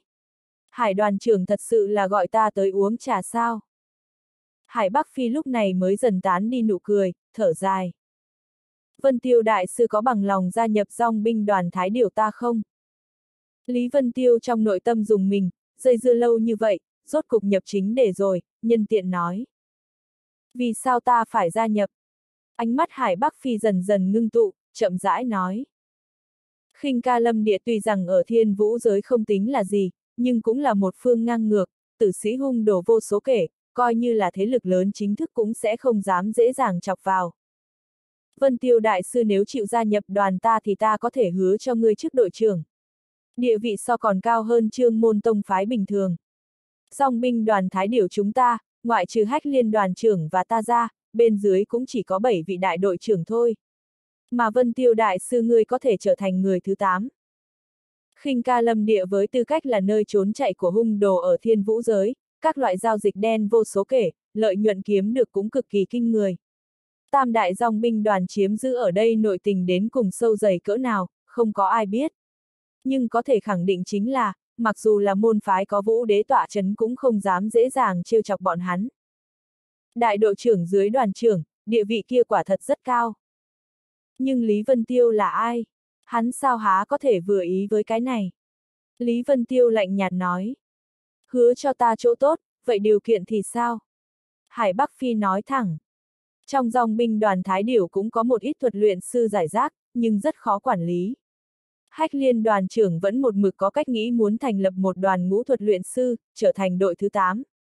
Vân Tiêu Đại Sư tuy rằng tuổi trẻ, nhưng thân là thuật luyện sư ngũ giai, đủ khiến kẻ dưới phục tùng rồi. Ánh mắt của hắn ngưng tụ, nói từng chữ. Quan trọng hơn chính là, Vân Tiêu Đại Sư có năng lực cứu con ta. a à, ta có thể cứu Hải Lâm lão đệ. Lý Vân Tiêu lộ ra vẻ tò mò. Không sai. Hải Bắc Phi thần sắc hết sức nghiêm túc, nhìn chằm chằm vào Lý Vân Tiêu nói. Bởi vì Vân Tiêu Đại Sư có được thần thể. Năm đó phương pháp vị cao nhân kia lưu lại chính là rút ra thần thể chi lực để trấn áp huyết mạch trong người con ta. Nhưng nếu làm thế, người có thần thể sẽ mất hết tu vị, trở thành một người bình thường. Những năm gần ta không ngừng tìm kiếm người có thần thể, nhưng đều không có kết quả. Thiên vũ giới mặc dù lớn, nhưng người có được thần thể thật quá xa vời a. À. Lý Vân Tiêu sắc mặt phát lạnh, không khí bốn phía tựa hồ bỗng nhiên chậm lại, hắn lạnh lùng nói. Người biết rút lấy thần thể chi lực, tu vi của ta sẽ phế bỏ, còn muốn tìm ta nói chuyện này. Hải Bắc Phi thở dài. Qua nhiều năm như vậy, người chính là cơ hội duy nhất ta gặp được. Huyết mạch chi lực trên người Lâm Nhi càng ngày càng mạnh rồi, ta sợ hắn không chống được bao lâu nữa. Vân Tiêu Đại Sư, người không biết người đến vào đúng lúc này, đúng là Thượng Thiên Phái tới cứu Lâm Nhi sao? Nếu không phải ngươi từng cứu mọi người, ta cũng sẽ không nói nhiều với ngươi như vậy, hơn nữa còn đồng ý chỗ tốt lớn như thế. Lý Vân Tiêu giận quá thành cười, nói. Ha ha, ý của ngươi là, nếu không phải ta cứu đám Hải Lâm, ngươi liền trực tiếp bắt lấy ta rút ra thần thể chi lực sao? Hải Bắc Phi từ chối cho ý kiến, nói. Vân Tiêu Đại Sư, ngươi có thể suy nghĩ thật kỹ. Tuy rằng thần thể phế đi, nhưng cũng không ảnh hưởng gì đến thuật đạo cả. Đến lúc đó ta sẽ dốc hết toàn lực trợ giúp Vân Tiêu Đại Sư tăng lên đẳng cấp thuật đạo, mặc dù tương lai tiến vào hóa thần hải, cũng không phải là không có hy vọng. Lý Vân Tiêu ánh mắt càng lạnh, lạnh giọng nói. Nếu ta không đáp ứng thì sao? Hải Bắc Phi thở dài một tiếng, nói. Vân Tiêu Đại Sư, đừng ép ta. Lâm Nhi trời sinh thiện lương, hắn coi ngươi như đại ca như bằng hữu vì chuyện này mà vừa rồi còn náo loạn với ta một trận, ta bảo người mang hắn lui xuống rồi. Nếu không chịu thì hắn sẽ cực lực phản kháng. Lý Vân Tiêu nghe nói Hải Lâm như vậy, sắc mặt mới thoáng tốt hơn chút, cười lạnh nói. Ta rất muốn biết, ép hải đoàn trưởng, sẽ như thế nào? Trên người hắn tán ra một cổ khí thức lạnh lùng, như thiên niên hàn băng, ngạo nghễ mà đứng dưới vạn cổ thanh tùng, tuyệt thế giữa thiên địa. Mặc dù gặp phải vũ tôn cũng không có chút hoảng loạn. Hải Bắc Phi bị khí thế của hắn chấn nhiếp, trong lòng nghiêm nghị, trong mắt lóe ra vẻ khiếp sợ. Một người vốn là vũ vương, vậy mà tản mát ra khí tức khiến hắn cũng bị chấn nhiếp. Loại cảm giác như quân lâm thiên hạ kia ngay cả trên người hắc liên thiểu hoàng thân là vũ tôn đỉnh phong cũng không hề có. Cái này, Hải Bắc Phi trầm mặc lại, thiếu niên phong thái như thế, tăng thêm còn có thể chất đặc thù, thành tựu tương lai khó có thể hạn lượng. Nhưng nghĩ đến Hải Lâm, lập tức trong mắt hắn liền hiện ra vẻ kiên quyết, ngưng giọng nói. Vậy ta cũng chỉ có thể khống chế Vân Tiêu Đại Sư, cưỡng ép rút lấy thôi. Ánh mắt Lý Vân Tiêu bắn ra đạo đạo hào quang lăng lệ, mặc dù ở thành viêm vũ đối mặt với tinh túc vũ đế hắn cũng chưa từng lùi bước một bước. Hắn không lùi mà tiến tới, bước ra trước một bước, khí thế ép lên, lạnh lùng nói. Ta rất muốn kiến thức một chút. Hải Bắc Phi có chút tức giận, thiếu niên này thật sự không biết tốt xấu, tuy rằng diện mạo bất phàm, nhưng lại có một loại vô tri cuồng vọng coi trời bằng vung. Hắn không nói hai lời lập tức đánh ra một trường, quyết tâm cho đối phương một bài học. Vũ tôn nhị tinh. Ngay khi hắn ra tay, Lý Vân Tiêu lập tức phán định thực lực của hắn, so với tể phong còn cao hơn một tinh. Dù vậy cũng không phải là hắn có thể chống lại. Hắn một tay niết bí quyết, trong nghi tâm lóe ra hỏa vân ấn ký, một chút phượng hoàng chân hỏa dần dần hiển hóa ra, ngưng tụ thành một đạo bóng dáng dần dần hư dần dần thực, đốt tới lòng bàn tay đối phương. Hư, chỉ là yêu hỏa cũng muốn làm tổn thương ta, huống chi còn là yêu hỏa hư ảnh nữa, cuồng vọng vô chi. Hải Bắc Phi lộ ra một tia khinh miệt, năm ngón tay chảo xuống, một cổ khí tức không hiểu tản ra, đúng là lĩnh vực của vũ tôn, trong một phương thiên địa, duy ta độc tôn. Mặc dù đối phương chỉ là một vũ vương sử dụng lĩnh vực chi lực cũng quá mức làm to chuyện, nhưng hắn là muốn vừa ra tay đã chấn nhiếp đối phương, khiến đối phương có cảm giác vô lực, triệt để thần phục dưới uy thế của mình, nếu vậy thì chuyện sau này sẽ dễ làm hơn rất nhiều. Nhưng sự thật thường thường không hề như mong muốn chút nào. Ngay lúc hắn muốn chụp tắt ngọn lửa kia, lĩnh vực nơi thủ tâm vừa tiếp xúc với yêu hỏa hư ảnh, vậy mà lập tức lui về phía sau, giống như bị đốt cháy lên vậy, không ngừng biến mất đi. Chi? Sắc mặt hắn liền đại biến, vội vàng thu tay lại, nhưng yêu hỏa hư ảnh kia tựa hồ không muốn buông tha, dùng tốc độ cực nhanh đuổi theo, đốt cho các loại lực lượng trên tay hắn hầu như không còn, lúc này mới dần dần biến mất đi. Đây là hỏa diễm gì? Hải Bắc Phi rốt cục cảm thấy sợ hãi, trong mặt lộ vẻ hoảng sợ đến tột đỉnh. Chỉ là một đạo hỏa diễm như hư như thật ngay cả chân thân còn chưa hiển hóa ra đã có thể đốt trụi lĩnh vực của vũ tôn, giữa thiên địa này sao lại có thứ như thế chứ? Hỏa vân nơi mi tâm Lý Vân tiêu lóe lên chợt tắt, hiển nhiên đã tiêu hao không ít hồn lực, sắc mặt trở nên hơi tái nhợt, lãnh ngạo nói. Chỉ là yêu hỏa thôi. Hải Bắc Phi trong nội tâm như đè ép một tảng đá lớn, sắc mặt trở nên âm trầm bất định. Đối phương không chỉ chỉ 15 tuổi đã là thuật luyện sư ngũ giai, hơn nữa còn là vũ vương tam tinh, thân mang thần thể, càng có được loại hỏa diễm mới nghe lần đầu này. Tiểu tử này rất có thể có bối cảnh cực lớn. Khó trách hắn một mực ngạo khí như vậy, mình là vũ tôn mà cũng không để vào mắt, chắc hẳn trong thế lực của hắn vũ tôn cũng không phải là hiếm thấy gì. Hơn nữa hiện giờ dòng binh đoàn Thái Điều thật sự đang vào lúc mẫn cảm, các loại tình huống tùy thời đều có thể xảy ra, hắn căn bản không dám mạo hiểm gây chuyện lung tung. Hải Bắc Phi trong lúc nhất thời lại cứng lại, khó có thể lựa chọn. Lý Vân Tiêu lãnh đạm nói. Hải đoàn trưởng, đã cho ta kiến thức xong chưa vậy? Hải Bắc Phi hừ lạnh một tiếng, trong nội tâm có chút tức giận, nhưng cũng không mạo muội ra tay nữa mà hỏi. Không biết Vân Tiêu Đại Sư đến khinh ca lâm địa là có chuyện gì thế? Lý Vân Tiêu nhướng mày, nghĩ đến mục đích của mình chuyến này, chuyện Thái Cổ Chi Địa rất có thể còn cần nhờ đến dòng binh đoàn Thái Điểu, huống hồ đoàn đội này là do đồ đệ mình tổ kiến, cũng không nên náo quá cương với bọn họ, lúc này mới hậm hực nói. Ta muốn đi Thái Cổ Chi Địa. Thái Cổ Chi Địa. Hải Bắc Phi vẻ mặt ngạc nhiên, lập tức trầm mặc. Lý Vân Tiêu hồ nghi nói. Có vấn đề gì sao? Hải Bắc Phi lộ ra vẻ khó hiểu nói. Thái cổ chi địa là một mảnh hoang mạc, chim cũng không thèm ở, điều kiện sinh tồn vô cùng ác liệt. Hơn nữa có thái cổ cương phong cực kỳ nguy hiểm, coi như là cường giả vũ đế cửu thiên cũng hết sức kiêng kỵ. Không biết Vân Tiêu Đại Sư đi vào có chuyện gì, chẳng lẽ là vì lịch lãm rèn luyện. Lý Vân Tiêu nghe xong, lập tức trong lòng mừng rỡ. Mục đích hắn đến khinh ca lâm địa chính là vì thu thái cổ cương phong, mở ra phong chi vực giới trong giới thần bi. Ban đầu còn không quá xác định thái cổ chi địa có loại cương phong này hay không, hiện giờ xem ra là sự thật. Tiếp theo cũng phải gặp đồ đệ mình một lần mới được. Đúng vậy, ta chính là vì lịch lãm rèn luyện. Lý Vân Tiêu gật đầu nói, lộ ra bộ dáng vui mừng. Hải Bắc Phi cao mày nói. Quả thật có không ít cường giả thích đi chỗ kia lịch lãm rèn luyện, nhưng dùng tu vị của Vân Tiêu Đại Sư, thật sự. Ý của hắn rất rõ ràng, đó là ngươi còn chưa có tư cách. Lý Vân Tiêu cười nói. Cái này cũng không cần hải đoàn trưởng quan tâm. Đúng rồi, ta muốn hỏi Hắc liên đoàn trưởng có ở đây không? Hải Bắc Phi chẳng biết tại sao, đột nhiên sắc mặt đại biến, trên người tràn ra một cổ tàn khốc, ánh mắt lúc trước vẫn còn bình tĩnh như nước thoáng cái trở nên sắc bén, nhìn chằm chằm vào Lý Vân Tiêu nói. Người hỏi tình huống Hắc liên đoàn trưởng là có ý gì?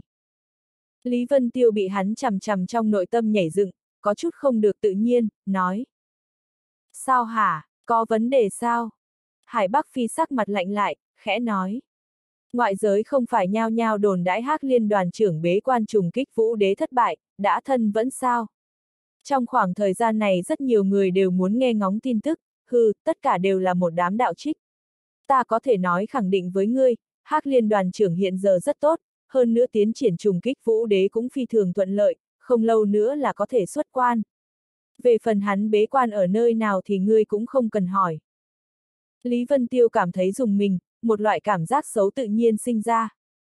Trùng kích vũ đế chính là một cửa khẩu lớn nhất trong võ đạo bên, cần đủ ba thứ thiên thời địa lợi nhân hòa mới có cơ hội trùng kích thành công. Hải Bắc Phi tuyệt đối không thể biết trùng kích có thuận lợi hay không được, tất cả chỉ là lý do. Nhưng qua đó cũng đã nói rõ trong lòng hắn cũng cực kỳ mơ hồ, bởi thế nên mới mẫn cảm, kiêng kỵ người khác hỏi đến chuyện này như vậy. Chẳng lẽ tiểu tử thiểu hoàng kia thật sự đã xảy ra chuyện sao? Trong lòng hắn có chút lo lắng, nhưng tiếp tục hỏi tiếp cũng không có kết quả gì. Không nói đến Hải Bắc Phi có lẽ không biết gì, cho dù có biết cũng sẽ không nói, còn có thể cho mình là gian tế gì đó nữa cũng nên. Kính xin Hải đoàn trưởng cho biết thái cổ chi địa đi như thế nào. Ha ha! Hải Bắc Phi cười rộ lên nói. Tuy rằng mọi người đều biết cửa vào thái cổ chi địa ở khinh ca lâm địa, nhưng chính thức biết rõ đi như thế nào, toàn bộ khinh ca lâm địa cũng không hơn 10 người. Mà ta chính là một trong số đó. Huống hồ cho dù có biết, không có sự trợ giúp của dòng binh đoàn Thái Điểu, Vân Tiêu Đại Sư cũng không thể vào được cho nên, Đại Sư có thể cân nhắc đến điều kiện ta nói lúc trước. Lý Vân Tiêu nhìn không được mở miệng mắng. Ta đi thái cổ chi địa chính là vì lịch lãm rèn luyện, nếu thần thể chi lực bị rút ra, võ đạo phế đi, vậy ta còn đi làm gì? Hắn suy nghĩ một chút, lại nói. Tình huống Hải Lâm lão đệ không phải là không có cách giải quyết, ngoại trừ rút ra thần thể chi lực ra, ít nhất ta biết có ba cách giải quyết được. Đồng tử Hải Bắc Phi đột nhiên co rút lại, vội la lên. Ba loại nào? Lý Vân Tiêu nói. Hai loại trong đó rất không có khả năng, đối với hải đoàn trưởng mà nói đáng tin cậy nhất chính là dùng vạn cổ trường thanh thụ chắt lọc ra một hệ chi tinh, đủ để chấn áp huyết mạch mãng hoang khôn nghiêu trong cơ thể hải lâm lão đệ. Lại dốc hết biện pháp tăng thực lực của hắn lên đến vũ tông, về sau huyết mạch chi lực của mãng hoang khôn nghiêu không chỉ không còn là vướng víu, ngược lại còn là một cỗ sức mạnh vô cùng cường đại cho hắn sử dụng. Vạn cổ trường thanh thụ. Trên mặt hải bắc phi lộ ra vẻ đại hỉ, ngược lại biến thành cực kỳ cổ quái, nói. Vân Tiêu Đại Sư có biết vạn cổ trường thanh thụ này ở chỗ nào không? Lý Vân Tiêu cau mày nói. Không phải ở trên yêu nguyên sao? Hải đoàn trưởng nên rõ hơn ta chứ? Hải Bắc Phi vẻ mặt cười khổ nói. Đích thật là trên yêu nguyên, nhưng vạn cổ trường thanh thụ kia chính là lúc thiên địa sơ khai đã tồn tại, nghe nói đã sinh ra linh tính, có thể tùy ý di động. Trước kia từng có mấy người thấy qua, nhưng đều là ở các nơi khác nhau, hơn nữa cách nhau cực xa. Muốn tìm thập phần khó khăn. Lý Vân Tiêu thản nhiên nói. Đó là chuyện của hải đoàn trưởng, có tìm được hay không cũng không quan hệ gì đến ta cả. Hải Bắc Phi lộ ra mỉm cười, nói. Sai rồi, có thể tìm được vạn cổ trường thanh thụ hay không, có quan hệ rất lớn đến Vân Tiêu Đại Sư đấy. Lý Vân Tiêu ánh mắt lạnh xuống, khẽ nói. Có phải là nếu không tìm được ngươi lại đánh chủ ý lên ta không? Hải Bắc Phi đỏ mặt, lắc đầu nói. Vân Tiêu Đại Sư đã đoán sai, mà là vạn cổ trường thanh thụ kia chính là giao lộ duy nhất đi thông thái cổ chi địa. Cái gì? Lý Vân Tiêu kinh hãi nhảy dựng lên, cả kinh nói. Thái cổ chi địa dĩ nhiên là từ nơi ấy đi vào, làm sao có thể? Hải Bắc Phi nghiêm mặt nói. Vân Tiêu Đại Sư cho rằng thái cổ chi địa kia ở đâu? Nơi kia nói đúng ra thì cũng không ở trong thiên vũ giới. Hắn dùng tay chỉ lên phía trên, nói. Ở vực ngoại tinh không? Chỉ có vạn cổ trường thanh thụ, từ lúc khai thiên tích địa đã tồn tại mới là thông đạo duy nhất đi thông vực ngoại tinh không. Lý Vân Tiêu vẻ mặt ngây dại, lẩm bẩm nói. Nói như vậy, quả thật không phải muốn là có thể vào được rồi. Vậy gần đây có tin tức về vạn cổ trường thanh thụ không? Hải Bắc Phi lắc đầu, nói. Yêu nguyên thập phần rộng lớn, vạn cổ trường thanh thụ lại biết di chuyển, nào dễ tìm thấy như vậy. Bình thường vài năm thậm chí vài chục năm mới có thể truyền ra một chút tin tức. Bất quá, lần này nếu mục tiêu của chúng ta đã giống nhau, ta tất nhiên sẽ vận dụng tất cả lực lượng, hơn nữa tuyên bố treo giải thưởng với bên ngoài để tìm gốc thần thụ này. Lý Vân Tiêu gật đầu nói. Vậy vất vả hải đoàn trưởng rồi, nếu có thể khiến ta tiến vào thái cổ chi địa, vấn đề của hải lâm lão đệ cứ bao trên người ta. Hải Bắc Phi nói. Vậy ta sẽ lập tức hạ lệnh và tuyên bố treo giải đây. Hắn đi ra bên ngoài, đột nhiên ngừng thân quay đầu cười nói. Vân Tiêu Đại Sư, cho dù toàn lực tìm kiếm, sợ rằng cũng không phải một thời nửa khác là có thể tìm được. Trong khoảng thời gian này, đại đội trưởng đội thứ 8 dòng binh đoàn Thái Điểu phiền người đảm nhiệm một thời gian đi. Các dòng binh đoàn lớn nhỏ ở khinh ca lâm địa có đến hơn mấy trăm, nhưng trên cơ bản đều có biên chế giống nhau. Tức là dưới đoàn trưởng phó đoàn trưởng lập nên các đại đội, do đại đội trưởng trưởng quản. Dưới mỗi một đội lại có không ít tiểu thống lĩnh. Đại đội trưởng dòng binh đoàn Thái Điểu, ở khinh ca lâm địa là nhân vật cực kỳ khó lường. Hoắc Kiên Thân là cường giả Vũ Hoàng cũng chỉ là đội phó đội thứ nhất mà thôi. Đội thứ 8 sao? Lý Vân Tiêu cùng đi với Hải Lâm, ngồi trên long mã chậm rãi lên đường. Mọi người đi xuống xe ngựa, liền trông thấy một mảnh tiểu viện liên bài tinh xảo. Hải Lâm cười nói, đây là địa bàn ở thành Tây.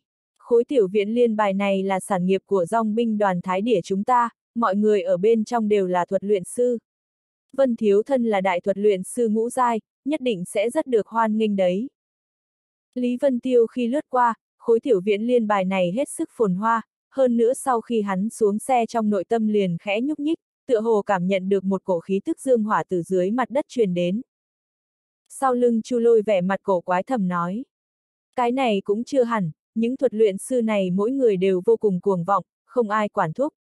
Bân Kiệt đại nhân sợ rằng cả ngày đều không ngủ yên được đấy. Bân Kiệt là đại đội trưởng tạm thời của đội thứ 8. Lý Vân Tiêu quay đầu nhìn Lạc Vân Thường nói. Vân Thường lão sư, người có cảm giác đặc biệt gì không? Lạc Vân Thường nhíu mày lại, nói. Thì ra Vân Thiếu ra cảm nhận được, ta chỉ cảm thấy một cổ cực khí tức kỳ cực nóng bỏng đang dẫn động lấy thân thể của ta, khí huyết có chút trở nên sao động thôi. Lý Vân Tiêu nói.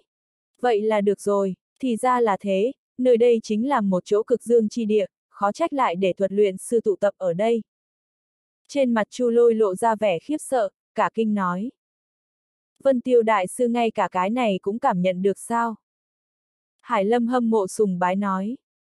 Vân Tiêu Đại Sư thật sự là cao nhân. Nơi đây chính là hắc liên đoàn trưởng đại nhân tự mình chọn chúng, nói là dưới nền đất có một đầu hỏa long ngủ đông, có thể không ngừng cung cấp dương hỏa, dùng để luyện khí luyện đan có thể làm chơi ăn thật. Lý Vân Tiêu cười nói. Cái gọi là hỏa long ngủ đông, có lẽ chính là chỉ địa mạch, nơi này quả thật tuyệt hảo. Mọi người đi vào trong một tiểu viện lớn nhất, liền chứng kiến một lão đầu tóc lộn xộn đang gõ đầu mình, trong miệng không ngừng thì thào lẩm bẩm. Chuyện gì xảy ra? Trong chuôi bảo kiếm thủy hệ ngũ giai này ta rõ ràng đã gia nhập vào tinh không hàn thiết và thiên niên băng tuyết, vì sao vẫn không thể nào tiến giai chứ? Vì sao? Cái này là vì sao chứ? Lão đầu không ngừng vò lấy tóc mình, tựa hồ thống khổ dị thường. Hai mắt sưng đỏ, hiển nhiên đã rất lâu không chợp mắt rồi. Hải Lâm lộ ra vẻ giật mình, vội bước lên phía trước nói. Lục Đại Sư. Lão đầu đối với mấy người đến căn bản không phát giác, Hải Lâm gọi hắn hắn cũng không để ý đến, vẫn không ngừng vò tóc. Lý Vân Tiêu cười khổ lắc đầu nói.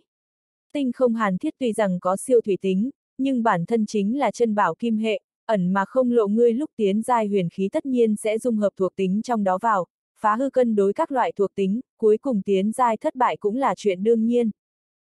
À! Lão đầu lập tức kêu to một tiếng, miệng há thật to, giống như sấm đánh vậy, ngây người tại chỗ thật lâu không nhúc nhích. Chỉ là ánh mắt đục ngầu sung huyết kia trở nên càng ngày càng có hào quang. Lão đầu đột nhiên nhảy dựng lên, vỗ mạnh tay một cái, cười to nói. Ta rốt cuộc hiểu rõ, ha ha. Thì ra là thế, thì ra là thế. Hắn cuồng thiếu vài tiếng, liền chạy đi mất như một làn khói, không còn thấy bóng dáng. Hải Lâm, Vân Tiêu Đại Sư, Lục Đại Sư hắn không có việc gì chứ? Lạc Vân thường cười nói. Không có chuyện gì đâu, thuật luyện sư đại bộ phận đều vậy cả.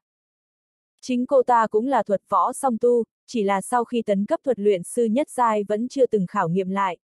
Nhưng nàng có lòng tin, có thể thuận lợi thông qua nhị giai. Chỉ có điều, những điều này tựa hồ cũng không có bao nhiêu ý nghĩa. Việc nàng phải làm hiện giờ chính là tranh thủ thời gian tăng lên thực lực của mình, không trở thành gánh nặng cho vị đại nhân trước mắt này là được rồi. Chu lôi kinh ngạc nhìn Lý Vân Tiêu, nói.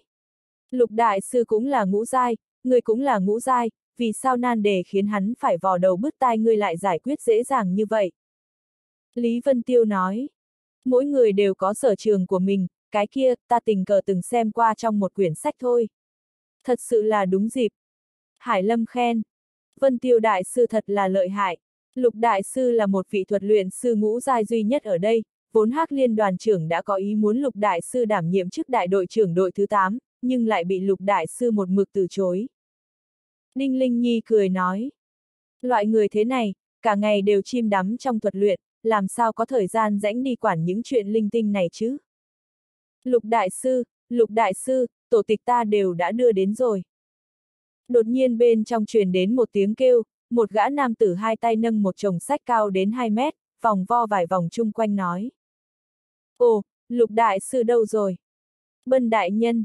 Chu lôi thấy rõ bộ dạng người tới, lại càng hoảng sợ, vội bước lên giúp hắn để chồng sách trên tay xuống. Chỉ thấy Bân Kiệt một thân bụi bẩm, giống như vừa lăn mấy vòng trên mặt đất vậy, cả kinh nói. Bân đại nhân, người đây là... Bân Kiệt cười khổ nói. Thì ra là các người sao, lục đại sư đi đâu rồi? Hắn bảo ta tìm đến tất cả điển tịch thuật luyện ở khinh ca lâm địa, ta đã vài ngày không ngủ rồi. Lý Vân Tiêu cau mày nói. Hầu hạ những người này khổ cực như vậy sao? Bân Kiệt thống khổ nói. Đâu chỉ là khổ cực, quả thực là thống khổ a. À. Mẹ nó, ai làm vị trí đại đội trưởng đội thứ 8 này chính là thứ vương bát đản. Hải Lâm thiếu gia, lúc nào mới tìm được đồ ngốc tiếp nhận vị trí của ta đây? Hắn ngẩng đầu lên, nói. Đúng rồi, vị này là... Hải Lâm tranh thủ thời gian giới thiệu nói. Vị này chính là Vân Tiêu Đại Sư, thuật luyện sư ngũ giai, đại đội trưởng đội thứ 8 chính thức. Bân Kiệt. Ha ha. Bân Kiệt xấu hổ cười cười, vội vàng phủi bụi trên người, tiến lên bắt tay nói.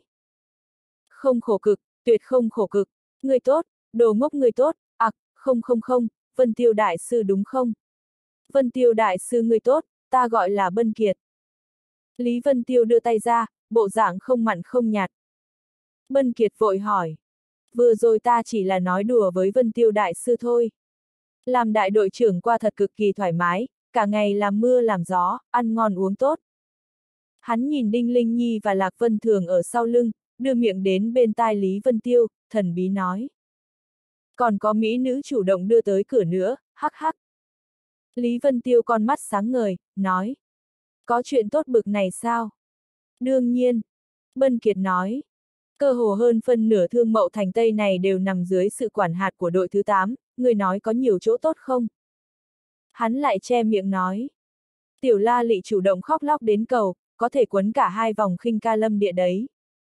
Lý Vân Tiêu cũng lộ ra dáng cười hiểu ý, nói. Vậy chẳng phải ta nên lập tức tiếp nhận sao? Còn cân nhắc gì nữa? Bân Kiệt vỗ bờ vai của hắn nói. Huynh đệ tuy rằng ngươi tuổi trẻ tài cao, nhưng cũng cần chú ý rèn luyện thân thể, ăn nhiều thuốc bộ một chút, nếu không sẽ không chịu đựng nổi đâu. Về sau thiếu nữ vô tri ở đây liền nhờ huynh đệ ngươi đi trấn an rồi, ta có chuyện quan trọng đi trước một bước. Hắn nói xong liền hóa thành một đạo quang mang, trực tiếp biến mất trong nội viện, lao về phía thành Bắc. Trên bầu trời còn có thể mơ hồ nghe được tiếng cười to truyền đến. Lý Vân Tiêu nhìn hào quang biến mất kia, nội tâm thầm nghĩ, dĩ nhiên là Vũ Hoàng cửu tinh. Xem ra tiểu tử thiếu hoàng kia quả nhiên bồi dưỡng được một thế lực không tệ a. À. Hải Lâm ngượng ngùng nói. Vân Tiêu đại sư, nếu ngươi không thích nơi này, ta trở nói với phụ thân đại nhân, nhất định sẽ điều ngươi đi. Lý Vân Tiêu híp mắt cười nói. Không có việc gì, ta cảm thấy rất tốt. Rất tốt.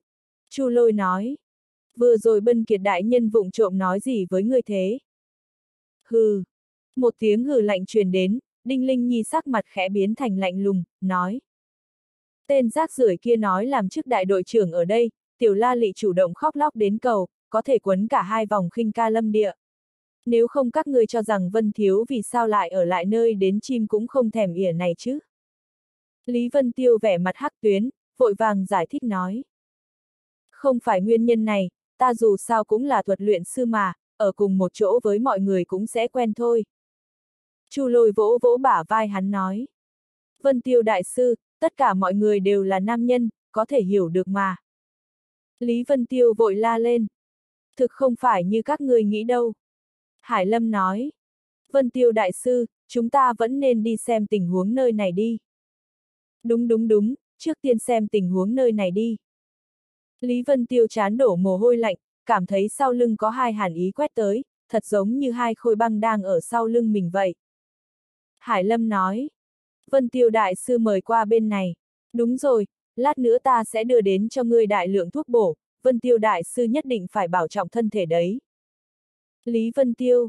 Ở đằng sau tiểu viện liên bài là một khối đất trống cực lớn, phía trước là một kiến trúc tựa như bảo hồ lô, rất rộng rãi, thỉnh thoảng còn có người ra ra vào vào. Cửa ra vào có một gã nam tử đang hăng hái chỉ huy lấy gì đó. Lề mề cái gì, còn không mau đưa qua cho nhiếp đại sư. Ngu ngốc, lãnh đại sư muốn chính là thất hương diệp, không phải thất liên diệp, ta đá chết ngươi bây giờ. Ngươi đi cả buổi mà ngay cả một khối vô ảnh hàn băng cũng không tìm thấy, trước khi trời tối mà không tìm thấy thì đừng có quay về nữa. Con mẹ ngươi, vệ đại sư muốn yêu đan của bạo hỏa chư, không phải đầu heo. Nam tử kiên nện một cái đầu heo hỏa hồng sắc lên đầu thủ hạ, một hồi quyền đấm cước đá nổi giận đuổi đi, giận dữ hét lên. Lại gây chuyện không tốt, ta bắt nguyên một đám các ngươi vào cho các đại sư bên trong luyện đấy. Đám thủ hạ đều cúi đầu, nhanh chóng chạy đi. Chu tường đại nhân. Hải lâm từ xa kêu lên, cười nói. Chu tường đại nhân xem ra sống thật tốt a. À. Nam tử kia ngưng mắt xem xét, lập tức chạy đến, cơ hồ muốn quỳ xuống, kêu lên nói. Hải lâm thiếu ra, xin ngài điều ta đi, ta sẽ lập trường sinh bia cho ngài, mỗi ngày ba khấu chín bái. Hải lâm cười nói. Ở đây không cần chém chém giết giết, mỗi ngày trải qua cuộc sống an nhàn, quả thật cực kỳ thoải mái. Người khác muốn còn không được ấy chứ. Chu tường thống khổ nện vào ngực, ôm Hải Lâm khóc lớn nói. Trả lại ta đoạn thời gian đao quang huyết ảnh đi. Hải Lâm đẩy hắn ra, giải thích với Lý Vân Tiêu. Vị này chính là đội phó chu tường của đội thứ 8, làm người rất tốt. Lý Vân Tiêu mỉm cười, ở trong miệng Hải Lâm ai cũng tốt cả. Ánh mắt của hắn đảo qua trên người chu tường, lập tức liền có phán đoán, Vũ Hoàng ngũ tinh. Xem ra có thể trở thành cấp bậc đội trưởng dòng binh đoàn Thái Điểu ít nhất cũng là cường giả Vũ Hoàng. Hơn nữa tuổi Chu Tường cũng cực kỳ trẻ, xem ra thiên phú rất mạnh. Đoàn đội an bài hắn ở lại nơi này làm việc đâu đâu cũng là một loại bảo hộ đối với hắn.